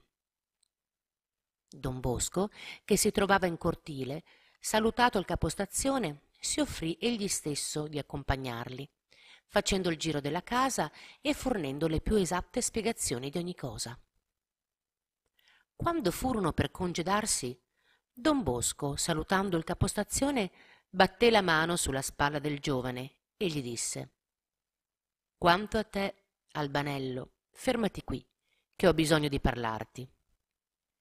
Nessuno aveva detto a don Bosco il nome del giovane. Il poveretto restò come intontito sentendolo pronunziare da don Bosco, e lo seguì come un automa. Giunto in camera sua, il santo soggiunse. Ed ora inginocchiati, perché devo confessarti. Ma sono parecchi anni che non mi confesso. Lo so, lo so. Ed è per questo che ti dico di confessarti. Ma, ma ci vorrebbe un po' di preparazione. Non occorre. Io ti farò la storia di tutta la tua vita e tu giudicherai se ho indovinato. Quando ebbe terminato, lo interrogò. Ebbene, Albanello, ho indovinato? Fin troppo, rispose Albanello quasi sbalordito. Ora domandane perdono al Signore, poi ti assolverò. Quel giovane pianse come non aveva pianto mai. Poi, alzatosi, voleva congedarsi, ma il santo, posandogli la mano sul capo, continuò. Non basta, Albanello. La Madonna ti vuole qui e tu ritornerai all'oratorio. Ti fermerai con Don Bosco che ti darà l'abito da prete e ti manderà missionario. Oh, non so, vedremo. Sì, lo vedremo e vedrai se indovinerò. L'albanello partì ringraziando, ma ruminando in cuor suo Oh, questa poi no, né prete né tantomeno missionario. Passarono intanto le vacanze ed Albanello, vinto e stravinto dalla vocazione, si presentò all'oratorio. In due anni compì il ginnasio. Nel 1880 vestì l'abito per mano di don Bosco e nel 1882 partì missionario nel Brasile. Di là, ogni volta che scriveva Don Bosco, ricordava la storia della sua vocazione. Festa e vaiolo non stanno insieme. Nel maggio 1869 si era recato a Lanzo Torinese per la festa di San Filippo Neri, titolare di quel suo primo collegio. Là trovò tutti in desolazione perché ben sette convittori erano colpiti dal vaiolo che minacciava di estendersi a tutta la casa. A quella notizia don Bosco esclama Già, festa e vaiolo non stanno insieme. Andate a preparare loro gli abiti in fondo al letto, che salirò a benedirli. Alla vista di don Bosco i malati gridarono Don Bosco, don Bosco, possiamo alzarci, ci dia la sua benedizione. Avete fede nella Madonna? Sì, ebbene, alzatevi. Don Bosco li benedisse e si ritirò. Tutti si alzarono, si vestirono e si precipitarono in cortile, meno uno, certo Baravalle, che dubitando di essere guarito veramente, per precauzione se ne sta a letto. Alla sera viene il medico per la visita e sapendoli alzati in cortile in quella giornata umida e fredda si inquieta grida all'imprudenza giudica che quell'atto sarebbe stato fatale e s'affretta all'infermeria ove non trova che il prudente baravalle il quale con le cure premurose del dottore guarì dopo venti giorni mentre gli altri guariti all'istante da venti giorni correvano e cantavano allegramente. Che cosa sono mai novantamila lire? A Nizza, vedendo che la sua casa si era fatta troppo ristretta per il gran numero di giovani che chiedevano d'essere accolti, deliberò di acquistarne una più grande. Gli fu indicata una villa in piazza d'Armi, però gli si disse subito caro don bosco quella andrebbe bene ma che ma è troppo costosa pretendono novantamila lire e che cosa sono mai novantamila lire? Eh, novantamila lire sono novantamila. E lei dove le troverà? Le troverà la provvidenza. Eh sì. Lei ha un bel dire la provvidenza ma intanto non ha un soldo in tasca. Io non ho niente, ma se Dio vuole l'ampliamento dell'istituto, farà trovare il denaro per comperare la casa. Si faccia l'instrumento. Il comando di Don Bosco non ammetteva repliche. Il contratto fu concluso subito. Il denaro fu subito trovato, il prezzo pagato e la bella villa Gautier, grande, sontuosa, magnifica, capace di oltre trecento persone, passò alle opere di Don Bosco e col nuovo anno si riempì di frugolini e frugoloni irrequieti che la facevano echeggiare dei loro trilli e dei loro canti più gioiosi. Don Bosco esclamava poi Vedete che Villa Gautier è venuta, anche in barba alle novantamila lire. Oh, la provvidenza, la provvidenza essa ha le braccia più lunghe assai della nostra poca fede. Negli imbrogli. Nei suoi ultimi anni, trovandosi il santo Amati Torinese per un po' di riposo, non faceva che sognare i suoi figlioli ed esprimere il desiderio di far di più per loro. Quand'ecco, riceve da una insigne benefattrice un'offerta di lire 2500 per grazia ricevuta, chiedendo ancora preghiere per una grazia nuova. Il santo risponde sollecitamente e promette che avrebbe pregato e fatto pregare. Poco dopo riceve dalla stessa signora un'altra offerta di lire tremila. Don Bosco ringrazia di nuovo più sentitamente, promettendo di nuove preghiere. La signora manda una terza offerta di diecimila lire. Allora il santo, volgendosi ai superiori della casa, esclamò Ora mi trovo davvero negli imbrogli. Ditemi voi come debbo comportarmi. Costei non la vuol cedere. E rideva di un sorriso angelico, mentre due grosse lacrime gli rigavano il viso. Ci rivedremo al cader delle rose. Si presentò un giorno a Don Bosco un suo religioso coadiutore, il quale, allettato dalle belle promesse dei parenti, prese a dirgli che da qualche tempo trovava pesante la vita religiosa e quindi desiderava ritornarsene a casa sua. Don Bosco l'ascoltò attentamente e poi rispose Ho capito tutto. Tu dunque vuoi lasciare la nostra casa perché vi trovi qualche spina e vuoi ritornare in famiglia ove tutto ti pare fiorito. Ebbene, va pure. Ma ci rivedremo al cader delle rose. Il buon coadiutore lo salutò contento, gli baciò ripetutamente la mano e se ne andò. Il suo arrivo in famiglia fu salutato con ovazioni e feste, con pranzi e cene e inviti anche dagli amici e conoscenti.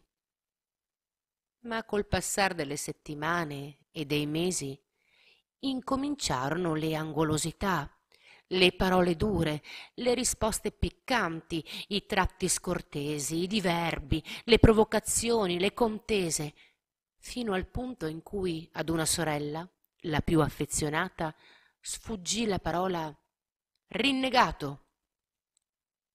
Fu l'ultima stilettata al cuore del povero religioso. Non mangiò più, non dormì più. Radunò i suoi indumenti, rifece le sue valigie e via a Torino, all'oratorio, ove buttandosi ai piedi di don Bosco esclamò Padre, anche se non ne sono più degno, mi accolga ancora fra i suoi figli. Don Bosco, che già lo attendeva, lo rialzò sorridente e gli disse Te lo avevo detto che al cader delle rose ci saremmo riveduti. Orbene, va, ripiglia il tuo posto, ritorna alle tue occupazioni e non pensare più né alla casa né ai parenti. Ti deve bastare il mio amore. Mani bucate. Un giorno don Bosco, che era nemico dei debiti, si trattenne con alcuni dei suoi primi salesiani, tra i quali vi era pure don Rua, che fungeva da economo. Ad un certo punto, rivolgendo la parola a quest'ultimo, disse Senti, don Rua, tutti domandano denaro e tu li mandi via mani vuote. Oh, don Bosco, eh, questo avviene per il semplice motivo che sono vuote le casse.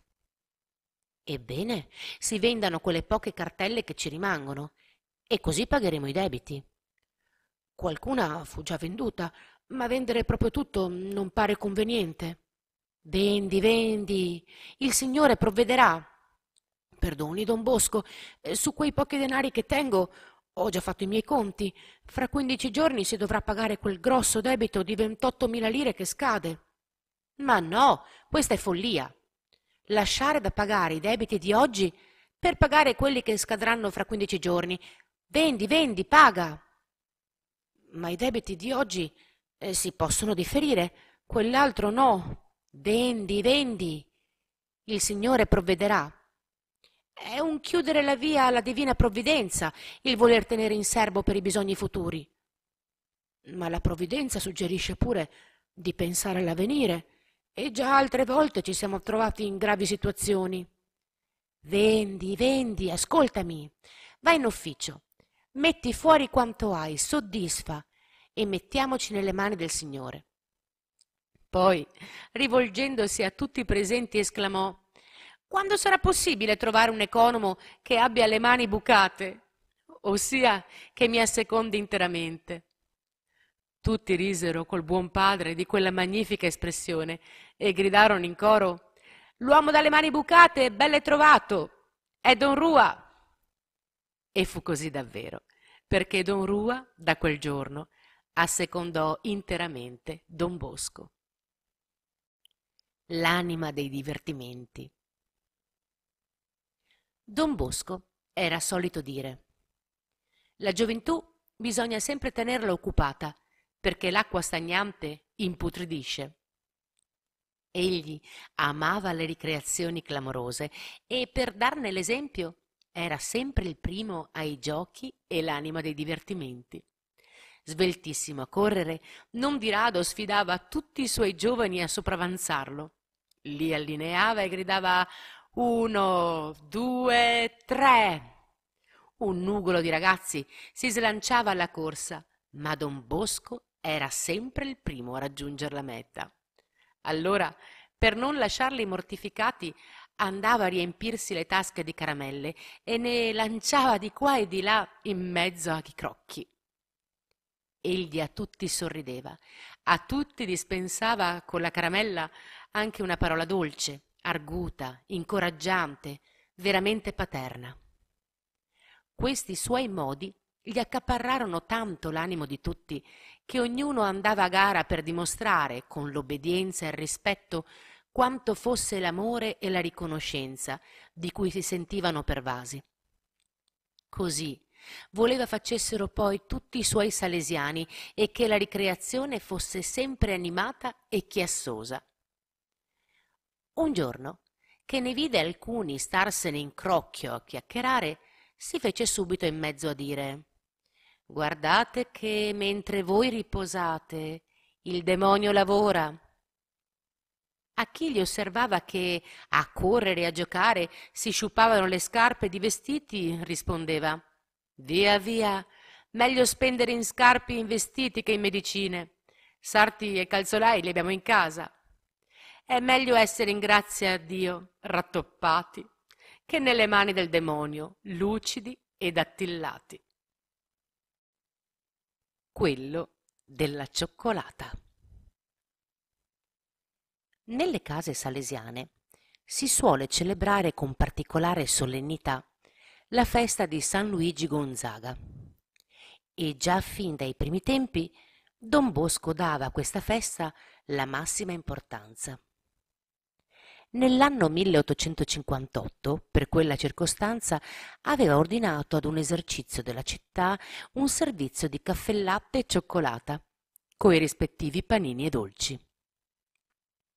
A metà della messa giunge il garzone con un carretto e depone ogni cosa presso la sacrestia. Poi entra in chiesa tratto dalla melodia dei canti e dallo splendore della funzione. Il sacrista, che era rimasto a custodire tutto quel ben di Dio, non seppe resistere alla fragranza che emanava da quelle caffettiere fumanti e dalla lecornia di quei dolci che pareva gli dicessero prendi e mangia. Difatti, dopo breve alternativa, si fa coraggio e franco e risoluto mesce un primo tazzone poi un secondo e un terzo, sempre inzuppando e insaccando a piene gote. Terminata la messa, i signori s'accomodano in un salotto attiguo. Il cameriere, a un cenno di Don Bosco, corre a prendere la colazione e trova quasi vuote le caffettiere e quasi sparito addirittura il servizio dei dolci. Oh povero me, come si fa? Tutto tremante, corre a raccontare a don Bosco la sparizione. Don Bosco, che non si scoponeva mai, lo rimanda di corsa per una nuova provvista e così si rimedia ad ogni cosa. Ma intanto chi sarà stato l'autore della birbonata? Quand'ecco alcuni ragazzi si precipitano affannosi attorno a don Bosco a dirgli piangendo Presto, presto, don Bosco, venga a vedere il sacrista che muore. Dov'è? Laggiù, in fondo al cortile, si stira e si dimena a terra e grida Io muoio, io muoio. Don Bosco accorre. Viglietti confesca la marachella, chiede perdono e prega di disporlo a morire. No, non morrai, gli dice don Bosco. Solo il ricordo ti resterà portato all'infermeria, se la cavò con una buona dose di olio di ricino. ma da quel giorno tutti presero a chiamarlo quello della cioccolata. E questo nome gli era appiccicato ancora cinquant'anni dopo, da che aveva lasciato l'oratorio. Generoso come un re. Don Bosco, quantunque povero, era generoso come un re. E così voleva che fossero i suoi figlioli. Un giorno un suo sacerdote condusse ad una passeggiata una schiera dei suoi alunni.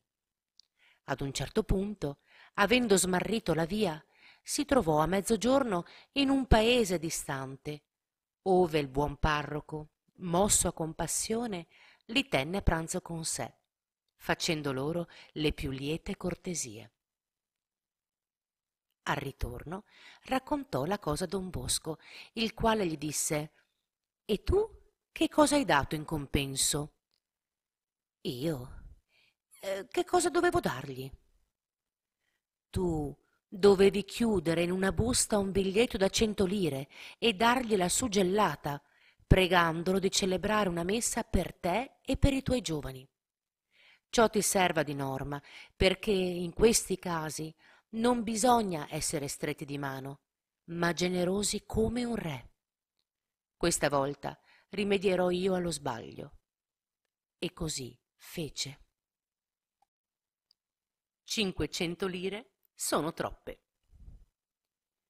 Era faccetto ed ameno anche con i suoi dipendenti. Nel 1871 inviava il professor Don Paolo Albera, che fu poi il suo secondo successore, a fondare la casa di Marassi presso Genova. Costui, trattandosi di andare a fondare una casa, aveva accettato da amici e conoscenti una piccola scorta di danaro. E quando, prima di partire, il santo gli chiese se avesse bisogno di qualche cosa, egli rispose Don Bosco, la ringrazio, ho già con me cinquecento lire. Oh mio caro, gli osservò don Bosco, non è necessario tanto denaro. Anche a Genova vi sarà la provvidenza. E tratte dal cassetto poche lire, gliele diede, ritirandogli il biglietto da cinquecento. Il serbare qualunque somma per i bisogni di domani mi pare un'offesa alla divina provvidenza. Questa massima la lasciò per eredità ai suoi successori. E io mi farei salesiano. Un giorno, in un crocchio di confratelli, si parlava con grande ammirazione dei vari ordini religiosi, elogiando le gesta e lo zelo di questo e quell'altro. Ad un certo punto uno esclamò se non fossi salesiano mi farei volentieri. Don Bosco, che aveva condiviso ed approvate tutte le lodi a cotesti diversi ordini, udendo quella conclusione con calma risoluta e incisiva, a sua volta esclamò E io, se non fossi salesiano, mi farei salesiano. Tutti applaudirono e si buttarono a gara a baciargli la mano. Il gran segreto. Monsignor Ferré, vescovo di Casale, tenendo una conferenza ai cooperatori salesiani, venne fuori con queste parole. Sapete perché la congregazione di Don Bosco si estende così prodigiosamente e i collegi salesiani progrediscono così bene? Ve lo dico io. Gli è perché Don Bosco ha due grandi segreti che sono la chiave di tutto il grande bene operato dai suoi. Primo segreto, quello delle spugne. Egli imbeve i suoi salesiani e i suoi giovani di pratiche di pietà che quasi inebriano. E questi, pur volendono, non possono più fare il male e lo rigettano come le spugne piene rifiutano qualsiasi altro liquido. Il secondo segreto consiste nel caricare i suoi dipendenti di molto e svariato lavoro. egli accumula su ciascuno tante cose da fare, li affardella di tante faccende e cure, che non hanno né trovano più il tempo a peccare e quasi neppure a parar le mosche, come i muli sotto il tiro continuo. Riferite queste cose a don Bosco, egli approvava ed aggiungeva È per l'appunto così. Finché saremo buone spugne imbevute di pietà e buoni muli sempre sotto tiro, la nostra congregazione marcerà sicura. Si può dire che tutti sono contro di noi e che noi dobbiamo lottare contro tutti. Il mondo legale ci è assolutamente avverso. Il vento soffia contrario da ogni parte, ma niente paura. Finché saremo muli e spugne, Dio sarà con noi. Noi abbiamo dinanzi agli occhi un orizzonte chiarissimo. La nostra via è tracciata. Muli di lavoro, spugne di pietà e viva sempre la pia società. Noi saremo sempre amici. Quando il buon padre fu colpito dall'ultima malattia, il giovane Luigi Orione fu uno dei dodici che offersero la propria vita al Signore per prolungare l'esistenza del santo, sottoscrivendo in un foglio questa commovente implorazione. O Gesù sacramentato, Maria ausiliatrice dei cristiani, San Francesco di Sales, nostro patrono, i poveri sottoscritti, al fine di ottenere la conservazione del loro amatissimo padre superiore Don Bosco, offrono in cambio la propria vita. Deh, vi supplichiamo, degnatevi di gradire l'offerta e di esaudirci.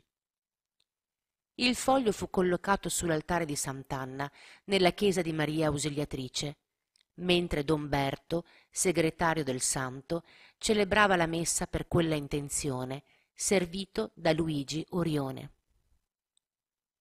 Il Signore non accolse l'eroica offerta per dare alla Chiesa un altro apostolo, ai poveri un altro padre. Ma il giovinetto predestinato sentì la benedizione di Don Bosco appena morto il santo. Luigi Orione era giunto all'oratorio nell'ottobre del 1886.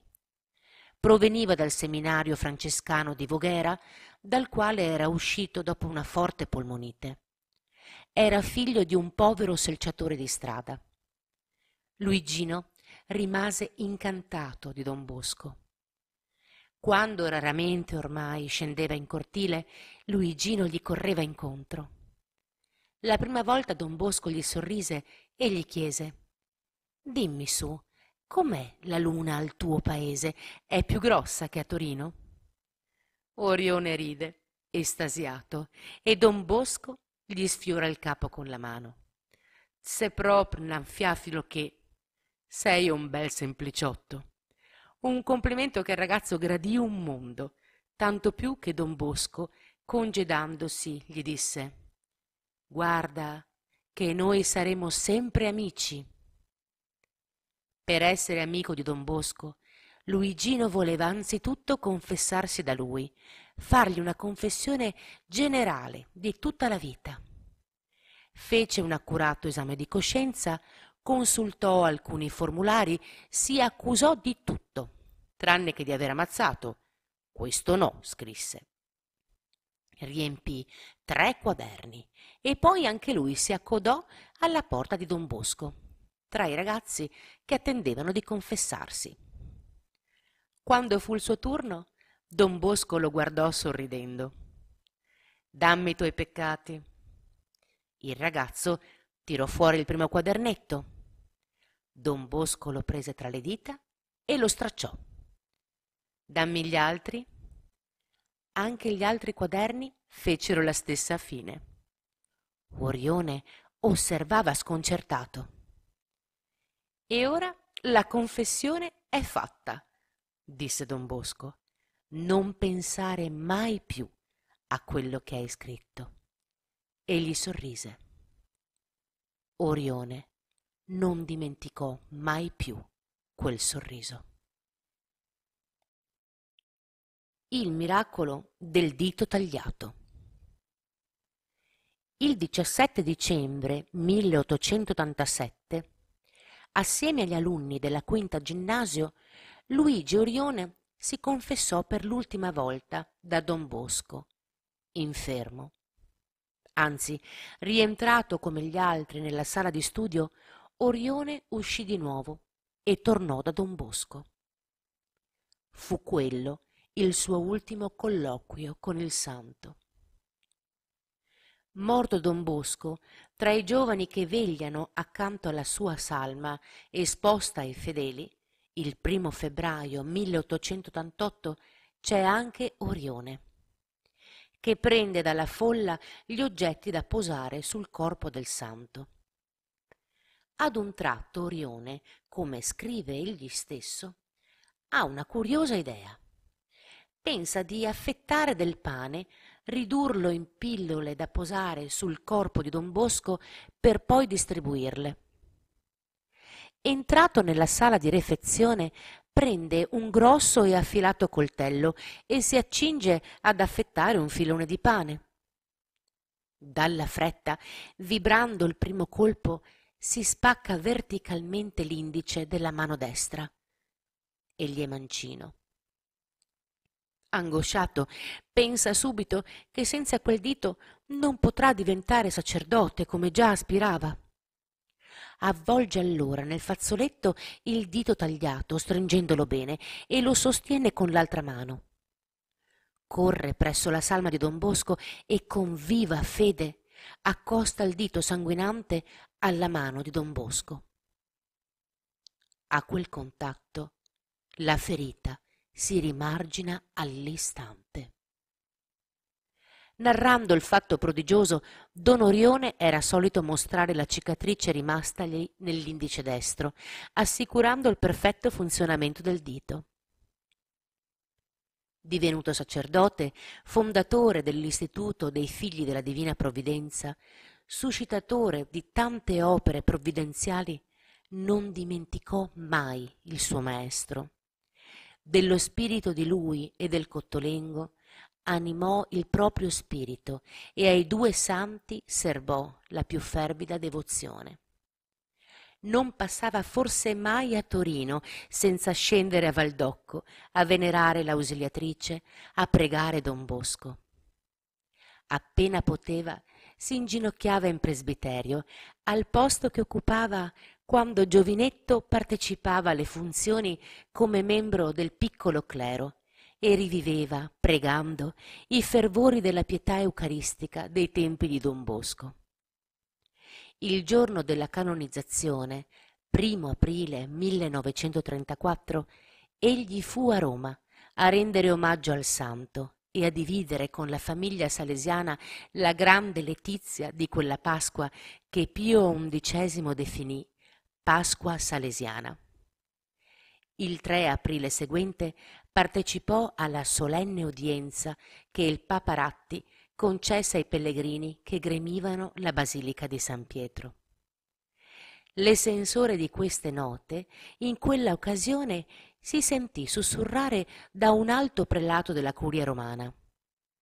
Vuol vedere il Don Bosco dei nostri giorni? Guardi laggiù.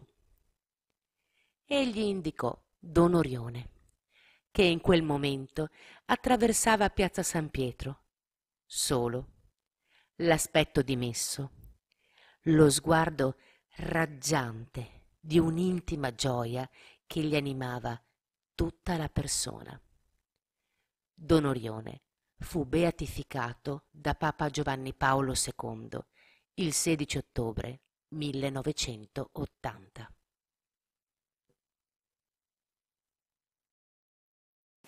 La politica di Don Bosco. Nessuna politica Fare del bene a tutti, del male a nessuno. Questa è la mia politica. Così diceva Don Bosco. Tattica e savoir-faire, saper fare, furono sempre le armi che adoperava il santo, da giovane con i compagni e i compaesani, da seminarista coi codiscepoli e coi superiori, da sacerdote con tutti e persino coi protestanti, con i massoni e con le più alte autorità, come attestano gli episodi più piacevoli e più gustosi della sua vita. Ne scelgo alcuni fra mille. Prete più, prete meno. In quei tempi di trionfante liberalismo, uomini politici, temendo in Don Bosco un oppositore, volevano coinvolgere anche lui nei moti rivoluzionari e gli facevano insistenza perché prendesse parte coi suoi giovani ai pubblici festeggiamenti che si svolgevano in Torino. Un giorno, incontrandolo, il famoso Angelo Brofferio gli disse Domani in piazza Castello è fissato un posto anche per lei, veda di non mancare. Scusi, onorevole, rispose don Bosco, sono tanto impegnato per procurare il pane ai miei orfanelli. Se anche non vandassi io, altri meglio di me occuperebbero il posto, e poi, prete più, prete meno, che importa? Un altro giorno il marchese Roberto d'Azeglio lo invitò ad intervenire col suo oratorio alla parata sulla piazza della Gran Madre di Dio per festeggiare la festa dello Statuto. Signor Marchese, osservò don Bosco, il mio istituto è una famiglia di giovani poveri, male in arnese. Ci faremmo burlare se facessimo tale comparsa. Ne scapiterebbe anche l'importanza e la grandiosità della festa. Mi abbia quindi per scusato. Altra volta, in simili circostanze, invitato a pronunciare un discorso d'occasione, si scusò dicendo Signori, mi mettano in mezzo a un esercito di ragazzi o dinanzi a un raduno di contadini e dei discorsi ne farò a loro piacimento ma dinanzi a un pubblico colto e scelto, col mio dire inelegante e il mio fare bonario, temerei di mettere a riso l'assemblea e guastare ogni cosa.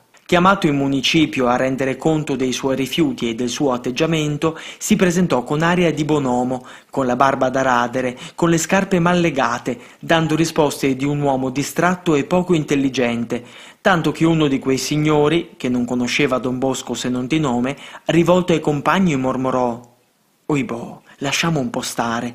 Questo povero Mattarello non sarà colui che spianterà le istituzioni dello Stato. Caramelle amare. Il tratto di Don Bosco coi personaggi del mondo politico e coi ministri di Stato fu sempre improntato a un sano realismo e a sollecitudine pastorale. Eccone un esempio. Un giorno si recò al Ministero degli Interni. Titolare di quel di Castero era Urbano Rattazzi. Don Bosco trovò l'anticamera già affollata, ma il ministro, appena seppe che Don Bosco attendeva, si fece premura di riceverlo subito. Il santo, attraversando la fila dei curiosi e meravigliati per quella preferenza, si presentò e disse al ministro, con quella semplicità tanto naturale in lui Quanta gente, eccellenza! Questo suo ufficio mi dà l'aria di un confessionale in tempo di Pasqua. Eh, caro Don Bosco, rispose il ministro, con questa differenza, che chi va a confessarsi se ne parte benedicendo il confessore, mentre chi parte dalle nostre udienze spesso ci maledice perché non si è potuto soddisfare alle richieste. La conversazione si protrasse assai e quando Don Bosco si alzò per licenziarsi, si alzò anche il ministro che, prendendo per mano il santo, gli disse Don Bosco, mi dica qualche cosa. Don Bosco lo guardò meravigliato, poi con la massima confidenza rispose Eccellenza, pensi a salvarsi l'anima. Il ministro, stringendo forte la mano a Don Bosco, abbassò la fronte e pianse come un ragazzo. Quando poi gli si chiedeva perché il ministro si fosse messo a piangere, egli rispondeva sorridendo Eh, gli ho detto qualche cosa, ma sono le caramelle amare quelle che fanno bene. Questo stesso ministro, un'altra volta, gli fece una domanda strana. Mi dica, don Bosco, io sono scomunicato? Il santo, preso così all'improvviso, stette alquanto pensoso e poi rispose Eccellenza, mi spiace, ma non potrei trovare argomenti che lo scusino. Bravo, don Bosco, soggiunse il ministro. Finora nessuno me l'aveva mai voluto dire. Preghi per me e faccia pregare i suoi giovani, affinché non abbia ad andare all'inferno. Sì, pregherò e farò pregare, ma lei faccia così e così. Il ministro moriva poco dopo. Aveva chiesto e desiderato il sacerdote e il Signore gli aveva certamente usato misericordia perché egli aveva usato misericordia agli orfanelli di Don Bosco. Gran funerale a corte. L'anno 1855 vide uno scontro durissimo fra lo Stato piemontese e la Chiesa. Verso la fine del 1854 fu presentato alla Camera un progetto legge del ministro Urbano Rattazzi, agli interni nel primo ministero del marchese Camillo Cavour, tendente a ridurre l'influenza della Chiesa, come afferma lo storico Francesco Traniello. Esso proponeva di sciogliere tutti gli ordini religiosi contemplativi che, cioè, non si dedicavano a qualche ministero attivo, istruzione, predicazione, assistenza ai malati, e l'incameramento dei loro beni da parte dello Stato, che era ciò che soprattutto premeva al Cavour. Le forze cattoliche, guidate dai vescovi, si organizzarono perché questa cosiddetta legge sui frati non passasse alle Camere, ma si dava per scontata l'approvazione alla Camera dei Deputati e, di stretta misura, anche quella al Senato. Solo il Re poteva bloccare la legge. Stante questa atmosfera, in un rigido pomeriggio di dicembre, Don Bosco, che portava i suoi guanti di lana vecchi e sdruciti per proteggere i grossi geloni alle dita, raccontò ai suoi più intimi di aver fatto un sogno strano. Era nel cortile quando aveva visto entrare dal cancello un valletto di corte, vestito di rosso, che gridò Gran funerale a corte, gran funerale a corte! Appena sveglio, Don Bosco prese la penna e scrisse al re, pregandolo di impedire a qualunque costo quella legge. Cinque giorni dopo sognò di nuovo. Gli pareva di essere nella sua camera, intento a scrivere, quando ode lo scalpiccio di un cavallo in cortile. Vede aprirsi la porta ed apparire lo stesso valletto in livrea rossa che entra a metà e grida Annunzia, non gran funerale a corte, ma grandi funerali a corte e ripetute due volte queste parole se ne andò chiudendo la porta dietro di sé. Don Bosco corse sul balcone e, visto il valletto già in sella, gli chiese il perché di tale annunzio. Ma quegli, spronando il cavallo, gridò ancora Grandi funerali a corte! e si dileguò. Appena giorno, il santo indirizzò al re un'altra lettera, nella quale raccontava la seconda minaccia e pregava a Sua Maestà a fare in modo di impedire ad ogni costo quella legge. Intanto la regina madre, Maria Teresa, colpita in quei giorni da grave malore, il 12 gennaio muore in età di 54 anni. La mattina del 16 le si celebrano i funerali e la sera dello stesso giorno la regina Maria Adelaide riceve il santo viatico e muore il giorno 20 in età di soli 33 anni. La stessa sera riceve il viatico il principe Ferdinando, fratello del re, che spira la notte dal 10 all'11 febbraio, in età anche lui di 33 anni. I chierici dell'oratorio, i soli a conoscenza di queste cose, erano esterrefatti nel vedere avverate in modo così fulmineo le profezie di Don Bosco, scrive Don Lemoine. Nemmeno in tempo di peste si erano aperte tre tombe reali nel giro d'un mese. Intanto alla Camera la legge sui frati viene discussa il 15 febbraio e approvata, 94 voti contro 23, per passare poi al Senato. Non erano finiti i lutti per casa Savoia. Il 17 maggio muore il figlioletto del re, Vittorio Emanuele Leopoldo, di appena quattro mesi. Si dice che a corte il re sia molto sconcertato per tanti funesti eventi. Ma il 22 maggio la legge passa anche al Senato con 15 voti di maggioranza. Il re la firmò il 29 maggio. Questa volta Don Bosco non rise. Santo e menagramo, a seconda da che parte si voglia vedere la cosa, aveva previsto giusto, purtroppo. L'amicizia del re. Re Vittorio Emanuele II, che passò alla storia con il nome di padre della patria, con le virtù e i difetti che tutti gli riconoscono, era in fondo un galantuomo e, a modo suo, anche un credente.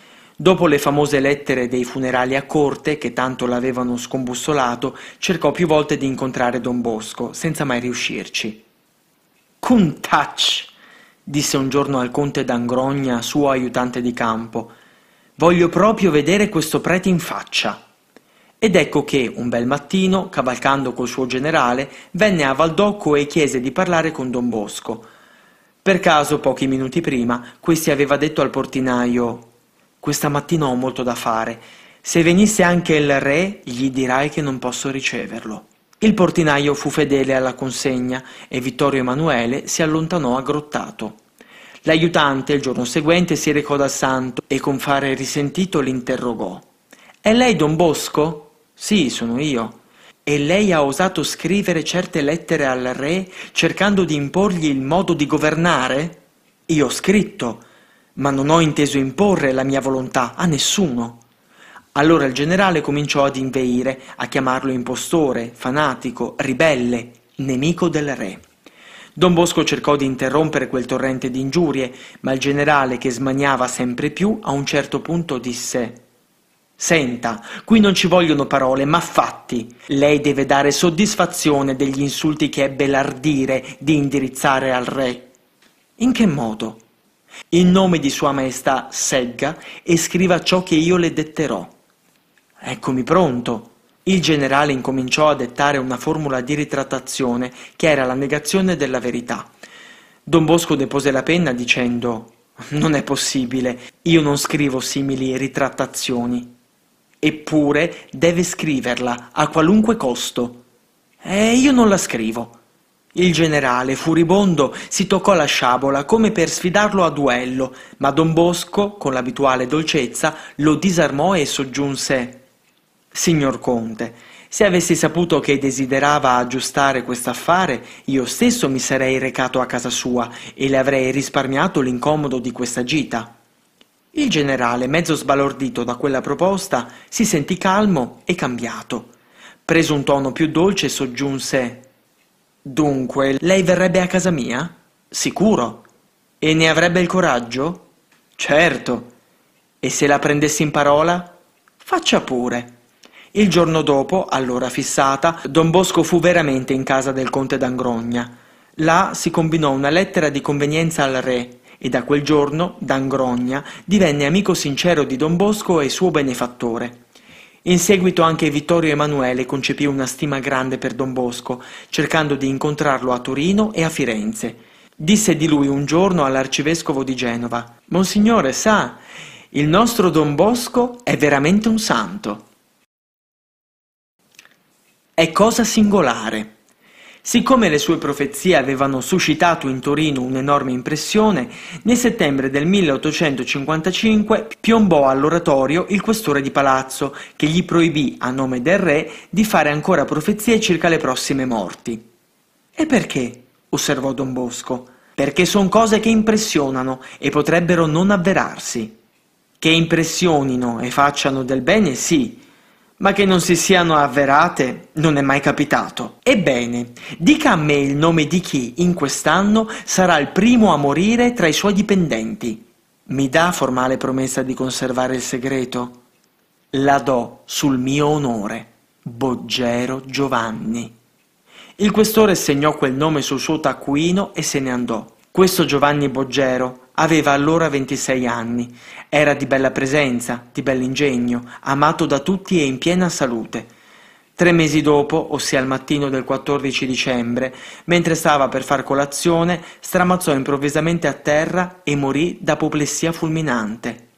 Quando il questore venne a saperlo, ritornò all'oratorio e disse a Don Bosco Dica pure quel che vuole ai suoi giovani, ne ha tutte le licenze immaginabili. Quindi, baciandogli la mano commosso, si allontanò ripetendo È cosa singolare, è cosa troppo singolare. A chi poi lo richiedeva circa siffatte profezie, il santo sorridendo rispondeva È cosa singolare, l'ha detto il questore. Viva Vittorio Emanuele, Cavour e Garibaldi. Un altro giorno, trovandosi a pranzo con esponenti del governo e personaggi di varie tendenze politiche, ascoltò i brindisi inneggianti alla libertà a Vittorio Emanuele, a Cavour e a Garibaldi. Invitato poi a parlare anche lui, alzò il bicchiere e senza scomporsi esclamò sorridendo Viva Vittorio Emanuele, Cavour e Garibaldi, sotto la bandiera del Papa, affinché possano salvarsi l'anima. Tutti l'applaudirono, ammirando il tatto fine del santo e la franca professione delle sue idee. Ed uno di loro gridò Evviva Don Bosco! Egli non vuole proprio la morte di nessuno! Desiderium peccatorum peribit. Il 6 agosto 1876, inaugurandosi la ferrovia Torino-Cirie-Lanzo, il prefetto di Torino aveva chiesto di servire il rinfresco alle autorità nel collegio che Don Bosco aveva in quest'ultimo paese. Vi parteciparono i ministri Agostino De Pretis, Giovanni Nicotera, Giuseppe Zanardelli con molti deputati e vi presenziò anche Don Bosco. Servito il rinfresco andarono tutti a sedere in giardino e si portò il discorso sui frequenti viaggi del santo a Roma e sulle sue visite in Vaticano. Quindi passarono a qualche amichevole scherzo. Ad un certo punto il deputato Ercole esclamò Don Bosco legge nei cuori. Sentiamo un po' da lui chi è più peccatore. Nicotera o Zanardelli? Tutti risero a questa uscita amena e il santo rispose Veramente per poter dare una risposta giusta bisognerebbe che venissero qui a fare gli esercizi spirituali e allora dopo una confessione generale potrei dare un giudizio sul loro interno. Ma siccome Ercole insisteva, Nicotera lo interruppe dicendo Oh, perché vuoi mettere me come termine di paragone? Domanda invece a Don Bosco se tu sei più peccatore degli altri. Ed egli, non ho voglia di convertirmi io, c'è tempo. Oh sì, soggiunse Nicotera, non sai che sta scritto nei salmi desiderium peccatorum peribit? Bene, bravissimo, ripeterono tutti, ed un altro continuò, mi dica, don Bosco, ella crede che noi ci salveremo? Eh, io lo spero, rispose il santo. La misericordia di Dio è tanto grande. Ma noi non abbiamo voglia di convertirci tanto presto. Il che vuol dire che desiderano continuare e poi se si sentiranno... Sì, così per l'appunto. E allora, concluse il santo, si avverrà ciò che ha detto quel signore poco fa. Desiderium peccatorum peribit. Segreti di famiglia. Don Bosco per le sue frequenti visite al Papa era sospettato dalla polizia. Nel maggio del 1860 fu sottoposto ad una minutissima perquisizione, durante la quale gli agenti, nel visitare un armadio, trovarono un cassetto chiuso a chiave. Che c'è qui? chiese con premura al delegato. Cose confidenziali, cose segrete, rispose Don Bosco. Non voglio che alcuno lo apra. Che confidenze e che segreti venga ad aprire? Non posso. Ci sono cose che possono tornare a mio disonore. Rispettate i segreti di famiglia. Con noi non ci sono segreti, venga ad aprire o scassineremo lo sportello. Minacciato dalla forza io cedo, ma non vorrei. Aperto il cassetto, il delegato abbranca le carte là contenute e facendole vedere ai compagni grida Ora ci siamo! Gongolante di gioia si mette sollecitamente a farle passare, assistito dalla cupida curiosità degli altri sbirri. Ne apre una, poi una seconda, indi una terza e legge pane somministrato a Don Bosco dal panettiere Magra, lire 7800. Cuoio somministrato ai calzolai di Don Bosco, lire 2150. Stoffa amministrata alla sartoria dell'oratorio, lire 730. Ma che razza di carte sono queste? Adesso che avete cominciato, continuate e lo saprete. Aprono gli altri fogli e non trovano che note di riso, paste, olio e simili, tutte ancora da pagare. Allora il delegato esclama Ma perché ci corbella così? Io non corbello nessuno. Non avevo piacere che i miei debiti fossero conosciuti, ma già che li avete tutti voluti conoscere, pazienza. Se vi compiaceste di pagarmi almeno qualcuna di queste note, fareste un'opera di carità. Quei signori si posero a ridere e vennero a più miti consigli. Don Bosco allora fece portare una bottiglia e bevvero tutti alla salute della perquisizione. Gatti nell'armadio. Tra gli inquisitori e i perquisitori più arrabbiati contro i preti e gli istituti religiosi, e quindi contro Don Bosco, vi era un certo Cavalier Gatti, un alto impiegato governativo. Costui era stato incaricato di un'inquisizione alle scuole dell'oratorio e ne aveva fatto al governo una relazione spietata e menzognera. Don Bosco, temendo la chiusura del suo istituto, si recò direttamente dal ministro dell'istruzione a parare la tempesta. Il ministro, chiamato il Gatti, lo mise a confronto con il santo per sostenere le accuse fatte in detta relazione, ma costui fu talmente impappinato ed arrabbiato che ad un certo punto, non potendo più sostenere le sue menzogne, si alzò e pieno di dispetto tentò di andarsene. Però nella confusione e nel livore che lo divorava sbagliò la porta ed aperto un armadio vi si cacciò dentro. A quella vista il ministro gridò Ehi, cavaliere adagio, quello è un armadio, ritorni indietro. E alzatosi, andò egli stesso ad aprirgli la porta d'uscita. Le astuzie d'una marchesa. Nel settembre 1864 la capitale del regno fu trasferita da Torino a Firenze e Don Bosco, a richiesta di alcuni insigni benefattori, decise di recarsi colà in cerca d'aiuti. Quel viaggio a Firenze fu un vero trionfo. Tutti i giornali di quei giorni parlarono di lui. Fu ospitato nell'arcivescovado, i canonici della cattedrale tennero un'accademia in suo onore e le nobiltà tutte gareggiavano per averlo presso di loro. La marchesa Gerini, fra le altre, lo pregò di fermarsi qualche giorno a Firenze e don Bosco rispose Non posso, marchesa, i miei figli mi aspettano. Che importa? Aspettino, quando giungerà lo rivedranno. Oh sì, essi aspettano il pane. Se io non vado, chi paga loro il pane? Quanti sono? Circa mille. Quale somma ci vorrà per provvedere il pane ai suoi giovani in questi giorni? Eh, diecimila lire circa. E se si trovasse questa somma, si fermerebbe davvero? Perché no? Ebbene, io le darò le diecimila lire. Se è così, il Signore la benedica, esclamò sorridendo. Puff, puff, puff. Durante la sua permanenza nella città di Firenze, Don Bosco venne chiamato d'urgenza al Ministero degli Interni per affari d'importanza. Trovandosi a colloquio con il primo ministro Bettino Ricasoli e con il ministro Lanza, questi gli chiese ma lei, Don Bosco, come fa a mantenere tanti giovani e sostenere tante spese? Dove prende il denaro? Don Bosco ridendo rispose Signor Ministro, eh, vado avanti a vapore. Che vuol dire? Eh, vado avanti come fa il vapore, cioè il treno, puff, puff, puff, ossia debiti, debiti, debiti.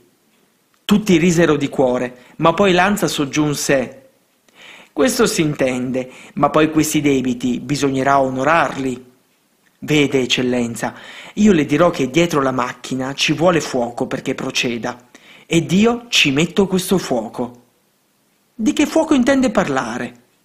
Del fuoco della fede in Dio e nella sua provvidenza. Senza questo fuoco l'opera dell'uomo è nulla. Cadono gli imperi e rovinano i regni. Queste parole, pronunziate come sapeva pronunziarle il nostro santo, lasciarono in tutti coloro un'impressione solenne e si persuasero che egli era veramente l'uomo di Dio. Titolo di cavaliere quando il conte Luigi Cibrario, ministro della pubblica istruzione, gli inviò il diploma con la nomina di cavaliere dell'ordine dei santi Maurizio e Lazzaro, egli si affrettò a recarsi da lui e gli disse Illustrissimo signor conte, se mi chiamassero cavaliere, chi oserebbe ancora farmi l'elemosina? E poi di croci ne ho già troppe. L'onorificenza la dia piuttosto ai miei orfanelli. E in che modo? Ottenendo loro qualche sussidio per provvedergli di pane. Fu contentato e sulla gazzetta ufficiale di quei giorni comparve il decreto che fissava la pensione di lire 500 annue all'opera di Don Bosco.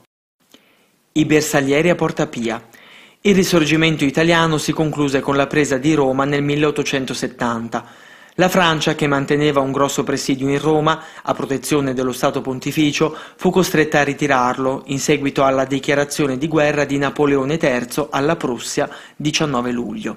Il successivo disastro di Sedan, 2 settembre, nel quale lo stesso imperatore fu fatto prigioniero, consentì al governo italiano di sentirsi le mani libere nei confronti di Roma. Un esercito di 60.000 uomini al comando del generale Raffaele Cadorna investì Roma, che era difesa da 14.600 volontari agli ordini del generale Kanzler. Pio IX, che considerava un errore la sua fuga a Gaeta nel 1848, era ben deciso a restare in Roma, nonostante che diverse nazioni fossero disposte ad ospitarlo. Una nave inglese era pronta per trasferirlo a Malta. Il Papa volle consultare persone di sua fiducia, primo fra tutti Don Bosco. La lettera di risposta del nostro santo fu copiata in bella copia da Don Giovanni Cagliero e allo stile solenne e ispirato di cui si serviva Don Bosco quando parlava in qualità di profeta.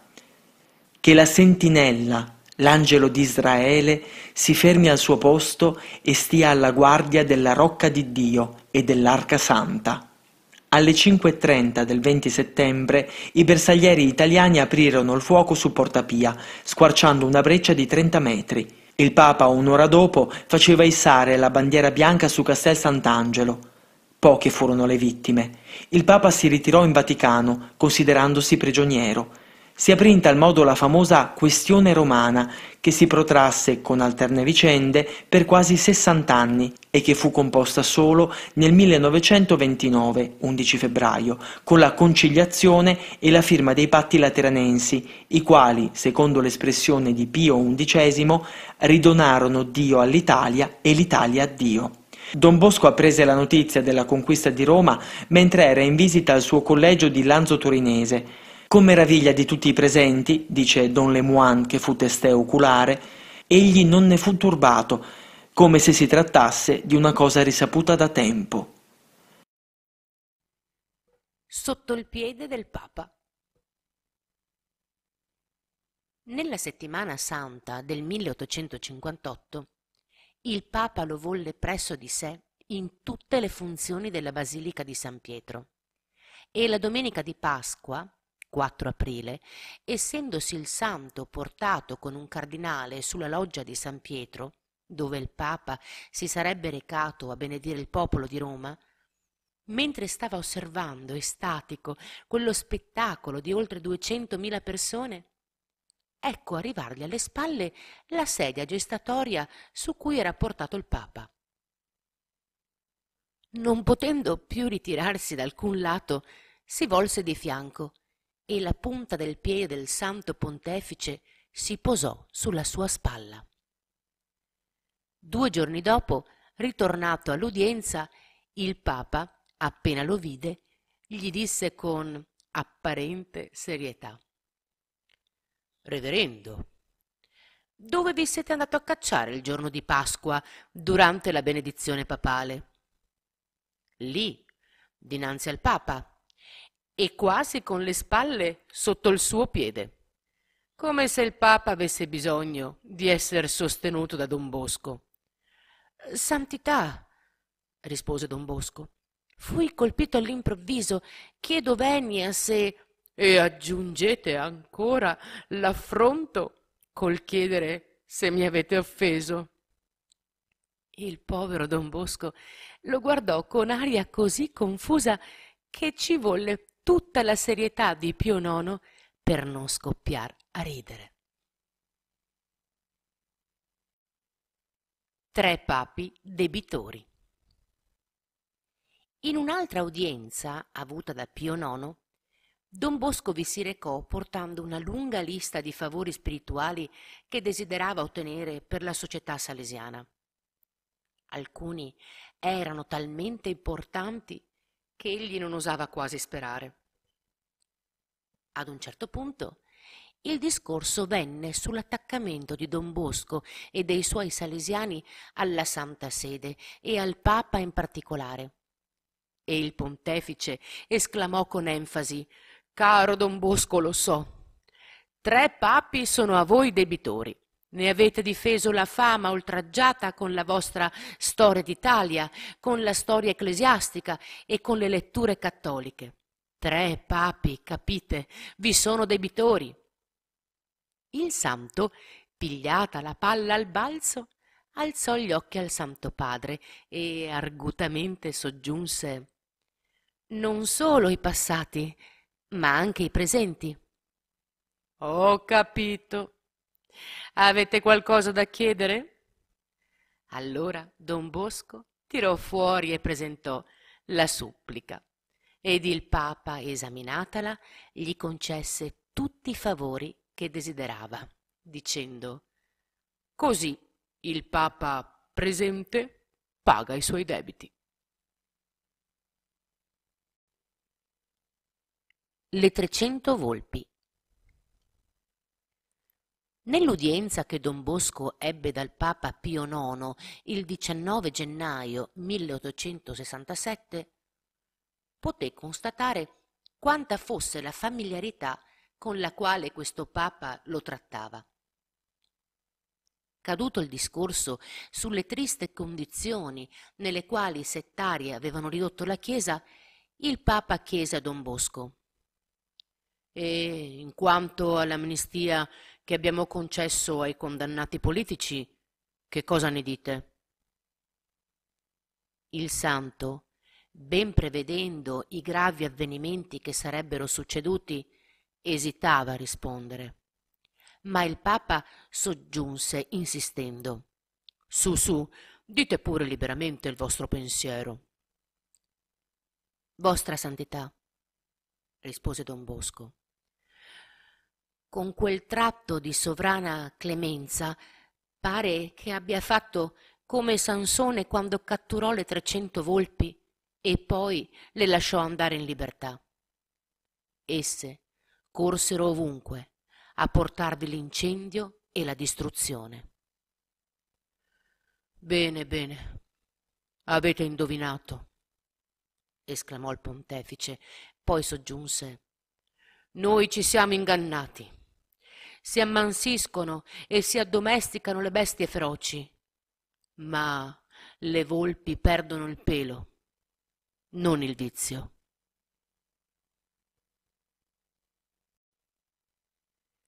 La voce del cielo al pastore dei pastori. L'8 dicembre 1869 Pio IX aprì ufficialmente il Concilio Vaticano I voluto dal Papa allo scopo di esporre chiaramente la dottrina cattolica in serrato confronto con gli errori moderni e per definire dogma di fede la prerogativa della infallibilità del Papa. Ma i tempi, per lo stato della Chiesa, volgevano tristi. La guerra tra la Francia e la Prussia era nell'aria e la sopravvivenza medesima dello Stato pontificio, difesa strenuamente dal governo del Papa, era in serio pericolo. Si comprende l'ansia di Pio IX nel tentativo di conoscere i segni dei tempi che coinvolgevano con il poter temporale i destini della Chiesa medesima. Fu detto e scritto che il Papa interrogò personalmente Don Bosco, le cui ispirazioni profetiche erano divulgate, nei due lunghi colloqui privati che gli concesse nell'udienza dell'8 e del 12 febbraio. Le precedenti edizioni di questo libro riportavano anche le battute drammatiche del dialogo tra Don Bosco e il Papa. In realtà questi parlò delle speranze che riponeva nel concilio e chiese al santo di diffondere tra il popolo con la collana di letture cattoliche la dottrina sulla infallibilità del Papa. Gli chiese anche qualche previsione sul futuro del concilio e della Chiesa. In una successiva udienza, 12 febbraio, Don Bosco consegnò al Papa alcune pagine di previsioni sull'avvenire.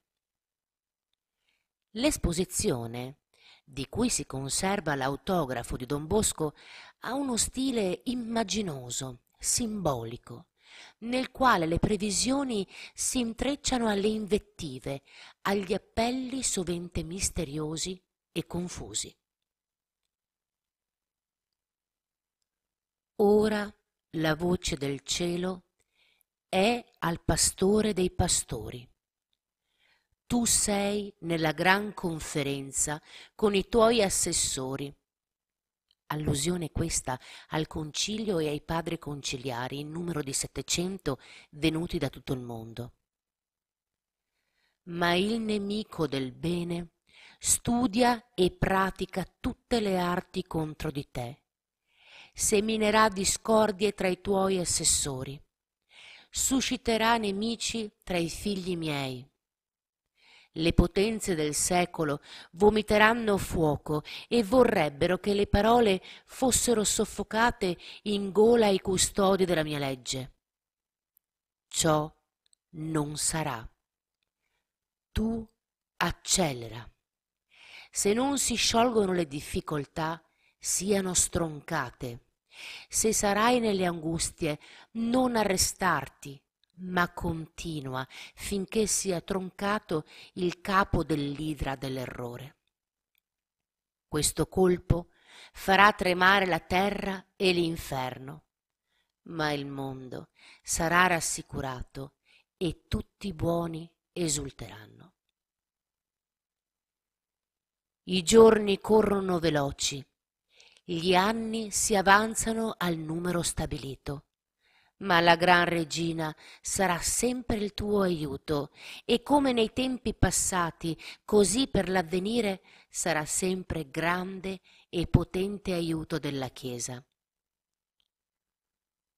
Anche del Papa, poche righe più avanti, si dice testualmente Ora egli è vecchio, cadente, inerme, spogliato di tutto, tuttavia con la parola fa tremare il mondo. Questo è tutto quanto don Bosco predisse sul concilio e sul futuro del Papa. Lo sviluppo storico ha confermato quanto quella visione liberatoria, ma per il momento impietosa, fosse nell'ordine delle cose disposte dalla provvidenza per i suoi misteriosi fini.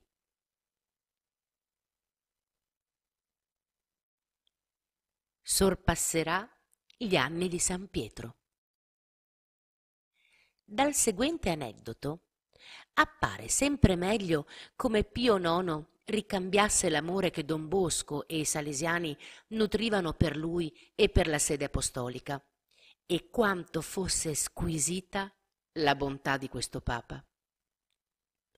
Nel febbraio del 1869, recatosi Don Bosco nuovamente dal Papa, questi l'accolse con le lacrime agli occhi e gli disse Caro Don Bosco, io sono vecchio. Da un momento all'altro posso mancare.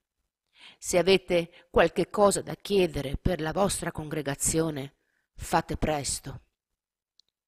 Il santo, con la sua tranquillità e sicurezza abituale, guardando amorosamente il pontefice, rispose in tono profetico Santo Padre, il Signore vi serba ancora a grandi cose e a fare del gran bene per la Chiesa. Eh, soggiunse Pio IX, manca solo un anno e mezzo all'età del pontificato di San Pietro. E voi, Santità, lo sorpasserete? Che dite mai? Non è mai capitato. Ebbene, io Dico a vostra santità che non solo vedrà i giorni e gli anni del pontificato di San Pietro, ma altri ancora. La profezia si avverò.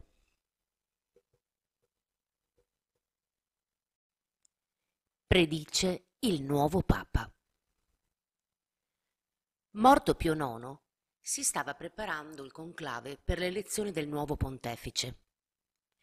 Don Bosco, che aveva trattato con Francesco Crispi in merito al luogo ove si sarebbe potuto tenere un libero conclave, in uno di quei giorni si aggirava in Vaticano. Quand'ecco si imbatté in un cardinale che non aveva mai veduto. Chi gli faceva da guida gli disse Ecco qui l'eminentissimo Pecci. Don Bosco mira in faccia al porporato, poi l'avvicina e con accento filiale gli dice Vostra Eminenza mi permetterà che le baci la mano. Chi è lei che si appressa così franco e disinvolto? Io sono un povero prete che ora bacia la mano a Vostra Eminenza, pregando con ferma speranza che fra pochi giorni le possa baciare il sacro piede. Badate a quello che fate, anzi vi proibisco di pregare a tale scopo. Ella non può proibirmi di chiedere a Dio quello che a Lui piace. Se voi pregate per questo fine, vi, vi minaccio della censura. Eminenza, ella non ha la potestà di infliggere censure. Quando l'abbia, saprò rispettarla. Ma chi è lei che mi parla così autorevolmente? Io sono Don Bosco. Per carità, tacete, è tempo di lavorare, non di burlare. Niente burla, ma verità, concluse Don Bosco sorridendo. E che fosse la verità lo dimostrò il fatto che il cardinale Gioacchino Pecci, pochi giorni dopo, era il nuovo Papa Leone XIII. Incontrandosi poi con Don Bosco, andava ripetendo Voi foste il primo a salutarmi Papa ed io sarò il primo vostro cooperatore salesiano. Il conclave si terrà a Roma. Nel febbraio del 1878, incaricato dalla Santa Sede di saggiare le intenzioni del governo circa il prossimo conclave, chiese udienza a Francesco Crispi, primo ministro, e vedendo che Crispi tentennava, francamente gli dichiarò A nome del Sacro Collegio chiedo una risposta pronta e categorica, perché in ogni caso il conclave verrà tenuto. Magari a Trieste, a quel tempo sotto l'Austria, o ad Avignone, Francia.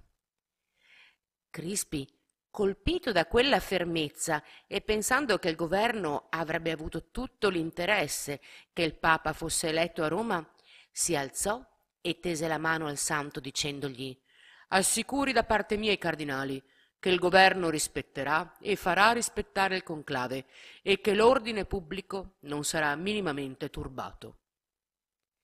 Don Bosco s'affrettò a portare la notizia in Vaticano e la segreteria si congratulò con lui per il buon esito della trattativa. Questa franchezza di carattere e fermezza di idee procurò sempre a Don Bosco ammirazione e benevolenza i papi di Don Bosco. Don Bosco conobbe, venerò ed ebbe familiari relazioni con due papi del suo tempo, Pio IX, 1846-1878, e Leone XIII, 1878-1903. Alcuni episodi rivelano quanto fosse grande la devozione del santo per il vicario di Cristo. Niente Monsignore. Quando nel 1858 Don Bosco si recò la prima volta a Roma a conferire con Pio IX per la fondazione della Società Salesiana, il Santo Padre, per dargli un pegno della sua stima e del suo affetto, aveva pensato di nominarlo suo cameriere segreto, ossia Monsignore. E don Bosco, che non aveva mai ambito onori, modestamente ringraziò, soggiungendo spiritosamente Santità, che bella figura farei io quando comparissi in mezzo ai miei ragazzi vestito da Monsignore. I miei figli non mi riconoscerebbero più non oserebbero avvicinarmi e tirarmi da una parte e dall'altra come fanno adesso. E poi la gente mi crederebbe ricco e addio elemosine. I miei poveri giovani ne avrebbero a morir di fame e le mie opere a perire. Oh, quant'è meglio che resti sempre il povero Don Bosco. Il Papa ammirò l'umiltà così graziosa di lui e lo prese in specialissima confidenza e familiarità.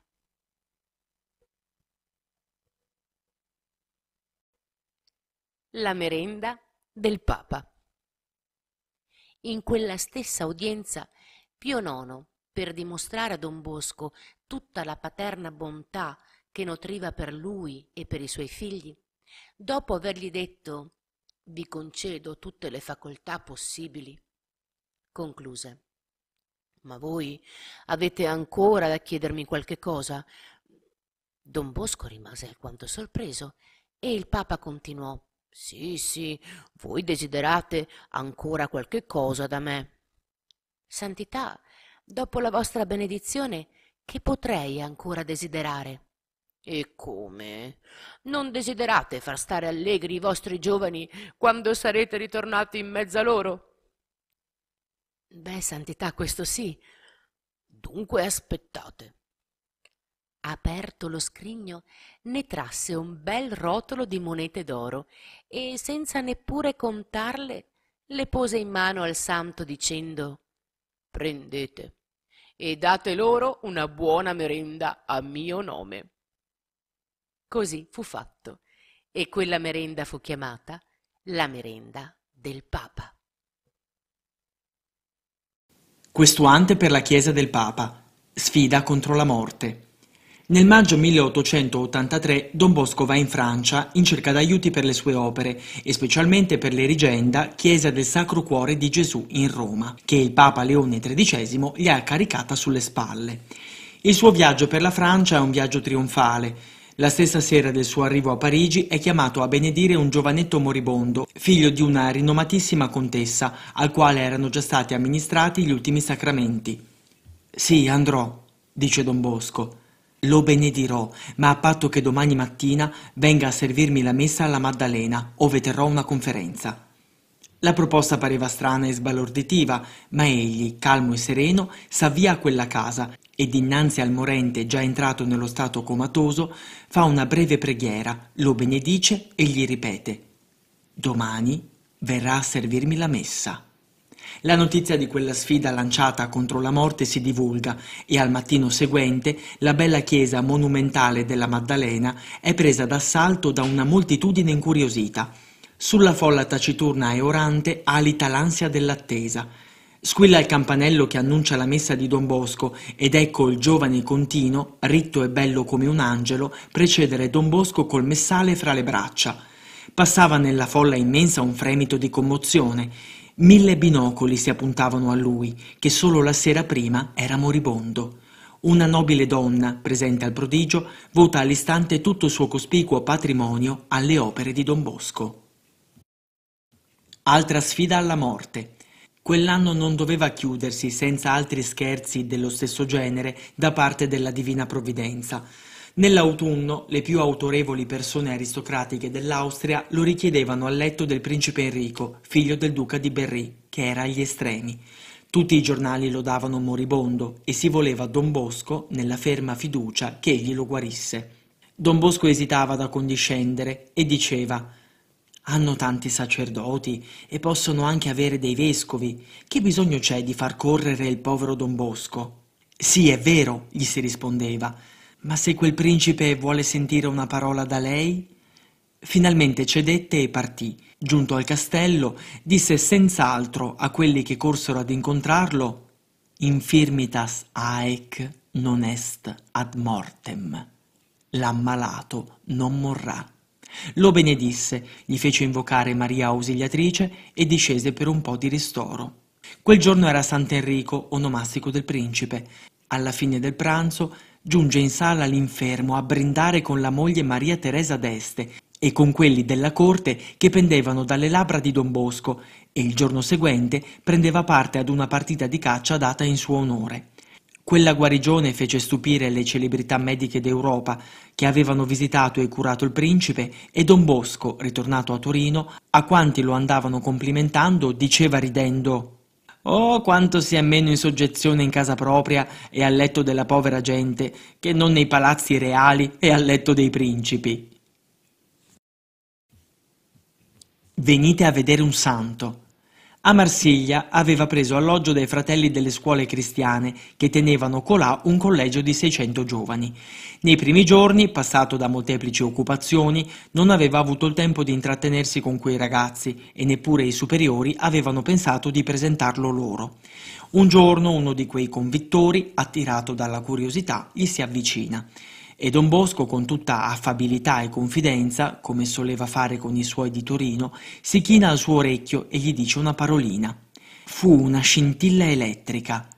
Quel fanciullo si stacca da Don Bosco e prende a gridare forte Compagni, compagni, venite a vedere un santo! L'eccheggiar di quelle grida mise in subbuglio i giovani e i superiori, che usciti sulle porte e nei corridoi si spingono, si urtano, si precipitano per le scale attorno al prete santo, il quale, sbalordito da quell'irruzione, ma placido e sorridente, li accoglie come avrebbe fatto un padre affezionato coi più affezionati figlioli. La presenza di Don Bosco suscitò tale fermento che tutti vollero parlare e confessarsi da lui, producendosi il salutare effetto di una muta di esercizi spirituali. Quegli zelanti fratelli, congedando il santo, andavano ripetendo ancora un poco e ci ruba il cuore di tutti i nostri giovani. Incominciamo. Ma intanto era passata una bella settimana da che si trovava a Marsiglia e a differenza delle altre volte o nulla o quasi nulla aveva potuto raggranellare per le sue opere. Un bel giorno, mentre quasi angosciato se ne condoleva col direttore dell'istituto, sembrò rianimarsi ed esclamò Incominciamo! E incominciò davvero. Ecco che, essendogli presentato un giovane affatto incapace a reggersi in piedi, egli con la benedizione di Maria Ausiliatrice lo raddrizza guarito. Accorrono a lui altri malati ed egli li sana pienamente ad altri legge nella mente, ad altri tocca il cuore, ad altri indovina i peccati, ad altri predice il futuro, li conforta e benedice. La notizia di simili prodigi si diffonde come baleno e da tutta la città e dintorni una folla immensa, sempre crescente, accorre a chiedere la benedizione di Don Bosco e di implorarne grazie e favori. Con i miracoli fioccano le offerte. Tutti si accorgono che ha incominciato davvero. Fede che ammazza. Nel ritorno dai suoi ultimi viaggi in Francia passò per Grenoble. Un popolo immenso lo attendeva.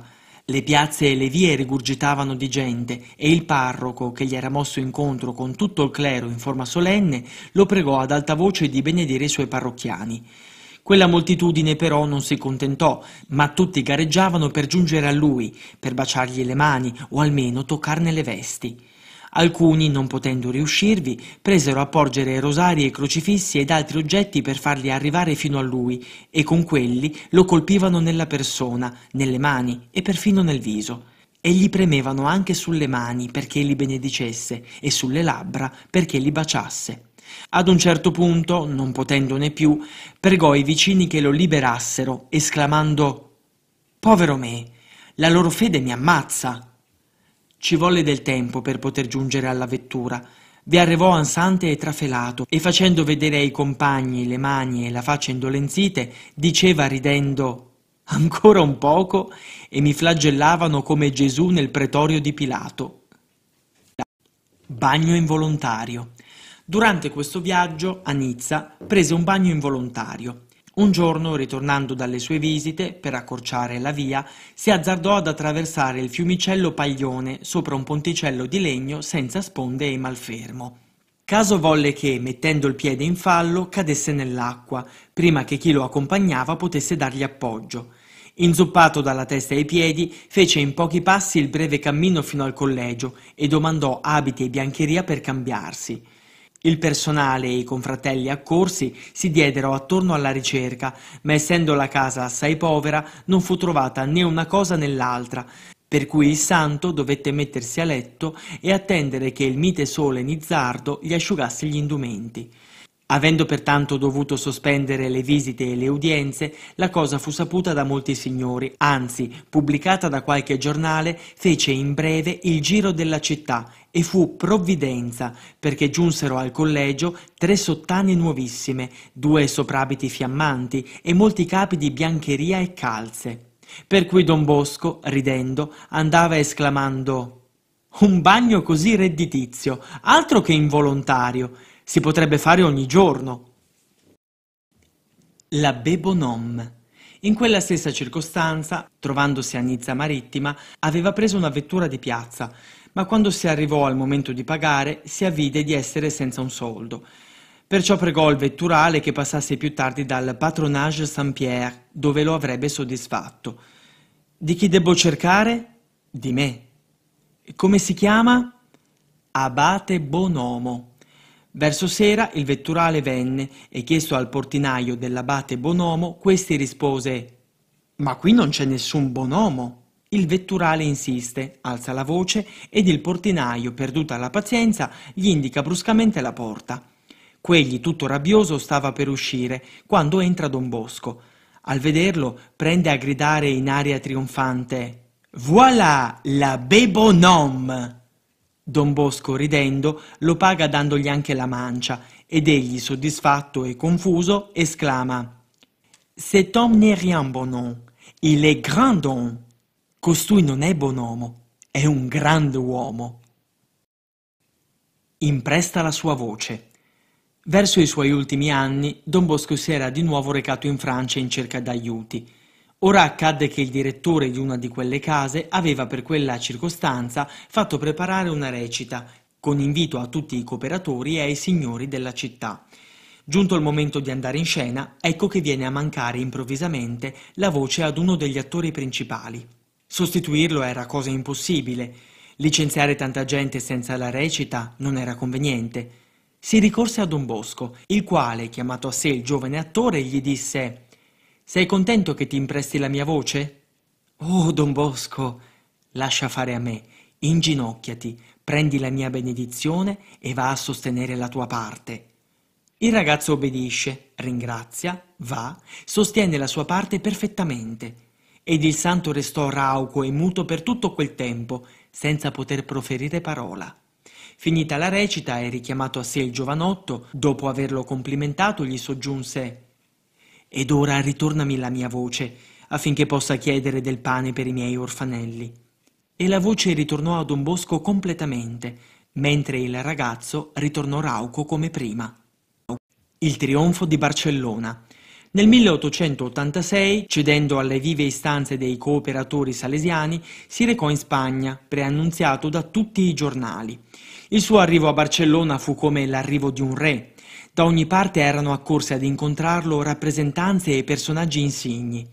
Alla stazione l'attendeva un corteo di 40 carrozze delle prime nobiltà. Per vederlo la gente saliva sui tetti delle case, sui muri di cinta, sugli alberi della strada. Si dovettero raddoppiare le corse dei treni e le macchine per trasportare i convogli sovraccarichi di persone. L'entusiasmo regnò sovrano in tutti i giorni della sua permanenza in quella città. Dalle prime ore del mattino fino a tarda sera era un affluire continuo di magistrati, di dame, di nobili, di religiosi, per vedere almeno una volta il santo ed avere la sua benedizione dalla balconata del suo alloggio. In quei giorni guarì gli storpi e rattrappiti, malati di ogni età, e predisse ad un bambino di due anni che si sarebbe fatto sacerdote salesiano, come difatti avvenne. Il 15 aprile la Società Cattolica, che contava tra i suoi membri il fiorfiore della cittadinanza, volle dare un'accademia in onore di Don Bosco ed insignirlo con una grande medaglia d'oro e con gli emblemi di San Giorgio. Si preannunciarono i primi entusiastici discorsi in onore suo e della sua mirabile opera e infine invitarono a parlare anche lui. Egli si alzò e disse brevemente Infine, ossia lo scopo della mia società, è quello di spopolare le vie di ladroncelli e di scapestrati, di educarli alla consolazione delle famiglie, ad onore della patria, di farne degli uomini che salveranno le vostre sostanze, mentre un giorno ve le chiederebbero con la rivoltella alla mano. E tutto ciò lo si compie mediante la vostra carità, ma solo a Dio tutto l'onore e tutta la gloria.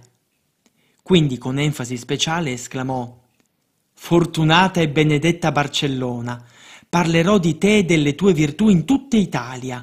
Farò vedere questa medaglia all'Augusto Pontefice e gli dirò come e quanto qui sia amata e riverita la santità sua. Fortunata e benedetta Barcellona, che sei tanto attaccata alla religione dei tuoi avi e tanto prodiga di beneficenza verso i bisognosi.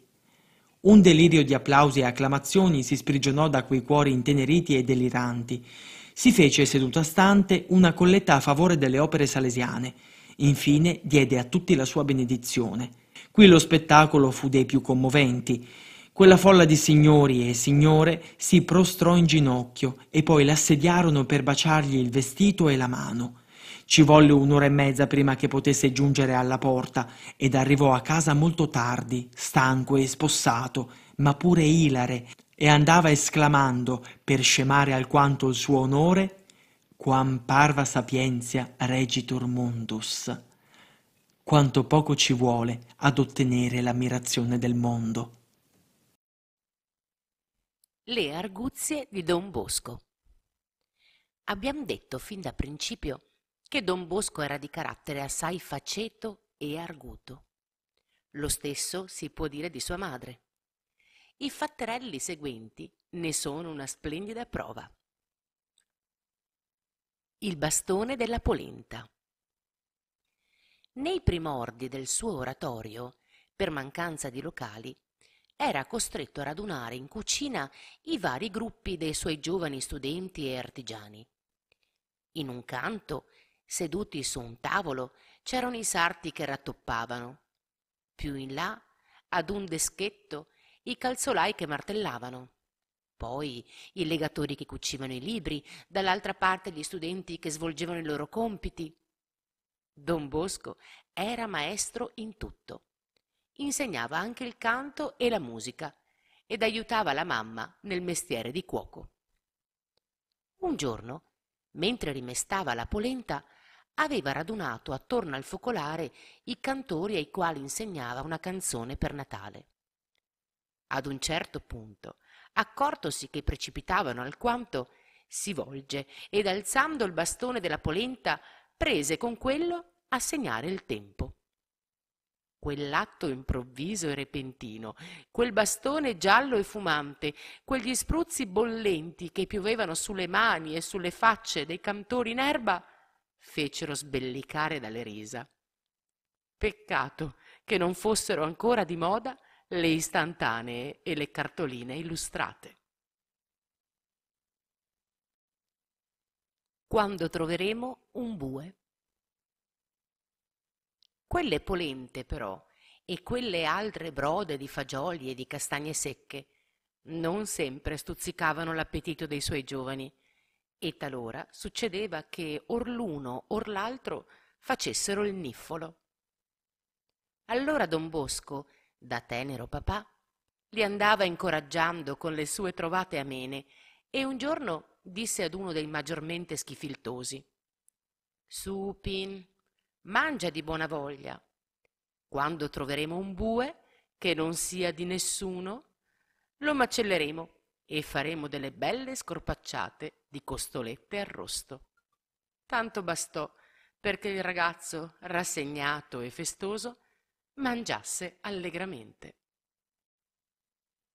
Perché quel chiodo? Ogni volta che gli capitava di incontrarsi con qualche suo allievo o conoscente che per trascuranza o per inavvertenza non lo salutava, faceva suo il fatto attribuito a San Filippo Neri, ossia lo fermava e gli diceva Amico, perché quel chiodo sul cappello? L'amico prendeva in mano il cappello e girandolo e rigirandolo rispondeva alquanto smarrito Quale chiodo? Il santo, sorridente e buono, Oh, scusa, sai, mi pareva di vedere un chiodo che ti fermasse il cappello, perché passando non mi salutavi.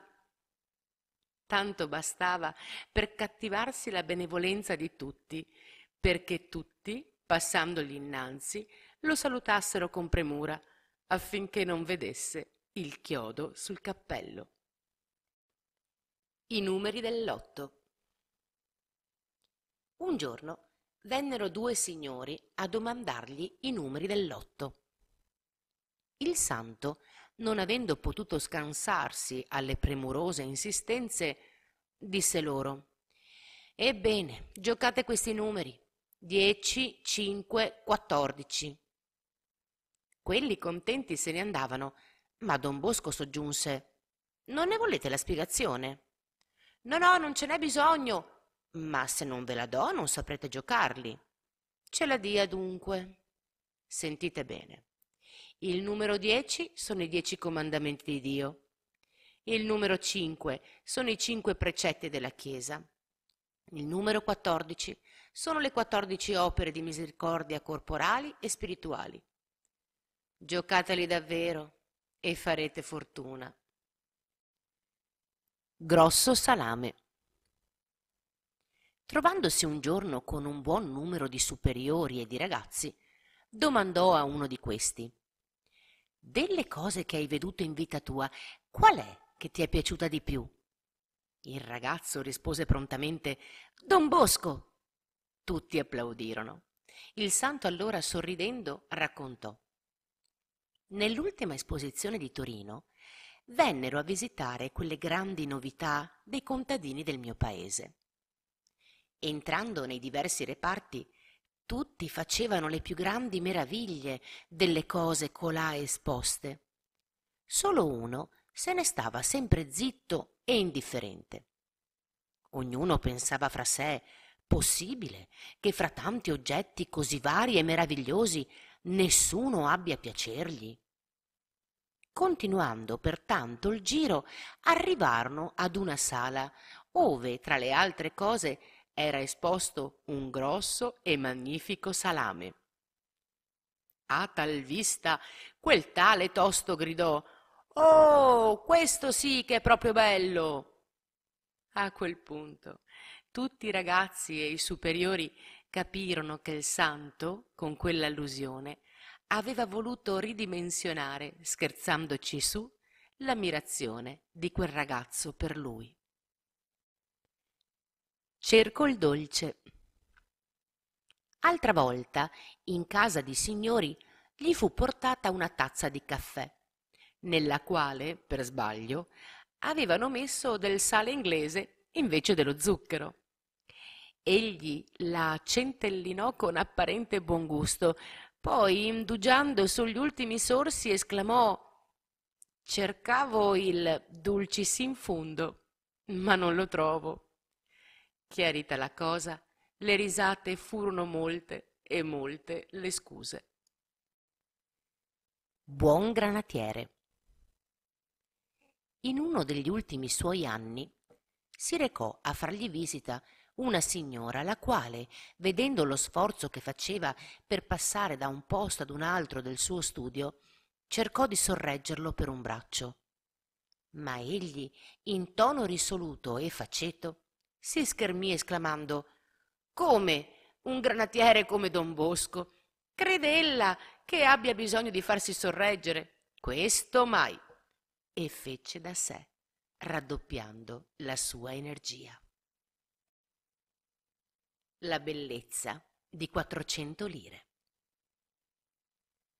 Un giorno, trovandosi ad una mensa imbandita di molte squisite vivande, giunto al terzo piatto, cessò di mangiare. Accortosene, il padrone di casa gli disse Lei, don Bosco, non mangia? Non si sente bene? Sto benissimo, rispose il santo, ma dinanzi a tanta abbondanza penso ai miei giovani, i quali stentano a sfamarsi. Uno dei convitati si alza e dice Giusto, ebbene, pensiamo anche ai suoi giovani. Prende un piatto e va in giro per una colletta che fruttò la bellezza di quattrocento lire un peso sul cuore. Altra volta, trovandosi a pranzo dal banchiere Cotta, ad un certo punto si rannuvolò ed avendogli il banchiere domandato se avesse qualche fastidio, rispose Ho qui sul cuore un certo peso di parecchie migliaia di lire che lei mi ha dato ad imprestito e che non, non saprei come restituire. Stia di buon umore, soggiunse il banchiere. Fra poco si porterà il caffè e questo le aggiusterà lo stomaco. Difatti, venuto il caffè, trovò nel piattino la ricevuta firmata a saldo di tutti i debiti che aveva con la banca.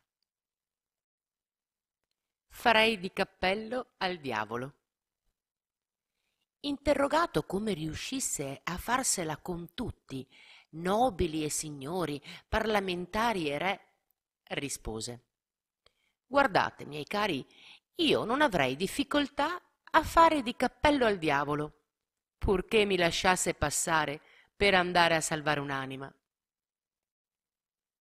Tant'è, siamo di carnevale.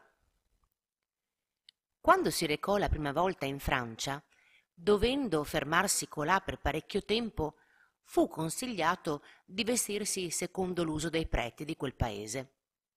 Egli acconsentì e, pavoneggiandosi con quel cappello e con quel rabat colletto alla francese, andava esclamando Ciao, quest'oggi comincia il carnevale e bisogna far qualcosa di straordinario. Chi riderà sarà il demonio.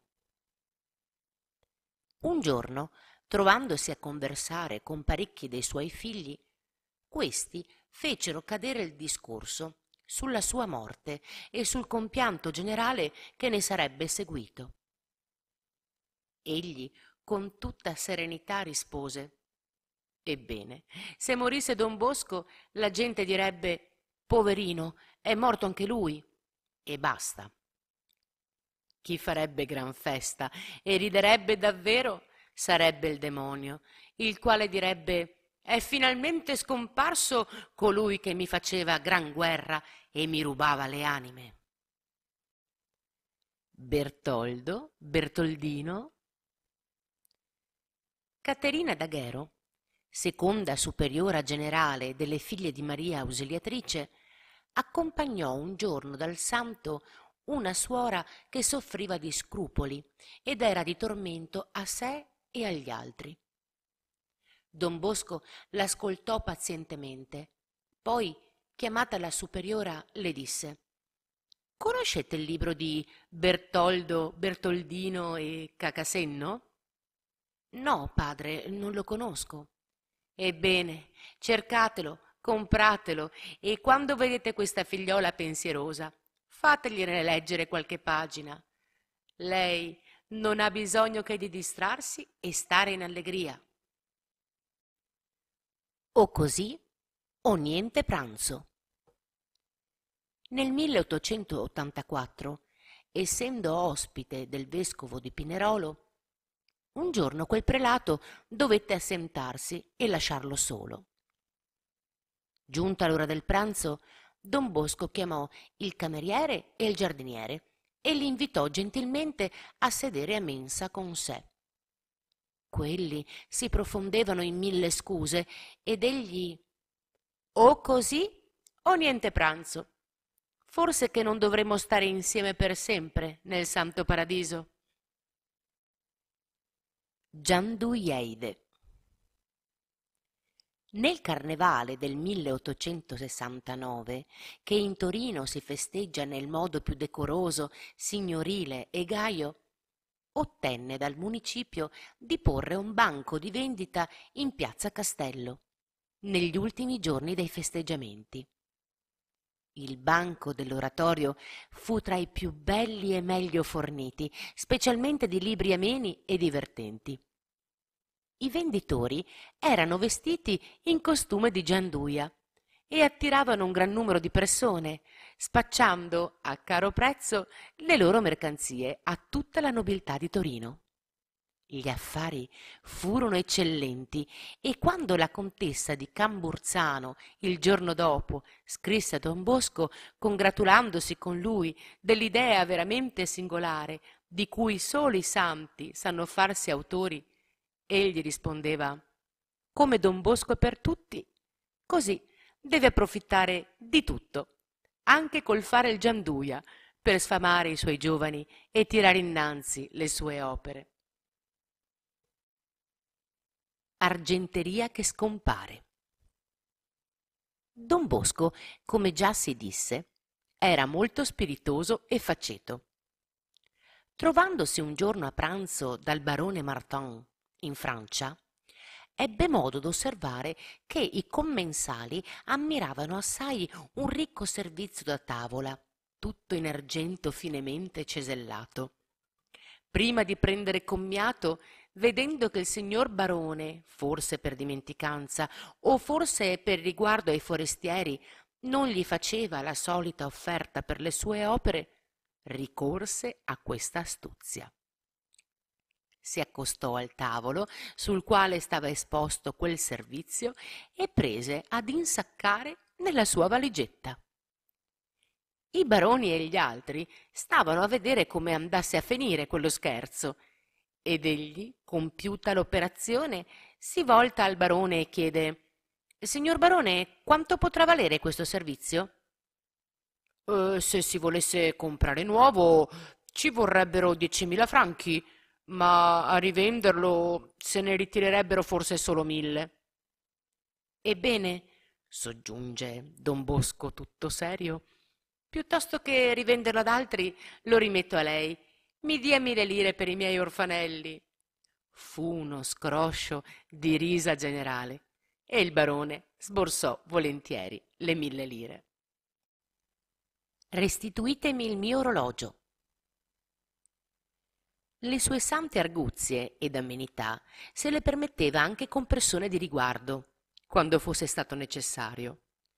A Parigi, recatosi a far visita ad un ricco signore, si sentì rivolgere queste parole un po' adulatorie.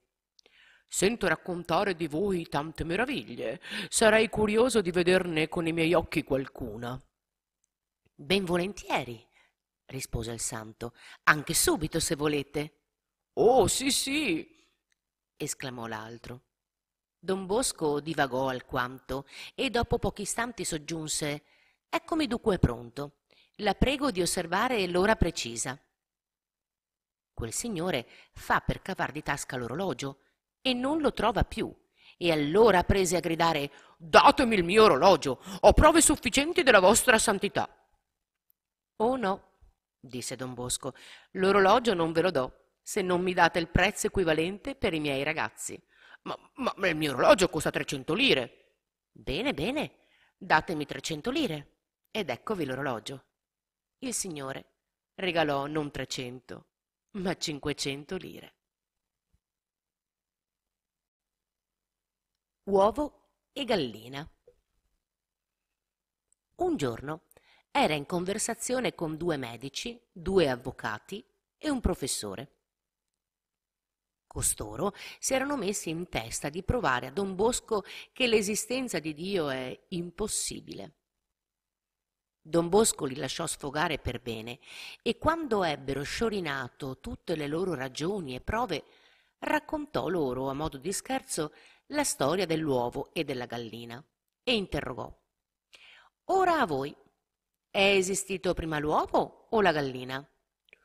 Oh, certamente fu prima la gallina, rispose subito uno dei medici, mentre gli altri approvarono. E donde nacque la gallina? Dall'uovo, proruppero insieme. Ma chi fece quel primo uovo da cui nacque la prima gallina? Allora tutti tacquero, giacché più nessuno sapeva rispondere. Dite pure, soggiunse il santo, fu dunque prima l'uovo o la gallina? Dopo un istante di silenzio, l'altro medico esclamò oh, Al diavolo l'uovo e la gallina, come si fa a rispondere? Allora don Bosco soggiunse Piuttosto che al diavolo, io darei l'uovo e la gallina al cuoco, che li cucinasse per farci stare allegri, ma voi, signori miei, andate pur dall'uovo alla gallina finché volete e dovrete al fin conchiudere che vi è un Dio che, come ha creato tutte le cose, ha anche creato l'uovo da cui venne poi la gallina, o la gallina da cui venne poi l'uovo. E così andiamo, pure di figlio in padre finché ci piace. Ma dobbiamo terminare ad un uomo creato da Dio, cioè con Adamo, che fu il primo uomo. Tutti dovettero approvare o almeno tacere e congratularsi col santo che li aveva così bellamente e spiritosamente messi nel sacco. Curiosità appagata. In un viaggio a Parigi si recò a far visita ad un signore molto danaroso, ma non troppo benefico né largo in offerte. Costui, desideroso di sapere il fine per cui il santo si fosse recato a Parigi, gli disse Signor Abate, C'è chi dice che voi siete venuto a Parigi per far conoscere le vostre opere, chi per fondare un istituto, chi per fini politici. Signore, rispose il santo, sapete che cos'è che spinge i lupi ad addentrarsi negli abitati? È la fame, la sola fame. Orbene, è appunto per togliere la fame ai miei orfanelli e provvedere loro il necessario che sono venuto a Parigi. Qui vi sono molte persone caritatevoli e generose, come voi, dalle quali spero un'abbondante carità. Ho capito, rispose quel tale che aveva capito la lezione, e non volendo smentire don Bosco, gli lasciò una bella elemosina, che non fu l'ultima. Con una signora bisbettica. Una signora assai caritatevole, ma bisbettica, un giorno invitò il santo a pranzo. Don Bosco promise, ma poi non poté tenere l'invito. Quella signora, indispettita per la mancata parola, gli scrisse una lettera di fuoco, nella quale finiva col protestare che non avrebbe più dato soccorso alcuno all'oratorio. Il santo attese qualche giorno per lasciar calmare la bufera.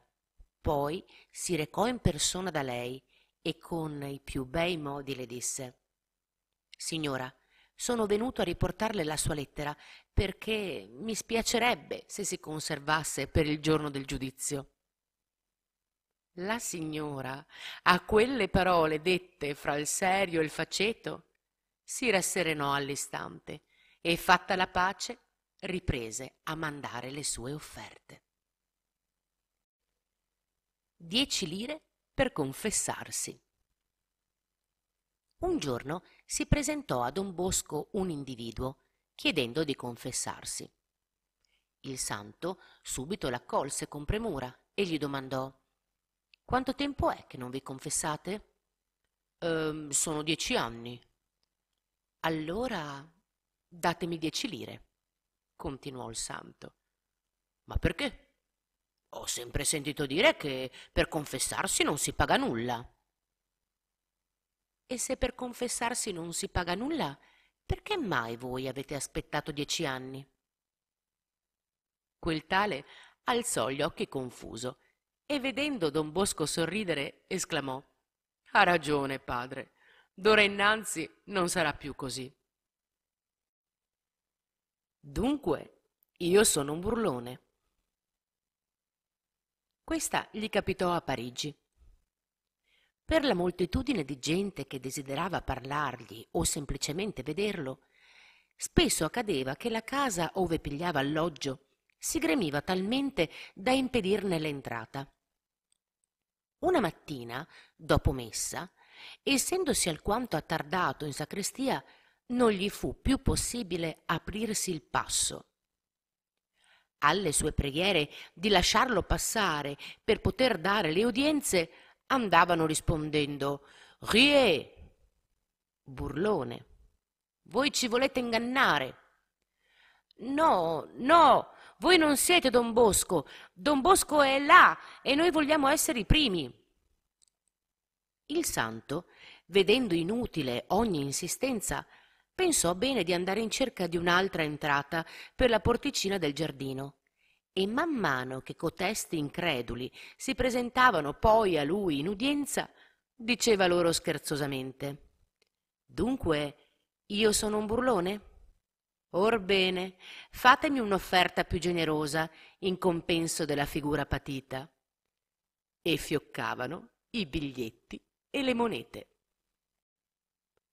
La contessa giovane. Don Bosco aveva più volte udito parlare di una contessa, persona molto ricca e molto religiosa, e desiderava farne conoscenza, ma le circostanze gli avevano sempre impedito di stringere relazione.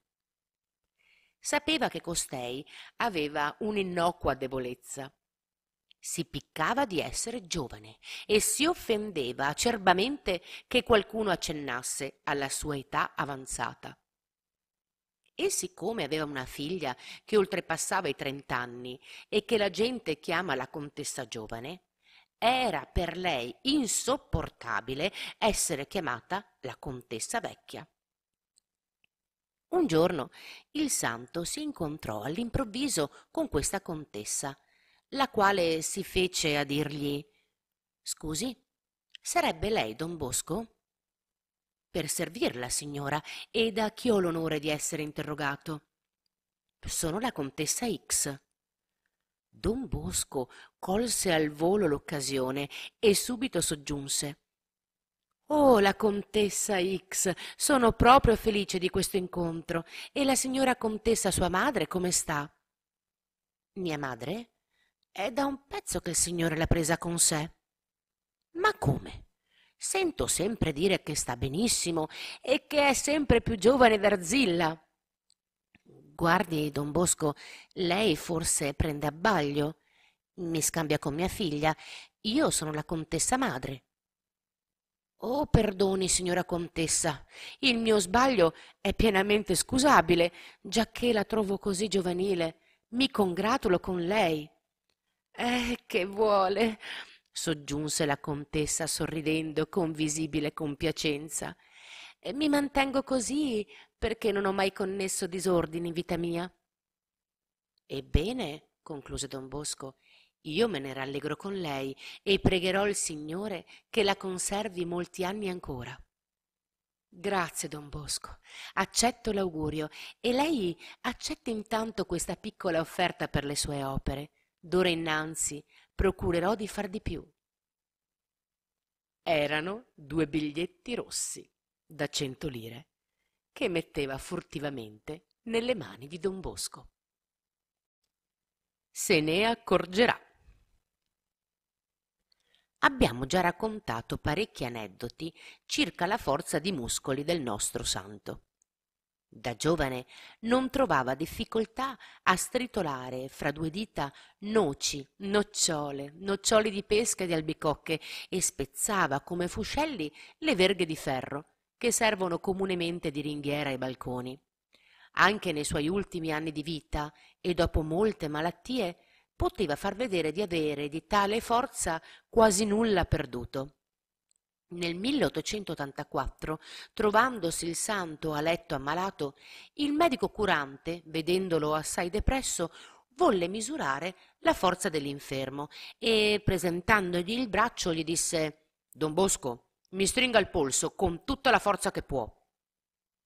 Il santo lo guardò con aria di meraviglia e insieme di compattimento e rispose Badi, dottore, che se ne accorgerà non, non abbia timore di farmi male.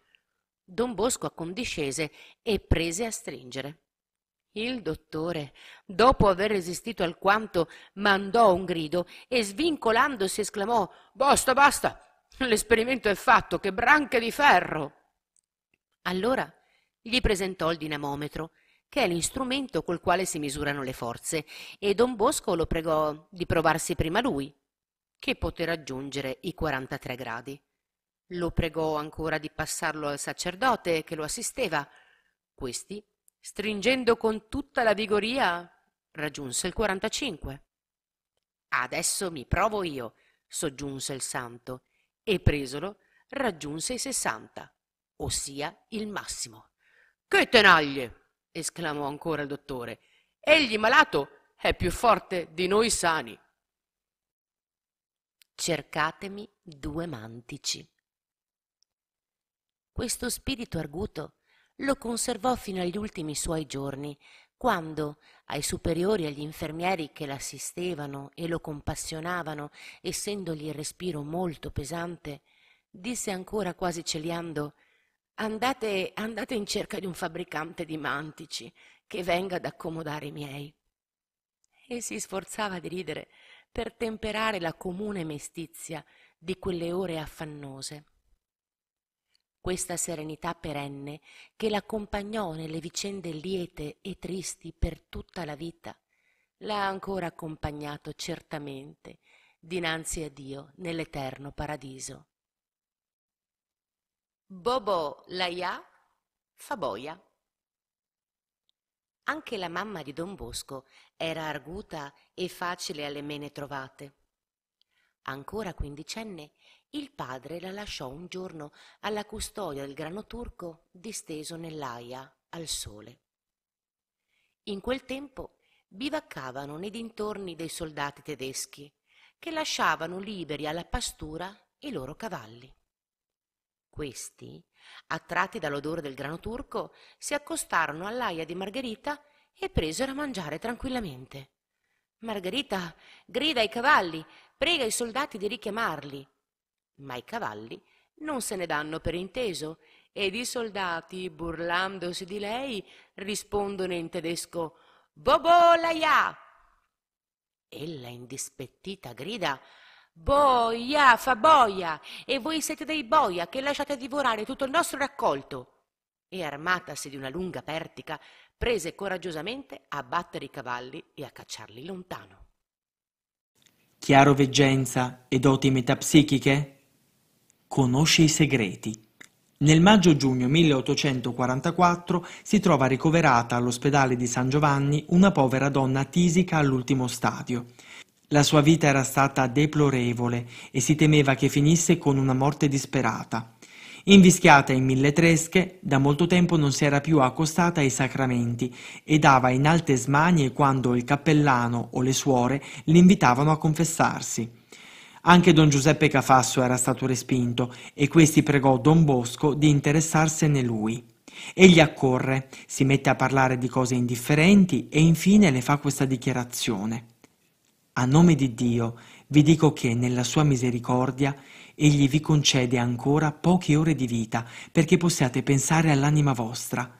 Fate presto a confessarvi e ricevere gli altri sacramenti. Domani sarete all'eternità. Queste parole riempirono di tanto terrore l'anima di quell'infelice che, richiamato il santo, si confessò in quella stessa sera, morì rassegnata e convertita. Predice l'avvenire. Erano passati pochi giorni dal fatto suddetto, quando una ricca signora, moglie dell'ambasciatore del Portogallo in Torino, dovendo mettersi in viaggio, pensò di sistemare prima le cose dell'anima sua e si recò a tal fine nella chiesa di San Francesco d'Assisi, dove Don Bosco era vicecurato. Ella non conosceva il santo e neppure Don Bosco si era mai incontrato con lei.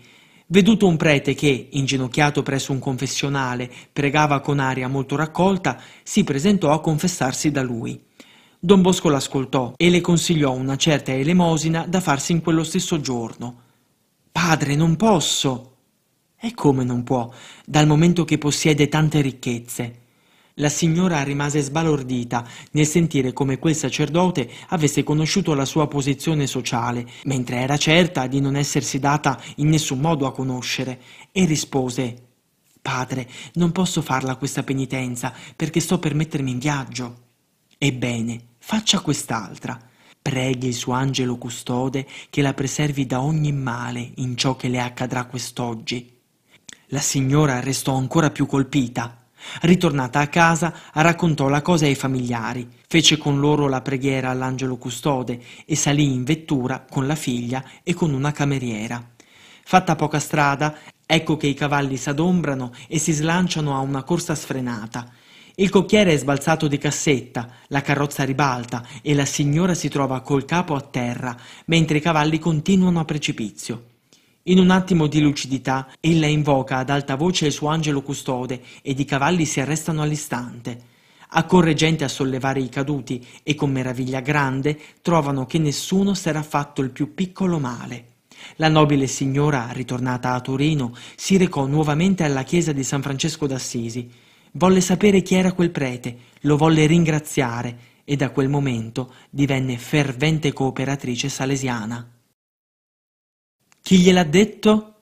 Un giorno si presentò a confessarsi una persona che, per soverchia timidità o paura, più che manifestare i propri peccati, cercava di infrascarli e scusarli.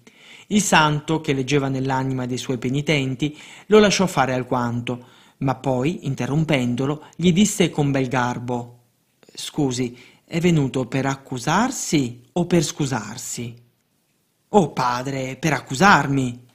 Dunque, si accusi e dica senz'altro ho pensato così e così, ho fatto così e così, ne è venuto questo e questo. E gli disse chiare e tonde tutte le sue miserie. Quel poveretto, confuso, marci, contento, baciandogli anche le mani, gli domandò Ma come ha fatto a sapere tutte queste cose? Chi gliel'ha detto? Me lo ha detto la sua confusione e paura, o meglio, gliel'ho letto nel cuore. Perdoni, sa, se l'ho indovinato. Non volevo che facesse un sacrilegio e andasse all'inferno, giacché chi si accusa, Dio lo scusa. Chi si scusa, Dio lo accusa. Come fa a saperlo? Il conte di Camburzano, deputato al Parlamento e grande ammiratore di Don Bosco, trovandosi un giorno in una conversazione con personalità politiche, prese a raccontare le meraviglie di questo santo sacerdote. Quasi tutti ascoltavano con aria di sogghigno ed una signora più evoluta esclamò Vorrei vederlo quest'uomo miracoloso e provare se sa dirmi come mi trovo in coscienza. Allora crederò quanto si dice di lui. Tutti applaudirono, venne stabilito di farne la prova e la signora, in parola, scrisse sull'istante a Don Bosco. Il santo, con la solita premura e consueta semplicità, rispose a volta di corriere. La signora potrebbe starsene tranquilla in coscienza quando ritornasse a suo marito e rimediasse alle sue confessioni da vent'anni addietro. Quella persona era affatto sconosciuta a Don Bosco e tutte le persone di sua conoscenza la credevano vedova. A tale risposta ella andava ripetendo Come fa a saperlo? e non poteva darsene pace. Ho la coscienza in regola? In uno dei suoi viaggi a Nizza Marittima fu invitato da Monsignor Postel. Dopo una lunga conversazione col santo, Monsignore venne fuori con questa domanda. Don Bosco, mi dica se ho la coscienza in regola col Signore. Il servo di Dio lo guardò con sorpresa e fece per andarsene, ma il prelato corre alla porta, la chiude a due giri, si pone la chiave in tasca e ripete Carissimo Don Bosco, noi non usciremo di qua finché io non abbia saputo come io sto col Signore.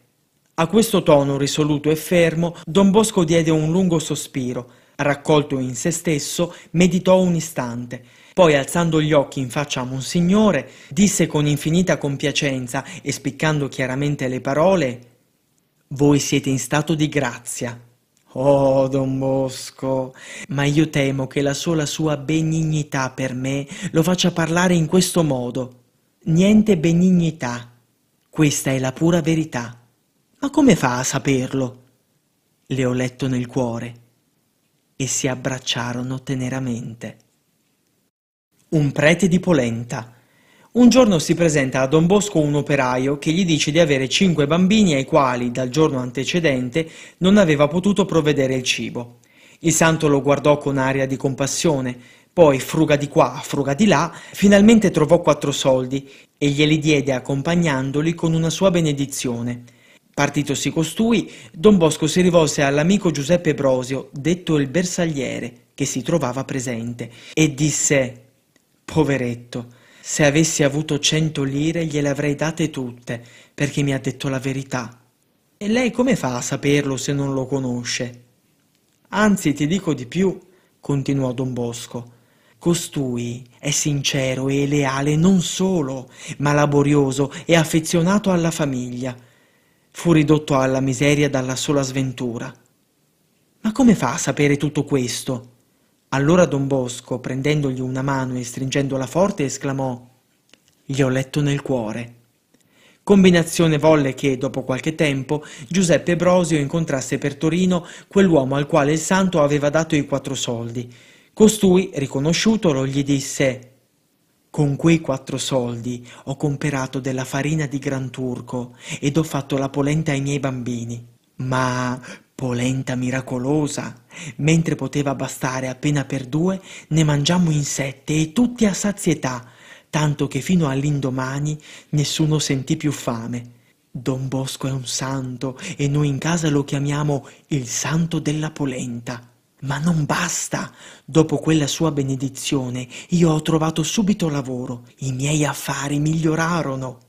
Quando il bersagliere raccontò a Don Bosco quell'incontro e quel discorso, questi esclamò Sono proprio un prete di polenta. Otis botis pia totis. La sera del 7 febbraio 1865 Don Bosco raccontava ai suoi giovani il fatto seguente. Un ricco signore era ammalato da più di due mesi. La malattia andava aggravandosi ed un suo amico, buon cristiano, gli fece notare che sarebbe stato cosa prudente chiamare il prete. Oh no, rispose l'ammalato, confessarmi. No, non voglio che venga nessun prete. E se venisse Don Bosco? Don Bosco? Veramente Don Bosco lo vedrei volentieri. Ne raccontano tante di lui. Venga pure, ma ad un patto, che non mi parli di confessione. L'infermo si mostrò contentissimo della mia visita, ma prego, mi disse tosto, mi parli di storia, di politica, di mille cose, ma non di religione né di confessione. Come desidera, signore, risposi io e presi a raccontare storielle amene e burlette ridicole, rincarando ognor più la dose quando più vedevo che il malato vi pigliava gusto. Ad un certo punto, non potendone proprio più, mi pregò di cessare perché l'avrei fatto morire di riso prima che di malattia. Allora gli dissi: Bene, parliamo dunque di cose serie. Sia pure, ma ricordi, don Bosco, che non voglio sentire di confessione. Questo è il patto che le feci. Ma signore, vuole che non le parli di confessione e sempre me la nomina. È segno che le sta a cuore. Comunque io non la confesserò. Le parlerò solo della sua vita passata. E cominciai a descrivergli minutamente lo stato lacrimevole della sua coscienza. L'infermo mi ascoltò con tutta attenzione e quando ebbi finito mi disse Ma caro Don Bosco, come ha fatto a conoscere così bene tutte le mie azioni? Ed io risposi Vede, Signore, io ho quattro parole con le quali leggo nell'anima a chi voglio. Quali sono queste parole? Sono otis, botis, pia, totis. Il malato spalancò tanto gli occhi e soggiunse Dunque è inutile che io mi confessi, poiché lei sa tutto. La confessione è bella e fatta. Sì, è fatta, ed ella non avrà difficoltà a dichiararsi colpevole di questi peccati e pentirsene e fare un proponimento fermo di cambiare vita, se al Signore piacerà conservargliela ancora. Nessuna difficoltà, anzi, ne sarò lietissimo. Orecchie lunghe. Viaggiando in treno diretto a San Pier d'Arena, gli capitò di dover prendere posto di fronte a due suore della carità di San Vincenzo de Pauli. Alla stazione di Asti parecchie persone si presentarono allo sportello a salutarlo e quelle suore capirono di trovarsi in faccia a Don Bosco, del quale sentivano tanto parlare ma che non avevano mai veduto. Grande fu la loro gioia nel vederlo così da vicino e una di esse, più ardita, l'andava fissando alla sfuggita e pensava fra sé Don Bosco, che sia proprio lui, giudicandolo da quanto se ne dice, io me lo immaginavo alto nella persona, eh, tarchiato, di aspetto imponente, mentre è un prete da nulla, e poi ha le orecchie così lunghe. Ad un tratto Don Bosco si volta al confratello che l'accompagnava e gli dice, in modo da essere sentito anche dalle due suore, Senti, una volta mi saltò il ticchio di farmi fare la fotografia, ma quando il fotografo mi presentò sei piccole copie, dopo averle alquante osservate, esclamai Oh! Credevo di essere una bella persona, alto, tarchiato, di aspetto imponente, e invece mi avvedo di essere un prete da nulla. E poi, queste orecchie così lunghe. La suorina allibì, ma Don Bosco, per distrarla, le domandò sorridendo Suorina, dove va? In Sardegna. E in Sardegna che cosa farà? Sono destinata ad un orfanatrofio femminile. Oibò, lei invece deve occuparsi dei ragazzi. Che dice mai? Non le piace forse? No, eppure sarà così, e coi birichini farà tanto del bene. Giunto a San Pier d'Arena, don Bosco discese e voltandosi ancora una volta alla suorina le disse Suor Brambilla, lavori poi volentieri per i ragazzi fu profeta. Suor Brambilla, come scrisse poi lei stessa al santo appena giunta a Sassari, si sentì cambiata di situazione e fu addetta all'ospizio maschile. Magnetismo spurio. A Torino, in via Santa Teresa, uno pseudo-dottore, tale Giurio, teneva gabinetto di magnetismo in compagnia di una chiaroveggente chiamata Brancani e poiché molti infermi di malattie nervose o incurabili mandavano colà effetti di loro uso personale, esaminando i quali essi diagnosticavano le malattie, davano consigli e prescrivevano rimedi. Don Bosco volle sfatare questa credulità dannosa e pericolosa. Vi si presentò con due compagni. Trovò la sala piena di spettatori. Dopo aver assistito a parecchie esperienze, chiese al dottore di essere messo in comunicazione magnetica con la veggente. Ad un cenno del dottore, il santo incominciò a interrogarla, ma le risposte della sonnambula erano strampalate ed inconcludenti. Egli trasse allora di tasca una ciocca di capelli e domandò Di chi sono questi capelli? Povero giovane, mormorò la donna, quanto devi soffrire. La persona a cui appartengono questi capelli, rispose don Bosco, non è un giovane. Mi dica almeno dove abita. Abita. abita giù, giù, in via della Zecca. Non è in via della Zecca. Abita più giù, è più giù al di là del Po. Niente affatto, non abita da quella parte. Mi dica qual è la sua malattia. Subito, Oh, quante sofferenze, povero infelice. Ma insomma, qual è il suo male? incalzò don Bosco. Poverino, è ammalato di epilessia. Ma che? Non fu mai epilettico.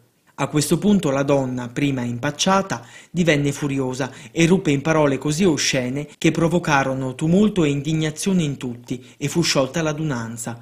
Tutta quella gente, uscendo sconcertata, si compiaceva con don Bosco che aveva loro aperto gli occhi. La sonnambula. Un'altra volta, avendo saputo che in piazza Castello un alienista attirava la gente dando loro spettacolo di rivelazioni e predizioni per mezzo di una sonnambula, facendo persino leggere delle lettere chiuse, vi si recò anche lui, tenendo in mano una lettera sigillata. Venga avanti, reverendo, gridò l'alienista. Don Bosco avanzò fin là dove sedeva una donna con gli occhi bendati. Che cosa comanda, reverendo? chiese il ciarlatano. Desidererei sapere il contenuto di questa lettera, rispose don Bosco, alzandola alla vista di tutti. Sarà soddisfatto. E rivolto alla sonnambula le comandò di leggere. La donna esitò già che il gioco era imprevisto, ma costretta a parlare esclamò Vedo. vedo tutto chiaro e preciso. E che cosa vedete? Non posso dirlo. Perché non potete dirlo? Perché... perché c'è il segreto. Quale segreto? Il segreto del sigillo. Si capisce, signori, spiegò l'alienista alla gente e a Don Bosco. Ha ragione la sonnambula, il segreto delle lettere sigillate non può essere violato. Presto fatto, soggiunse Don Bosco rompendo il sigillo. Così va bene, ed ora leggete, replicò il ciarlatano alla donna. Non posso. Ma perché non potete? Perché non posso e non voglio operare dinanzi a gente che appartiene all'altare. Allora tutta quella gente se ne andò, fischiando la sonnambula e il ciarlatano, ed elogiando il santo, che anche qui aveva loro aperto gli occhi. I calci dell'ingegnere. Nel 1869 Don Bosco viaggiava in treno da Firenze a Torino. C'erano nel suo scompartimento alcuni signori che discorrevano delle vicende di quei giorni e la presenza di un prete svegliò in loro le antipatie che nutrivano per ogni genere di religiosi e specialmente per i gesuiti. Uno di loro venne fuori con queste affermazioni. Bisognerebbe farla finita con quella genia dei gesuiti e sopprimere tutti i collegi tenuti dai preti. Se comandassi io, vorrei anzitutto distruggere quel covile che quel certo Don Bosco ha in Torino e piglierei a calci lui e tutti i suoi giovani. Indi, volgendosi a Don Bosco, continuò. Non è vero, reverendo, che andrebbe bene così? Il santo, con la sua solita bonarietà e schiettezza, rispose A me pare di no. Conosce lei Don Bosco? Un pochino. Non è forse come dico io? Non credo. Non è forse vero che l'educazione che egli impartisce ai suoi giovani non è secondo le nostre idee? Don Bosco tentennò il capo, come per dire non sarebbe meglio che la smettesse con queste sue fanfaluche? Ma quel Don Bosco alleva tanti gesuiti e noi non abbiamo bisogno né di preti né di frati. Il santo avrebbe voluto tacere, ma, compiacente e dignitoso come sempre, entrò in lizza per sostenere la buona causa dell'opera sua e rispose Senta, signore, io ho visitato più volte l'oratorio di Don Bosco, ho parlato con lui, conosco l'istruzione che dà, so come educa quei ragazzi e posso assicurarle che egli non ha altra mira che fare di quei poveri orfani, dei buoni cristiani e degli onesti cittadini. Sta bene, reverendo, quanto ella dice, però, ecco, presentemente noi viviamo in tempi nuovi. È passato il Medioevo. Il treno entrò in stazione. I viaggiatori s'affrettarono a discendere e così fece anche il nostro mangiapreti, che era un ingegnere. Passarono circa sei mesi ed ecco che a Roma si pubblicarono degli appalti per importanti costruzioni. Il nostro ingegnere, che si sentiva in gamba, pensò di concorrere anche lui. Ma si sa, alle volte non basta essere in gamba, ci vuole anche quel calcio che aiuti a raggiungere la meta. E allora che fare? Il nostro eroe sentì il bisogno di quel calcio ed incontratosi con un marchese di sua conoscenza, lo pregò di interessarsi di lui, promettendogli eterna gratitudine. Il marchese, che aveva le braccia lunghe, ma non abbastanza, rispose eh, Ben volentieri. Direttamente però non ci riuscirei. Conosco tuttavia chi potrà far bene tutto. E chi? Don Bosco. Don Bosco? Ne ho sentito parlare. Ebbene, scenda a Valdocco, si presenti a lui a mio nome e l'affare andrà a meraviglia. È influente questo Don Bosco? A Roma e in Vaticano può tutto. Una sua parolina al cardinale Antonelli farà il miracolo.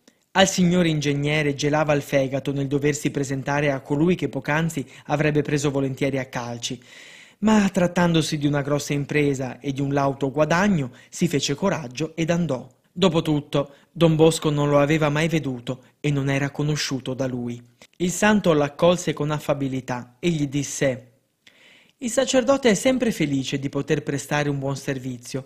Presenti questo mio biglietto al cardinale Antonelli e si abbia i miei migliori auguri di felice riuscita. Grazie, reverendo. Se comanda qualche cosa per Roma. Don Bosco rifletté un istante poi, quasi scherzando, disse Ah, ecco, la prego che, quando si troverà davanti al cardinale di Stato, non gli dica che Don Bosco bisognerebbe prenderlo a calci e metterlo fuori dall'oratorio. L'ingegnere fissò il santo. Era lui, proprio lui, il prete del treno. Immaginate la sua confusione. Si profuse in mille scuse e protestò la sua perfetta stima per Don Bosco e per la sua opera, promettendo che non gli sarebbe mai più capitato di dire male dei preti. La pratica a Roma riuscì. L'ingegnere ebbe il lucroso appalto e guadagnò fior di quattrini, divenendo a poco a poco cristiano esemplare, zelante cooperatore salesiano e benefattore insigne di Don Bosco. Don Bosco milionario. Altra volta, viaggiando in ferrovia, si imbatté in un individuo che, alla vista, si poteva giudicare un commesso viaggiatore. Lo scompartimento era quasi pieno e il nostro viaggiatore venne a parlare di Don Bosco, sul conto del quale prese a dirne di cotte e di crude, quantunque non l'avesse mai conosciuto neppure di vista. Don Bosco ascoltava e taceva, ma quando il facile chiacchierone venne a dire che Don Bosco era un intrigante e che sprecava i denari della gente per arricchire i parenti, lo interruppe dicendo Scusi, è sicuro di quanto asserisce? Lo conosce Don Bosco? Conosce la sua famiglia? Se lo conosco, lo vedo quasi ogni giorno e conosco benissimo anche la sua famiglia. Egli manda continuamente delle belle somme alla madre e al fratello. Si è fatto fabbricare una villa al suo paese, ove va a passarsi l'estate da gran signore con cavalli e carrozze. Ebbene, mi permette di farle osservare che di tutte queste cose non vi è l'ombra di vero e che sono pure invenzioni. Come? A me una smentita? E chi è lei che osa tanto? Il treno giunge a una stazione e salgono altri viaggiatori, i quali vedendo Don Bosco esclamano Oh, Don Bosco, lei è qui, come sta? Don Bosco, sussurrano i presenti. È lui, proprio lui. Sì, sono proprio io, Don Bosco. E ripigliando il discorso, mi sento obbligato a dichiararvi che tutto quanto ha detto questo signore non è altro che falsità e bugia. Mia madre è morta da anni, dopo essersi sacrificata con me all'oratorio per il bene di tanti orfanelli.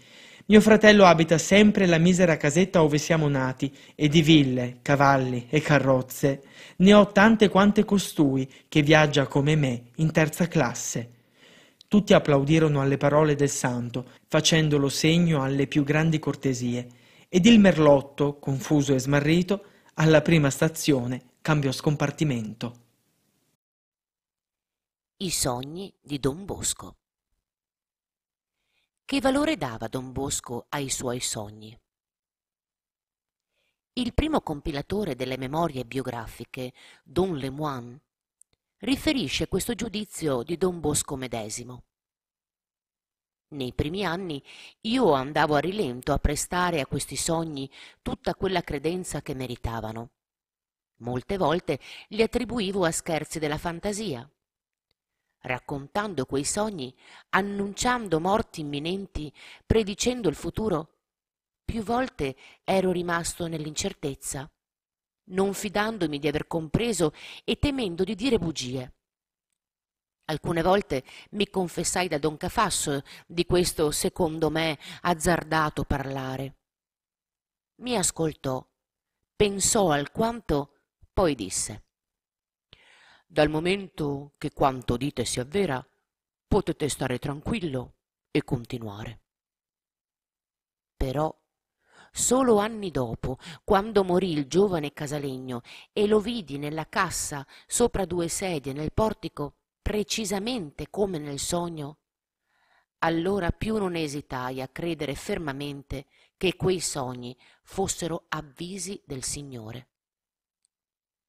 A sua volta Don Ceria, biografo di Don Bosco, che compilò gli ultimi nove volumi delle memorie biografiche, classifica i sogni di Don Bosco in tre gruppi. Sogni che non sono altro che sogni, come facciamo noi nelle notti di cattiva digestione. A rigore di termini non ci dovrebbero stare nella vita di Don Bosco, qualcuno fu riportato nelle memorie biografiche per conoscere più elementi possibili della vita di Don Bosco. Sogni che non furono sogni ma vere visioni, avvenuti in pieno giorno, come la rivelazione sul futuro di Giovanni Cagliero. Sogni fatti di notte, che rivelano cose oscure o future. È difficile però distinguere tra le tre categorie. Una volta, non sappiamo quando, Don Bosco sognò di trovarsi in San Pietro, dentro la grande nicchia che si apre sotto il cornicione, a destra della navata centrale, perpendicolarmente alla statua bronzea di San Pietro e al medaglione mosaico di Pio IX. Egli non sa capacitarsi come sia capitato lassù, Vuole scendere, chiama, grida, ma nessuno risponde. Finalmente, vinto dall'angoscia, si sveglia. Un sogno da cattiva digestione, si direbbe. Ma chi guarda nella nicchia di San Pietro in questo 1936 si vede la grandiosa statua di Don Bosco, dello scultore canonica. E allora si capisce che la cattiva digestione non c'entrava. Il sogno che rivela il futuro. A nove anni, narra Don Bosco nelle memorie biografiche, feci un sogno che mi rimase profondamente impresso nella mente. Mi parve di essere vicino alla mia casa, ai becchi, in un cortile spazioso dove era raccolta una moltitudine di ragazzetti che giocavano. Alcuni ridevano, altri bestemmiavano. Io mi sono subito lanciato in mezzo a loro per farli smettere. In quel momento apparve un uomo venerando, nobilmente vestito. Il volto era così luminoso che non potevo fissarlo. Mi chiamò per nome e mi disse non con le percosse, ma con la mansuetudine e con la carità dovrai acquistare questi tuoi amici. Mettiti dunque immediatamente a parlar loro sulla bruttezza del peccato e sulla preziosità della virtù. Confuso e spaventato, risposi che io ero un ragazzo, povero e ignorante. In quel momento i ragazzi, cessando le risse e gli schemazzi, si raccolsero tutti intorno a colui che parlava. Quasi senza sapere cosa dicessi, domandai Chi siete voi che mi comandate cose impossibili? Proprio perché queste cose ti sembrano impossibili, dovrai renderle possibili, con l'obbedienza e acquistando la scienza. Come potrò acquistar la scienza? Io ti darò la maestra. Sotto la sua guida potrai diventare sapiente. Ma, ma chi siete voi?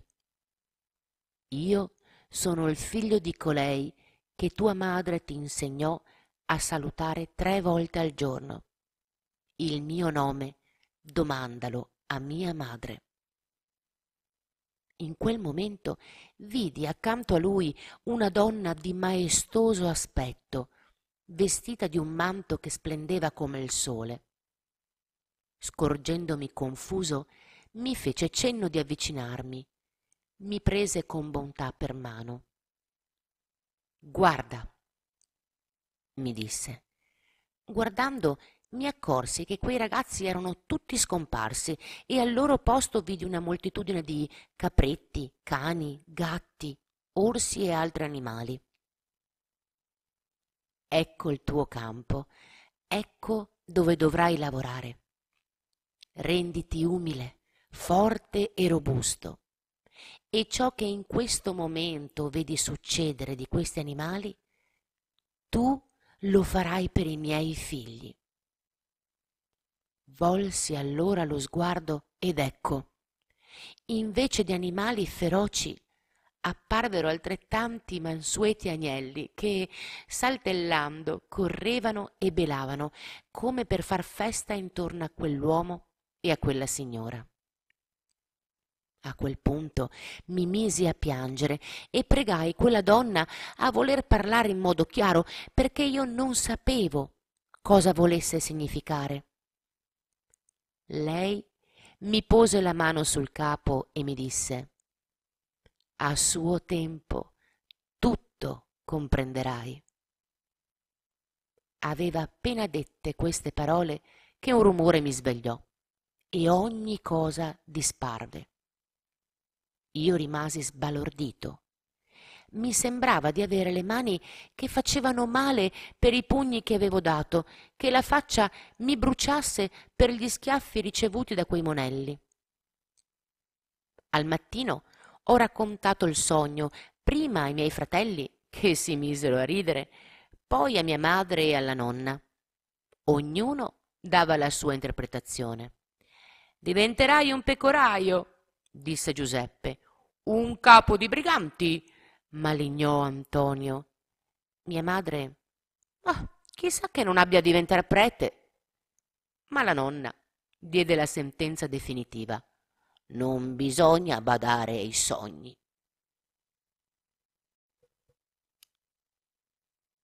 Il sogno del campo di Meliga.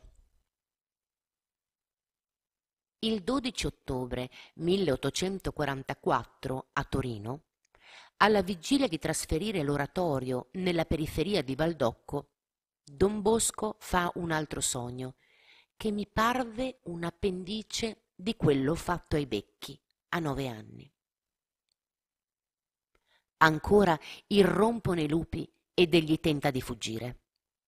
Ma una signora vestita da pastorella mi fa cenno di seguirla, guidando quello strano gregge.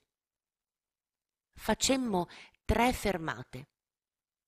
Ad ogni fermata molti di quei lupi si cangiavano in agnelli.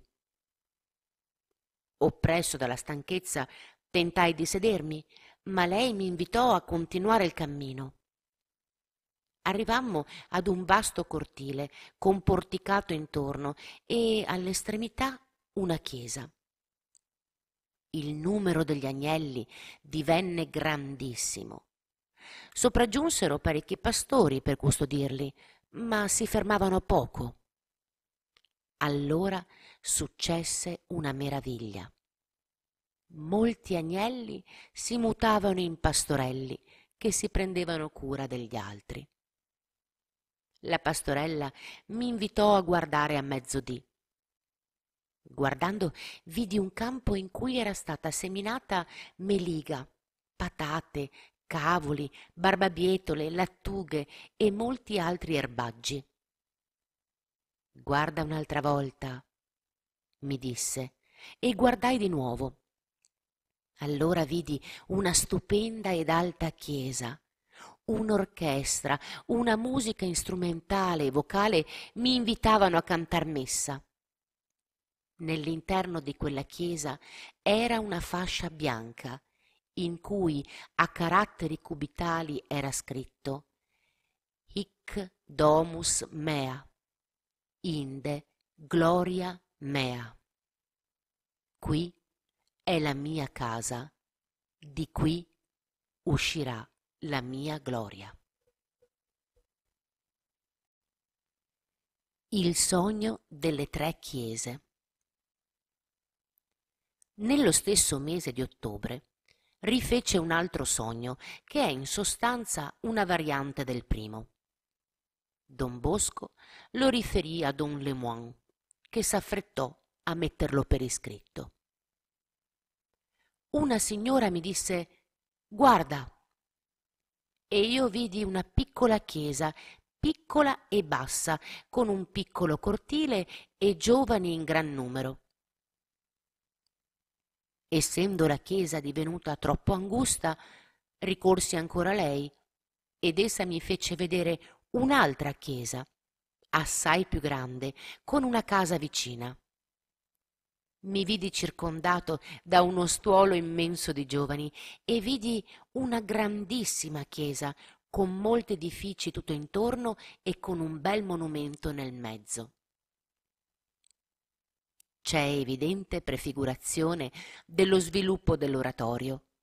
La prima cappellina ricavata dalla Tettoia Pinardi del 1846 la chiesa di San Francesco di Sales, consacrata il 20 giugno 1852, che fu la vera porziuncola salesiana, e infine il grande santuario sognato, la Basilica di Maria Ausiliatrice, chiesa madre della congregazione, inaugurata il 9 giugno 1868 nel contesto sonante di tutte le istituzioni di Valdocco.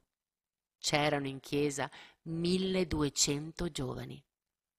Non manca neppure il monumento che i posteri erigeranno a lui, Don Bosco, davanti al santuario. La strenna della Madonna. Dopo le preghiere della sera, il 2 gennaio 1862, i giovani in silenzio attesero Don Bosco aveva promesso di annunciare qualcosa di nuovo per l'anno nuovo. Disse infatti, la strenna che vi do non è mia. Che direste se la Madonna in persona venisse da voi ad uno ad uno per dirvi una parola? se ella avesse preparato per ciascuno di voi un suo biglietto per indicarvi ciò di cui più abbisognate o quello che lei vuole da voi? Ebbene, la cosa è appunto così. La Madonna dà a ciascuno di voi una strenna. Prima di tutto però io voglio premettere alcune condizioni. La prima è che non si divulghi il fatto fuori di casa, perché io potrei essere compromesso. La seconda è questa. Chi vuole credervi, ci creda. Se qualcuno non ci vuol credere, stracci il suo biglietto, non ci dia retta, ma non se ne burli. Si guardi dal metterlo in ridicolo. Capisco che qualcuno vorrà sapere e domanderà come è avvenuto questo, la Madonna ha scritto lei i biglietti, la Madonna in persona ha parlato a Don Bosco, Don Bosco è il segretario della Madonna? Io vi rispondo, non vi dirò niente di più di ciò che ho detto. I biglietti li ho scritti io, ma come sia avvenuto non ve lo posso dire, né alcuno si prenda l'incarico di domandarmelo perché mi metterebbe negli imbrogli. Ciascuno si contenti di sapere che il biglietto viene dalla Madonna. È una grazia speciale. È da anni che domando questa grazia e finalmente l'ho ottenuta. Venite dunque in camera mia e darò a ciascuno il proprio biglietto. Vi assicuro che nemmeno io so quel che è scritto su ogni singolo biglietto. Io li ho scritti sopra un quaderno. Accanto al biglietto c'è il nome di ognuno di voi. Taglio il biglietto e trattengo i nomi. Per cui se qualcuno lo perde o se lo dimentica, non ci posso più far nulla. Dato che la faccenda è molto lunga, in queste sere potrete incominciare a sfilare in camera mia. Dormite bene e buonanotte. I giovani si affrettarono ad affollarsi con grande ansietà nella camera di Don Bosco e ricevettero il loro biglietto personale.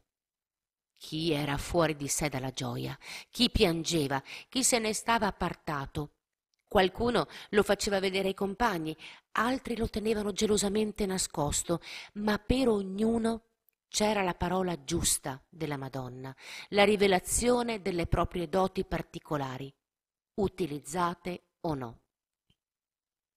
Don Bosco sapeva bene che i ragazzi hanno qualche dote che può diventare la qualità che più li distingue dagli altri quante doti aspettano di essere riconosciute. Nei più bravi che non vogliono farsi avanti, in quelli che sono lenti per natura, ma che poi finiscono con il fare un lavoro magnifico, chi ha hobby al di fuori della scuola. Occorre essere pronti, pronti a scoprire e incoraggiare queste doti naturali dei giovani. Il sogno dei due samaritani. Nell'aprile del 1864 a Torino, Don Bosco tenne un corso di esercizi spirituali ai suoi giovani, seguiti con grande fervore. I ragazzi ne uscirono con una freschezza di gioia nel cuore. Come spesso succede dopo gli esercizi, c'era stato subito dopo un crollo improvviso il demonio, cacciato fuori, aveva scoperto, come narra Gesù in una parabola, che la casa era pulita, spazzata, adorna, ma vuota, e allora, con sette spiriti peggiori, tentava di riprenderne possesso. Don Bosco ebbe due sogni. Così narra il primo. La notte che precedeva il 3 aprile mi pareva di stare dal balcone a guardare i ragazzi che si divertivano nel cortile. All'improvviso vidi apparire un vasto lenzuolo bianco che si stese a coprire tutto il cortile. I ragazzi continuavano a giocare e a gridare. Poi vidi molti uccellacci e spaventosi corvi svolazzare sopra quel lenzuolo cercando un barco. Appena lo trovavano, picchiavano addosso ai giovani e li beccavano. Ogni volta che raggiungevano i ragazzi ne facevano strage. A chi cavavano gli occhi, ad altri bucavano la lingua tanto da ridurla in frammenti, ad altri ancora beccavano la fronte a molti straziavano e laceravano il cuore. E cosa strana, nessuno dei ragazzi feriti reagiva. Tutti restavano come insensibili, non cercavano neppure di difendersi. Subito dopo udii un gemito corale, straziante, prolungato. I feriti dai corvi si agitavano, gridavano e si ritiravano lontani dagli altri. Mentre stavo ragionando su quello che vedevo, udii bussare alla porta e mi risvegliai. Dopo aver raccontato il sogno ai ragazzi, Don Bosco notò che nelle settimane successive pochi ragazzi si confessarono e le comunioni calavano. Allora il sogno si ripresentò. Mi pareva di trovarmi presso la ringhiera a guardare i ragazzi in ricreazione. Di lassù vedevo i ragazzi feriti dai corvi ed ecco vidi avanzare un personaggio con un flacone di balsamo, un medicinale meraviglioso, accompagnato da un individuo che teneva in mano un pannolino. I due pietosi samaritani cominciarono a medicare le piaghe dei feriti. Appena spalmavano l'unguento, i feriti guarivano di colpo. Ne vidi alcuni però che all'avvicinarsi dei due prodigiosi infermieri si scostavano e fuggivano perché non volevano essere guariti. Io li conosco tutti e procurerò di sanare le loro ferite. Il personaggio misterioso col vasetto di medicinale era Gesù. Chi l'accompagnava era il sacerdote. L'usignolo e lo sparviero. Tra il 3 e il 7 luglio 1872 il caldo stagnava sulla città di Torino. Don Bosco in quei giorni pregò il Signore di fargli conoscere la cartella clinica spirituale dei suoi ragazzi. E una notte sognò quanto narrò poi nel sermoncino detto La buonanotte, con cui era solito congedarsi dai suoi figlioli al termine d'ogni giorno. Mi pareva di trovarmi in un cortile molto spazioso, circondato e cintato di case, di piante e di cespugli. Sui rami degli alberi e tra la verzura pigolavano uccelli dentro i nidi, pronti ormai a spiccare i primi voli. Ad un tratto mi cadde davanti ai piedi un piccolo usignolo. Volevo raccoglierlo, ma l'usignolo mi sfuggì e se ne volò al centro del cortile. Lo rincorsi per aiutarlo, ma quello sbatté le ali e sfrecciò verso il cielo. Di colpo gli piombò addosso uno sparviero, lo ghermì e se lo portò via per divorarselo. Povero usignoletto, mormorai, io volevo salvarti, ma tu mi sei sfuggito. Perché hai fatto questo? Mi rispose un flebile lamento, come un accorato pigolio. Poi udii una voce chiara che diceva Siamo in dieci, siamo in dieci, siamo in dieci lì per lì mi svegliai. Ma la notte seguente ripresi il sogno dal punto di interruzione precedente. Vidi volteggiare nell'aria lo sparviero. Io lo rimproverai per la sua crudele rapina. Subito mi cadde ai piedi un biglietto su cui erano scritti i nomi di dieci ragazzi che avevano la cartella clinica della loro anima molto disastrata in quel mese di luglio si erano rovinati spiritualmente. Fin qui il sogno. Don Bosco era persuaso che le vacanze sono un tempo difficile per i giovani, una specie di pericoloso collaudo, e usava una frase molto espressiva. I ragazzi vanno in vacanza con ali di colomba e tornano in autunno con le corna del diavolo. Voleva dire che i giovanetti, quando vanno in vacanza, si fanno l'idea, anche se non l'esprimono in modo esplicito, che sia meglio vivere in fretta, perché il domani potrebbe non venir mai. E per troppi ragazzi vivere in fretta si traduce in dolorose esperienze di peccato. Tocca ai genitori e agli educatori vigilare sul comportamento dei loro ragazzi e tenerli sotto un amorevole e dolce controllo. Un sogno missionario rivelatore. L'immensa pianura e gli uomini feroci. Tra il 1871 e il 1872 Don Bosco fece un sogno nel quale convergono il fervore immaginoso degli anni giovanili in cui vagheggiava di andar missionario e insieme si profila il campo specifico della futura missione dei salesiani. Il santo lo narrò prima a Pio IX e poi ai suoi preti Lemoine e Barbery, che lo trascrissero fedelmente mi parve di trovarmi in una regione selvaggia e totalmente sconosciuta. Era un'immensa pianura incolta, nella quale non si scorgevano né colline né monti. Nelle estremità lontanissime, però, si stagliavano scabrose montagne.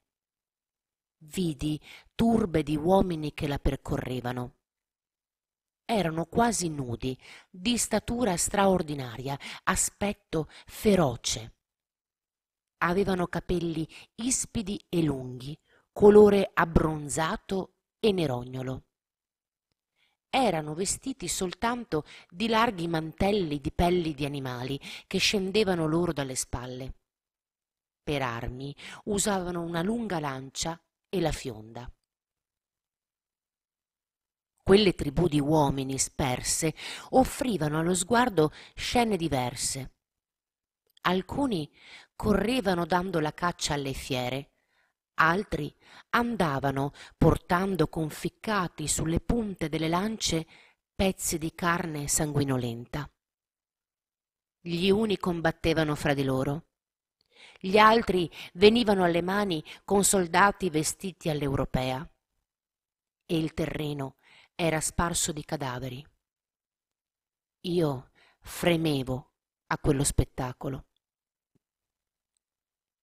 Ed ecco spuntare all'estremità della pianura molte persone.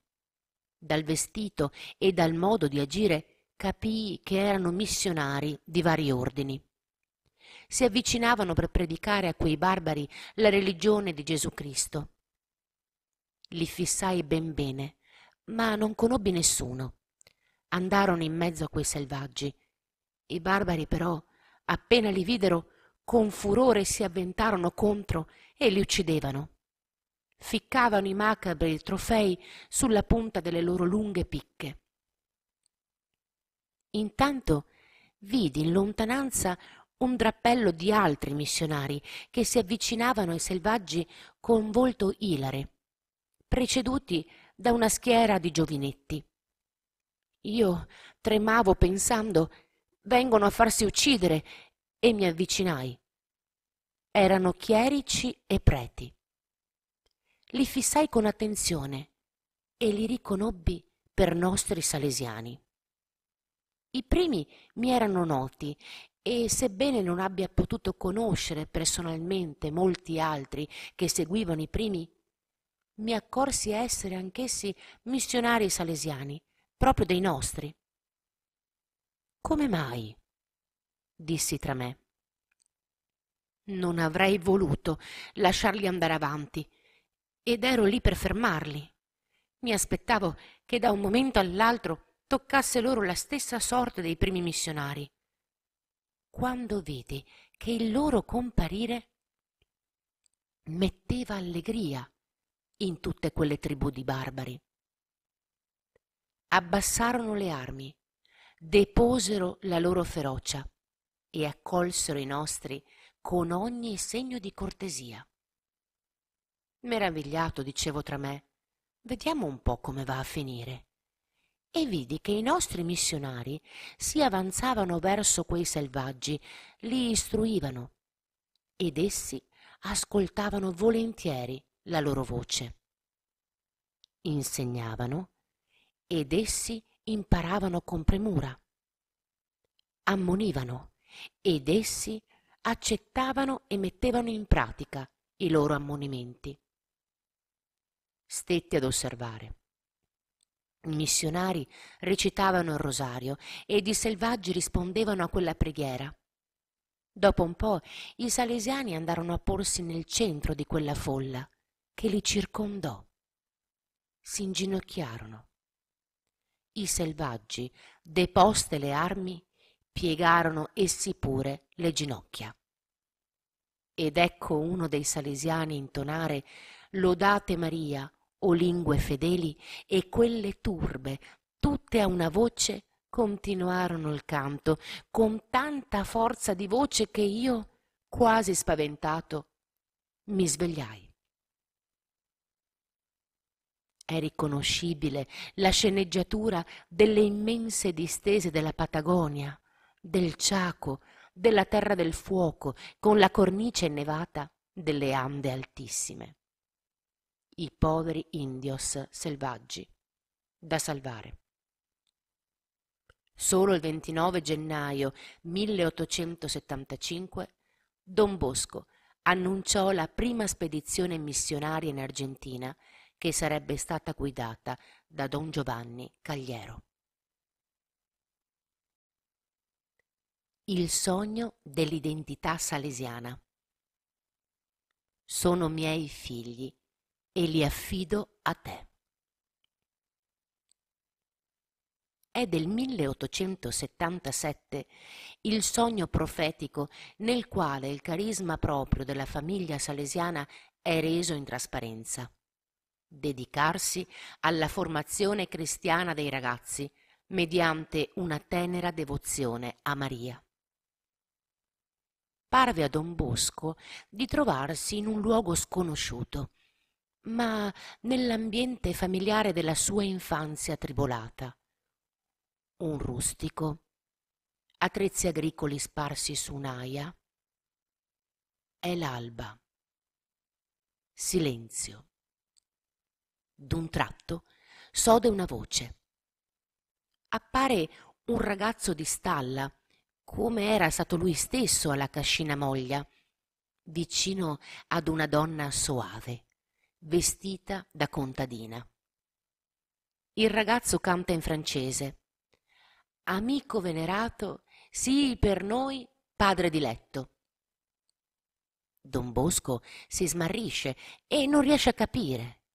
Il ragazzo continua a cantare. I miei compagni ti diranno ciò che vogliamo. All'improvviso irrompono sull'aia una vera fiumana di giovani che ritmano un coro. O nostra guida, menaci al giardino della bontà. Ma chi sono questi ragazzi? domanda imbarazzato don Bosco. Gli rispondono in canto La nostra patria è il paese di Maria. Allora si avanza la gentilissima donna, prende per mano il ragazzetto cantore, accenna agli altri ragazzi di seguirla e si sposta verso un'altra aia più grande, non molto lontana, prospicente un grosso fabbricato. La donna, dall'aspetto misterioso e celestiale, si volge a don Bosco e gli dice Questi giovani sono tutti tuoi. Miei, risponde turbato don Bosco, ma con quale autorità lei me li affida? Con quale autorità? La donna ha un leggero sbalzo di voce e un filo di sorriso. Sono miei figli e io li affido a te. Ma come farò con tanti giovani così chiassosi e irrequieti? Osserva, gli ingiunge la donna. Don Bosco si volge e vede una grande schiera di ragazzi che avanzano. La Madonna getta su di loro un suo lungo velo azzurrino, poi lo ritira e di colpo, come al tocco di una bacchetta magica, quei ragazzi diventano adulti, preti e chierici. E, e questi preti e chierici sono miei? chiede Don Bosco. Saranno tuoi se saprai formarteli, conclude la donna e scompare con un sorriso. La gemma preziosa. Un altro sogno stupendo è del 1885, pochi anni prima della morte del santo. È una sceneggiata poetica, secondo il gusto del tempo, volta a far capire ai ragazzi il valore della virtù della castità, la sua bellezza rara e preziosa, e la pulizia interiore che onora la vita, l'arricchisce, la rende capace di amore vero, disinteressato, generoso, libero e rispettoso degli altri. Racconta Don Bosco mi pareva di trovarmi davanti a un immenso incantevole declivio. Verdeggiava in dolce pendio. Sembrava un paradiso terrestre, illuminato da una luce più abbagliante del sole. L'erba pettinatissima era punteggiata di fiori. In mezzo vi si stendeva un tappeto di un candore così niveo da accecare. Sugli orli del tappeto si leggeva, a caratteri d'oro, la seguente scritta. Beati i puri, che camminano secondo la legge del Signore. Dio non priverà di beni quanti camminano nell'innocenza. Non resteranno confusi in tempi critici e si sazieranno durante i giorni di carestia. Il Signore conosce i giorni degli Immacolati e la loro eredità perdurerà in eterno. Poi vidi due stupende fanciulle dodicenni sedute sul margine del tappeto dove il declivio faceva scalino. Il loro contegno era dignitoso, irradiavano dagli occhi una gioia di felicità celestiale. Sulle loro labbra sfavillava un dolce sorriso. Una veste bianca scendeva fino ai loro piedi e una cintura rossa fiammeggiante con bordi d'oro allacciava i fianchi. Portavano al collo come monile un nastro di corolle di gigli, viole, rose. Come braccialetti avevano ai polsi un mazzo di margherite ma la bellezza e il fulgore di quei fiori non erano confrontabili con le gemme più preziose. Una capigliatura discendeva lungo le spalle. Cominciarono un colloquio con uno squillo incantevole di voce. Una di loro disse Che cos'è l'innocenza? È lo stato felice della grazia santificante, conservata per mezzo della costante ed esatta osservanza della legge di Dio. E l'altra fanciulla ribatteva la purezza è fonte e origine di ogni scienza e di tutte le virtù. La prima riprese il duetto dopo un attimo di silenzio e disse Oh, se i giovani conoscessero quale prezioso tesoro è l'innocenza.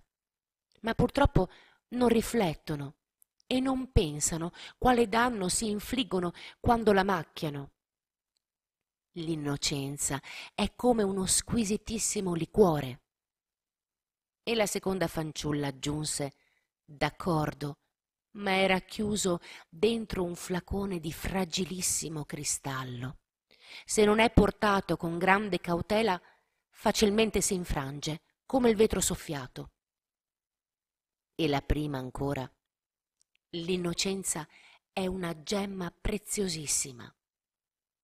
La seconda commentò, ma chi non ne conosce il valore la perde con facilità e la baratta con qualsiasi oggetto vile e banale. Ultimo sogno missionario. I salesiani con Maria in tutto il mondo.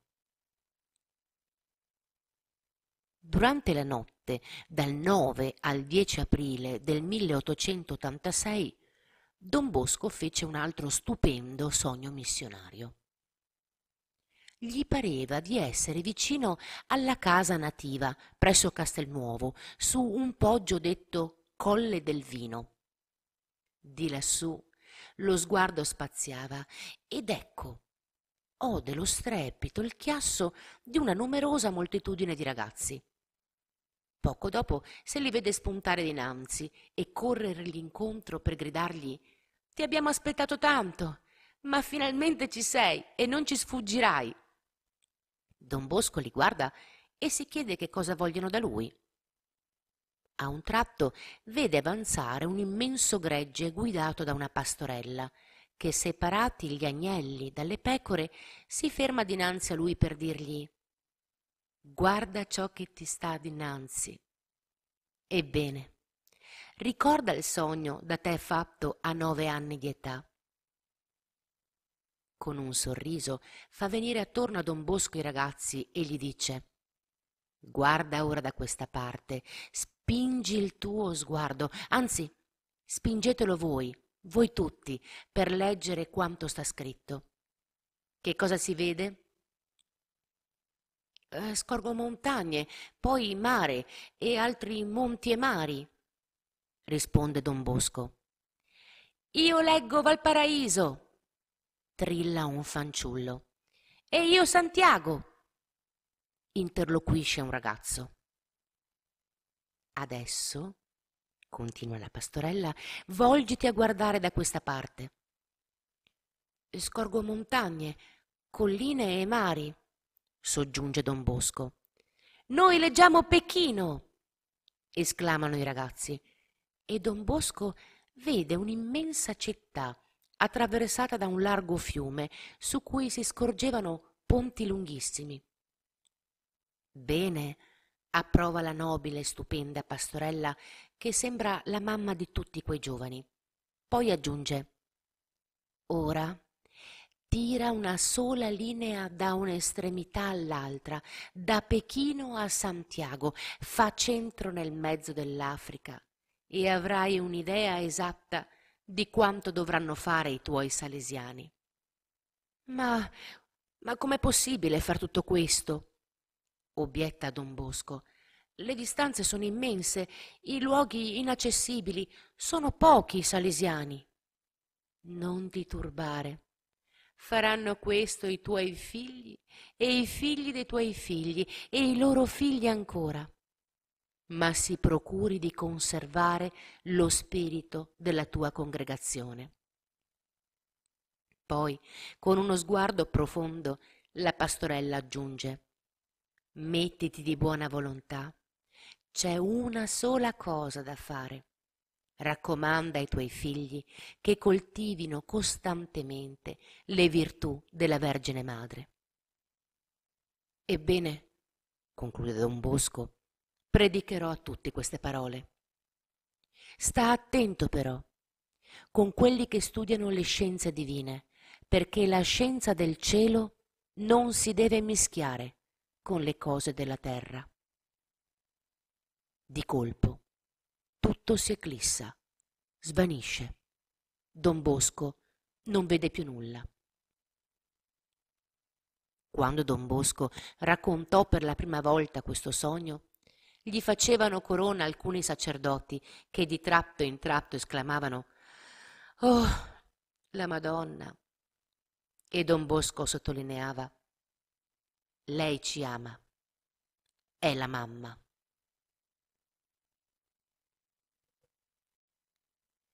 Intervista a Don Bosco. L'intervista è lo scoop, la trovata che fa colpo nel giornalismo moderno. Oggi tutti i personaggi si fanno intervistare per i mass media e per farsi conoscere al mondo. Don Bosco non amava la pubblicità ma era divenuto una personalità di calibro mondiale, specie sulla fine della sua vita, e non poté sfuggire alle domande dirette di un reporter del Journal de Rome, che lo affrontò appunto a Roma nell'aprile del 1884. L'intervista fu pubblicata sul giornale il 25 aprile 1884. Eccone uno stralcio. vorrebbe dirci qual è il suo sistema educativo? Semplicissimo. Lasciare ai giovani piena libertà di fare le cose che loro sono maggiormente simpatiche. Il punto sta nello scoprire quali sono i germi delle loro buone qualità e poi procurare di svilupparli. Ognuno fa con piacere solo quello che sa di poter fare. Io mi regolo con questo principio. E i miei allievi lavorano tutti non solo con attività, ma con amore. In 46 anni non ho mai inflitto un solo castigo e oso affermare che i miei alunni mi vogliono bene. Il mio sistema, voi l'avete capito, è educare con ragione, religione e amore. Come ha fatto a estendere le sue opere fino alla Patagonia e alla Terra del Fuoco? Beh, un po' alla volta. Che cosa ne pensa delle condizioni della Chiesa in Europa, in Italia e del suo avvenire? Io non sono un profeta. Lo siete invece un po' tutti voi giornalisti, quindi è a voi che bisognerebbe domandare che cosa accadrà. Nessuno, eccetto Dio, conosce l'avvenire. Tuttavia, umanamente parlando, c'è da credere che l'avvenire sarà grave. Le mie previsioni sono molto tristi, ma non temo nulla. Dio salverà sempre la sua Chiesa e la Madonna, che visibilmente protegge il mondo contemporaneo, saprà far sorgere dei redentori.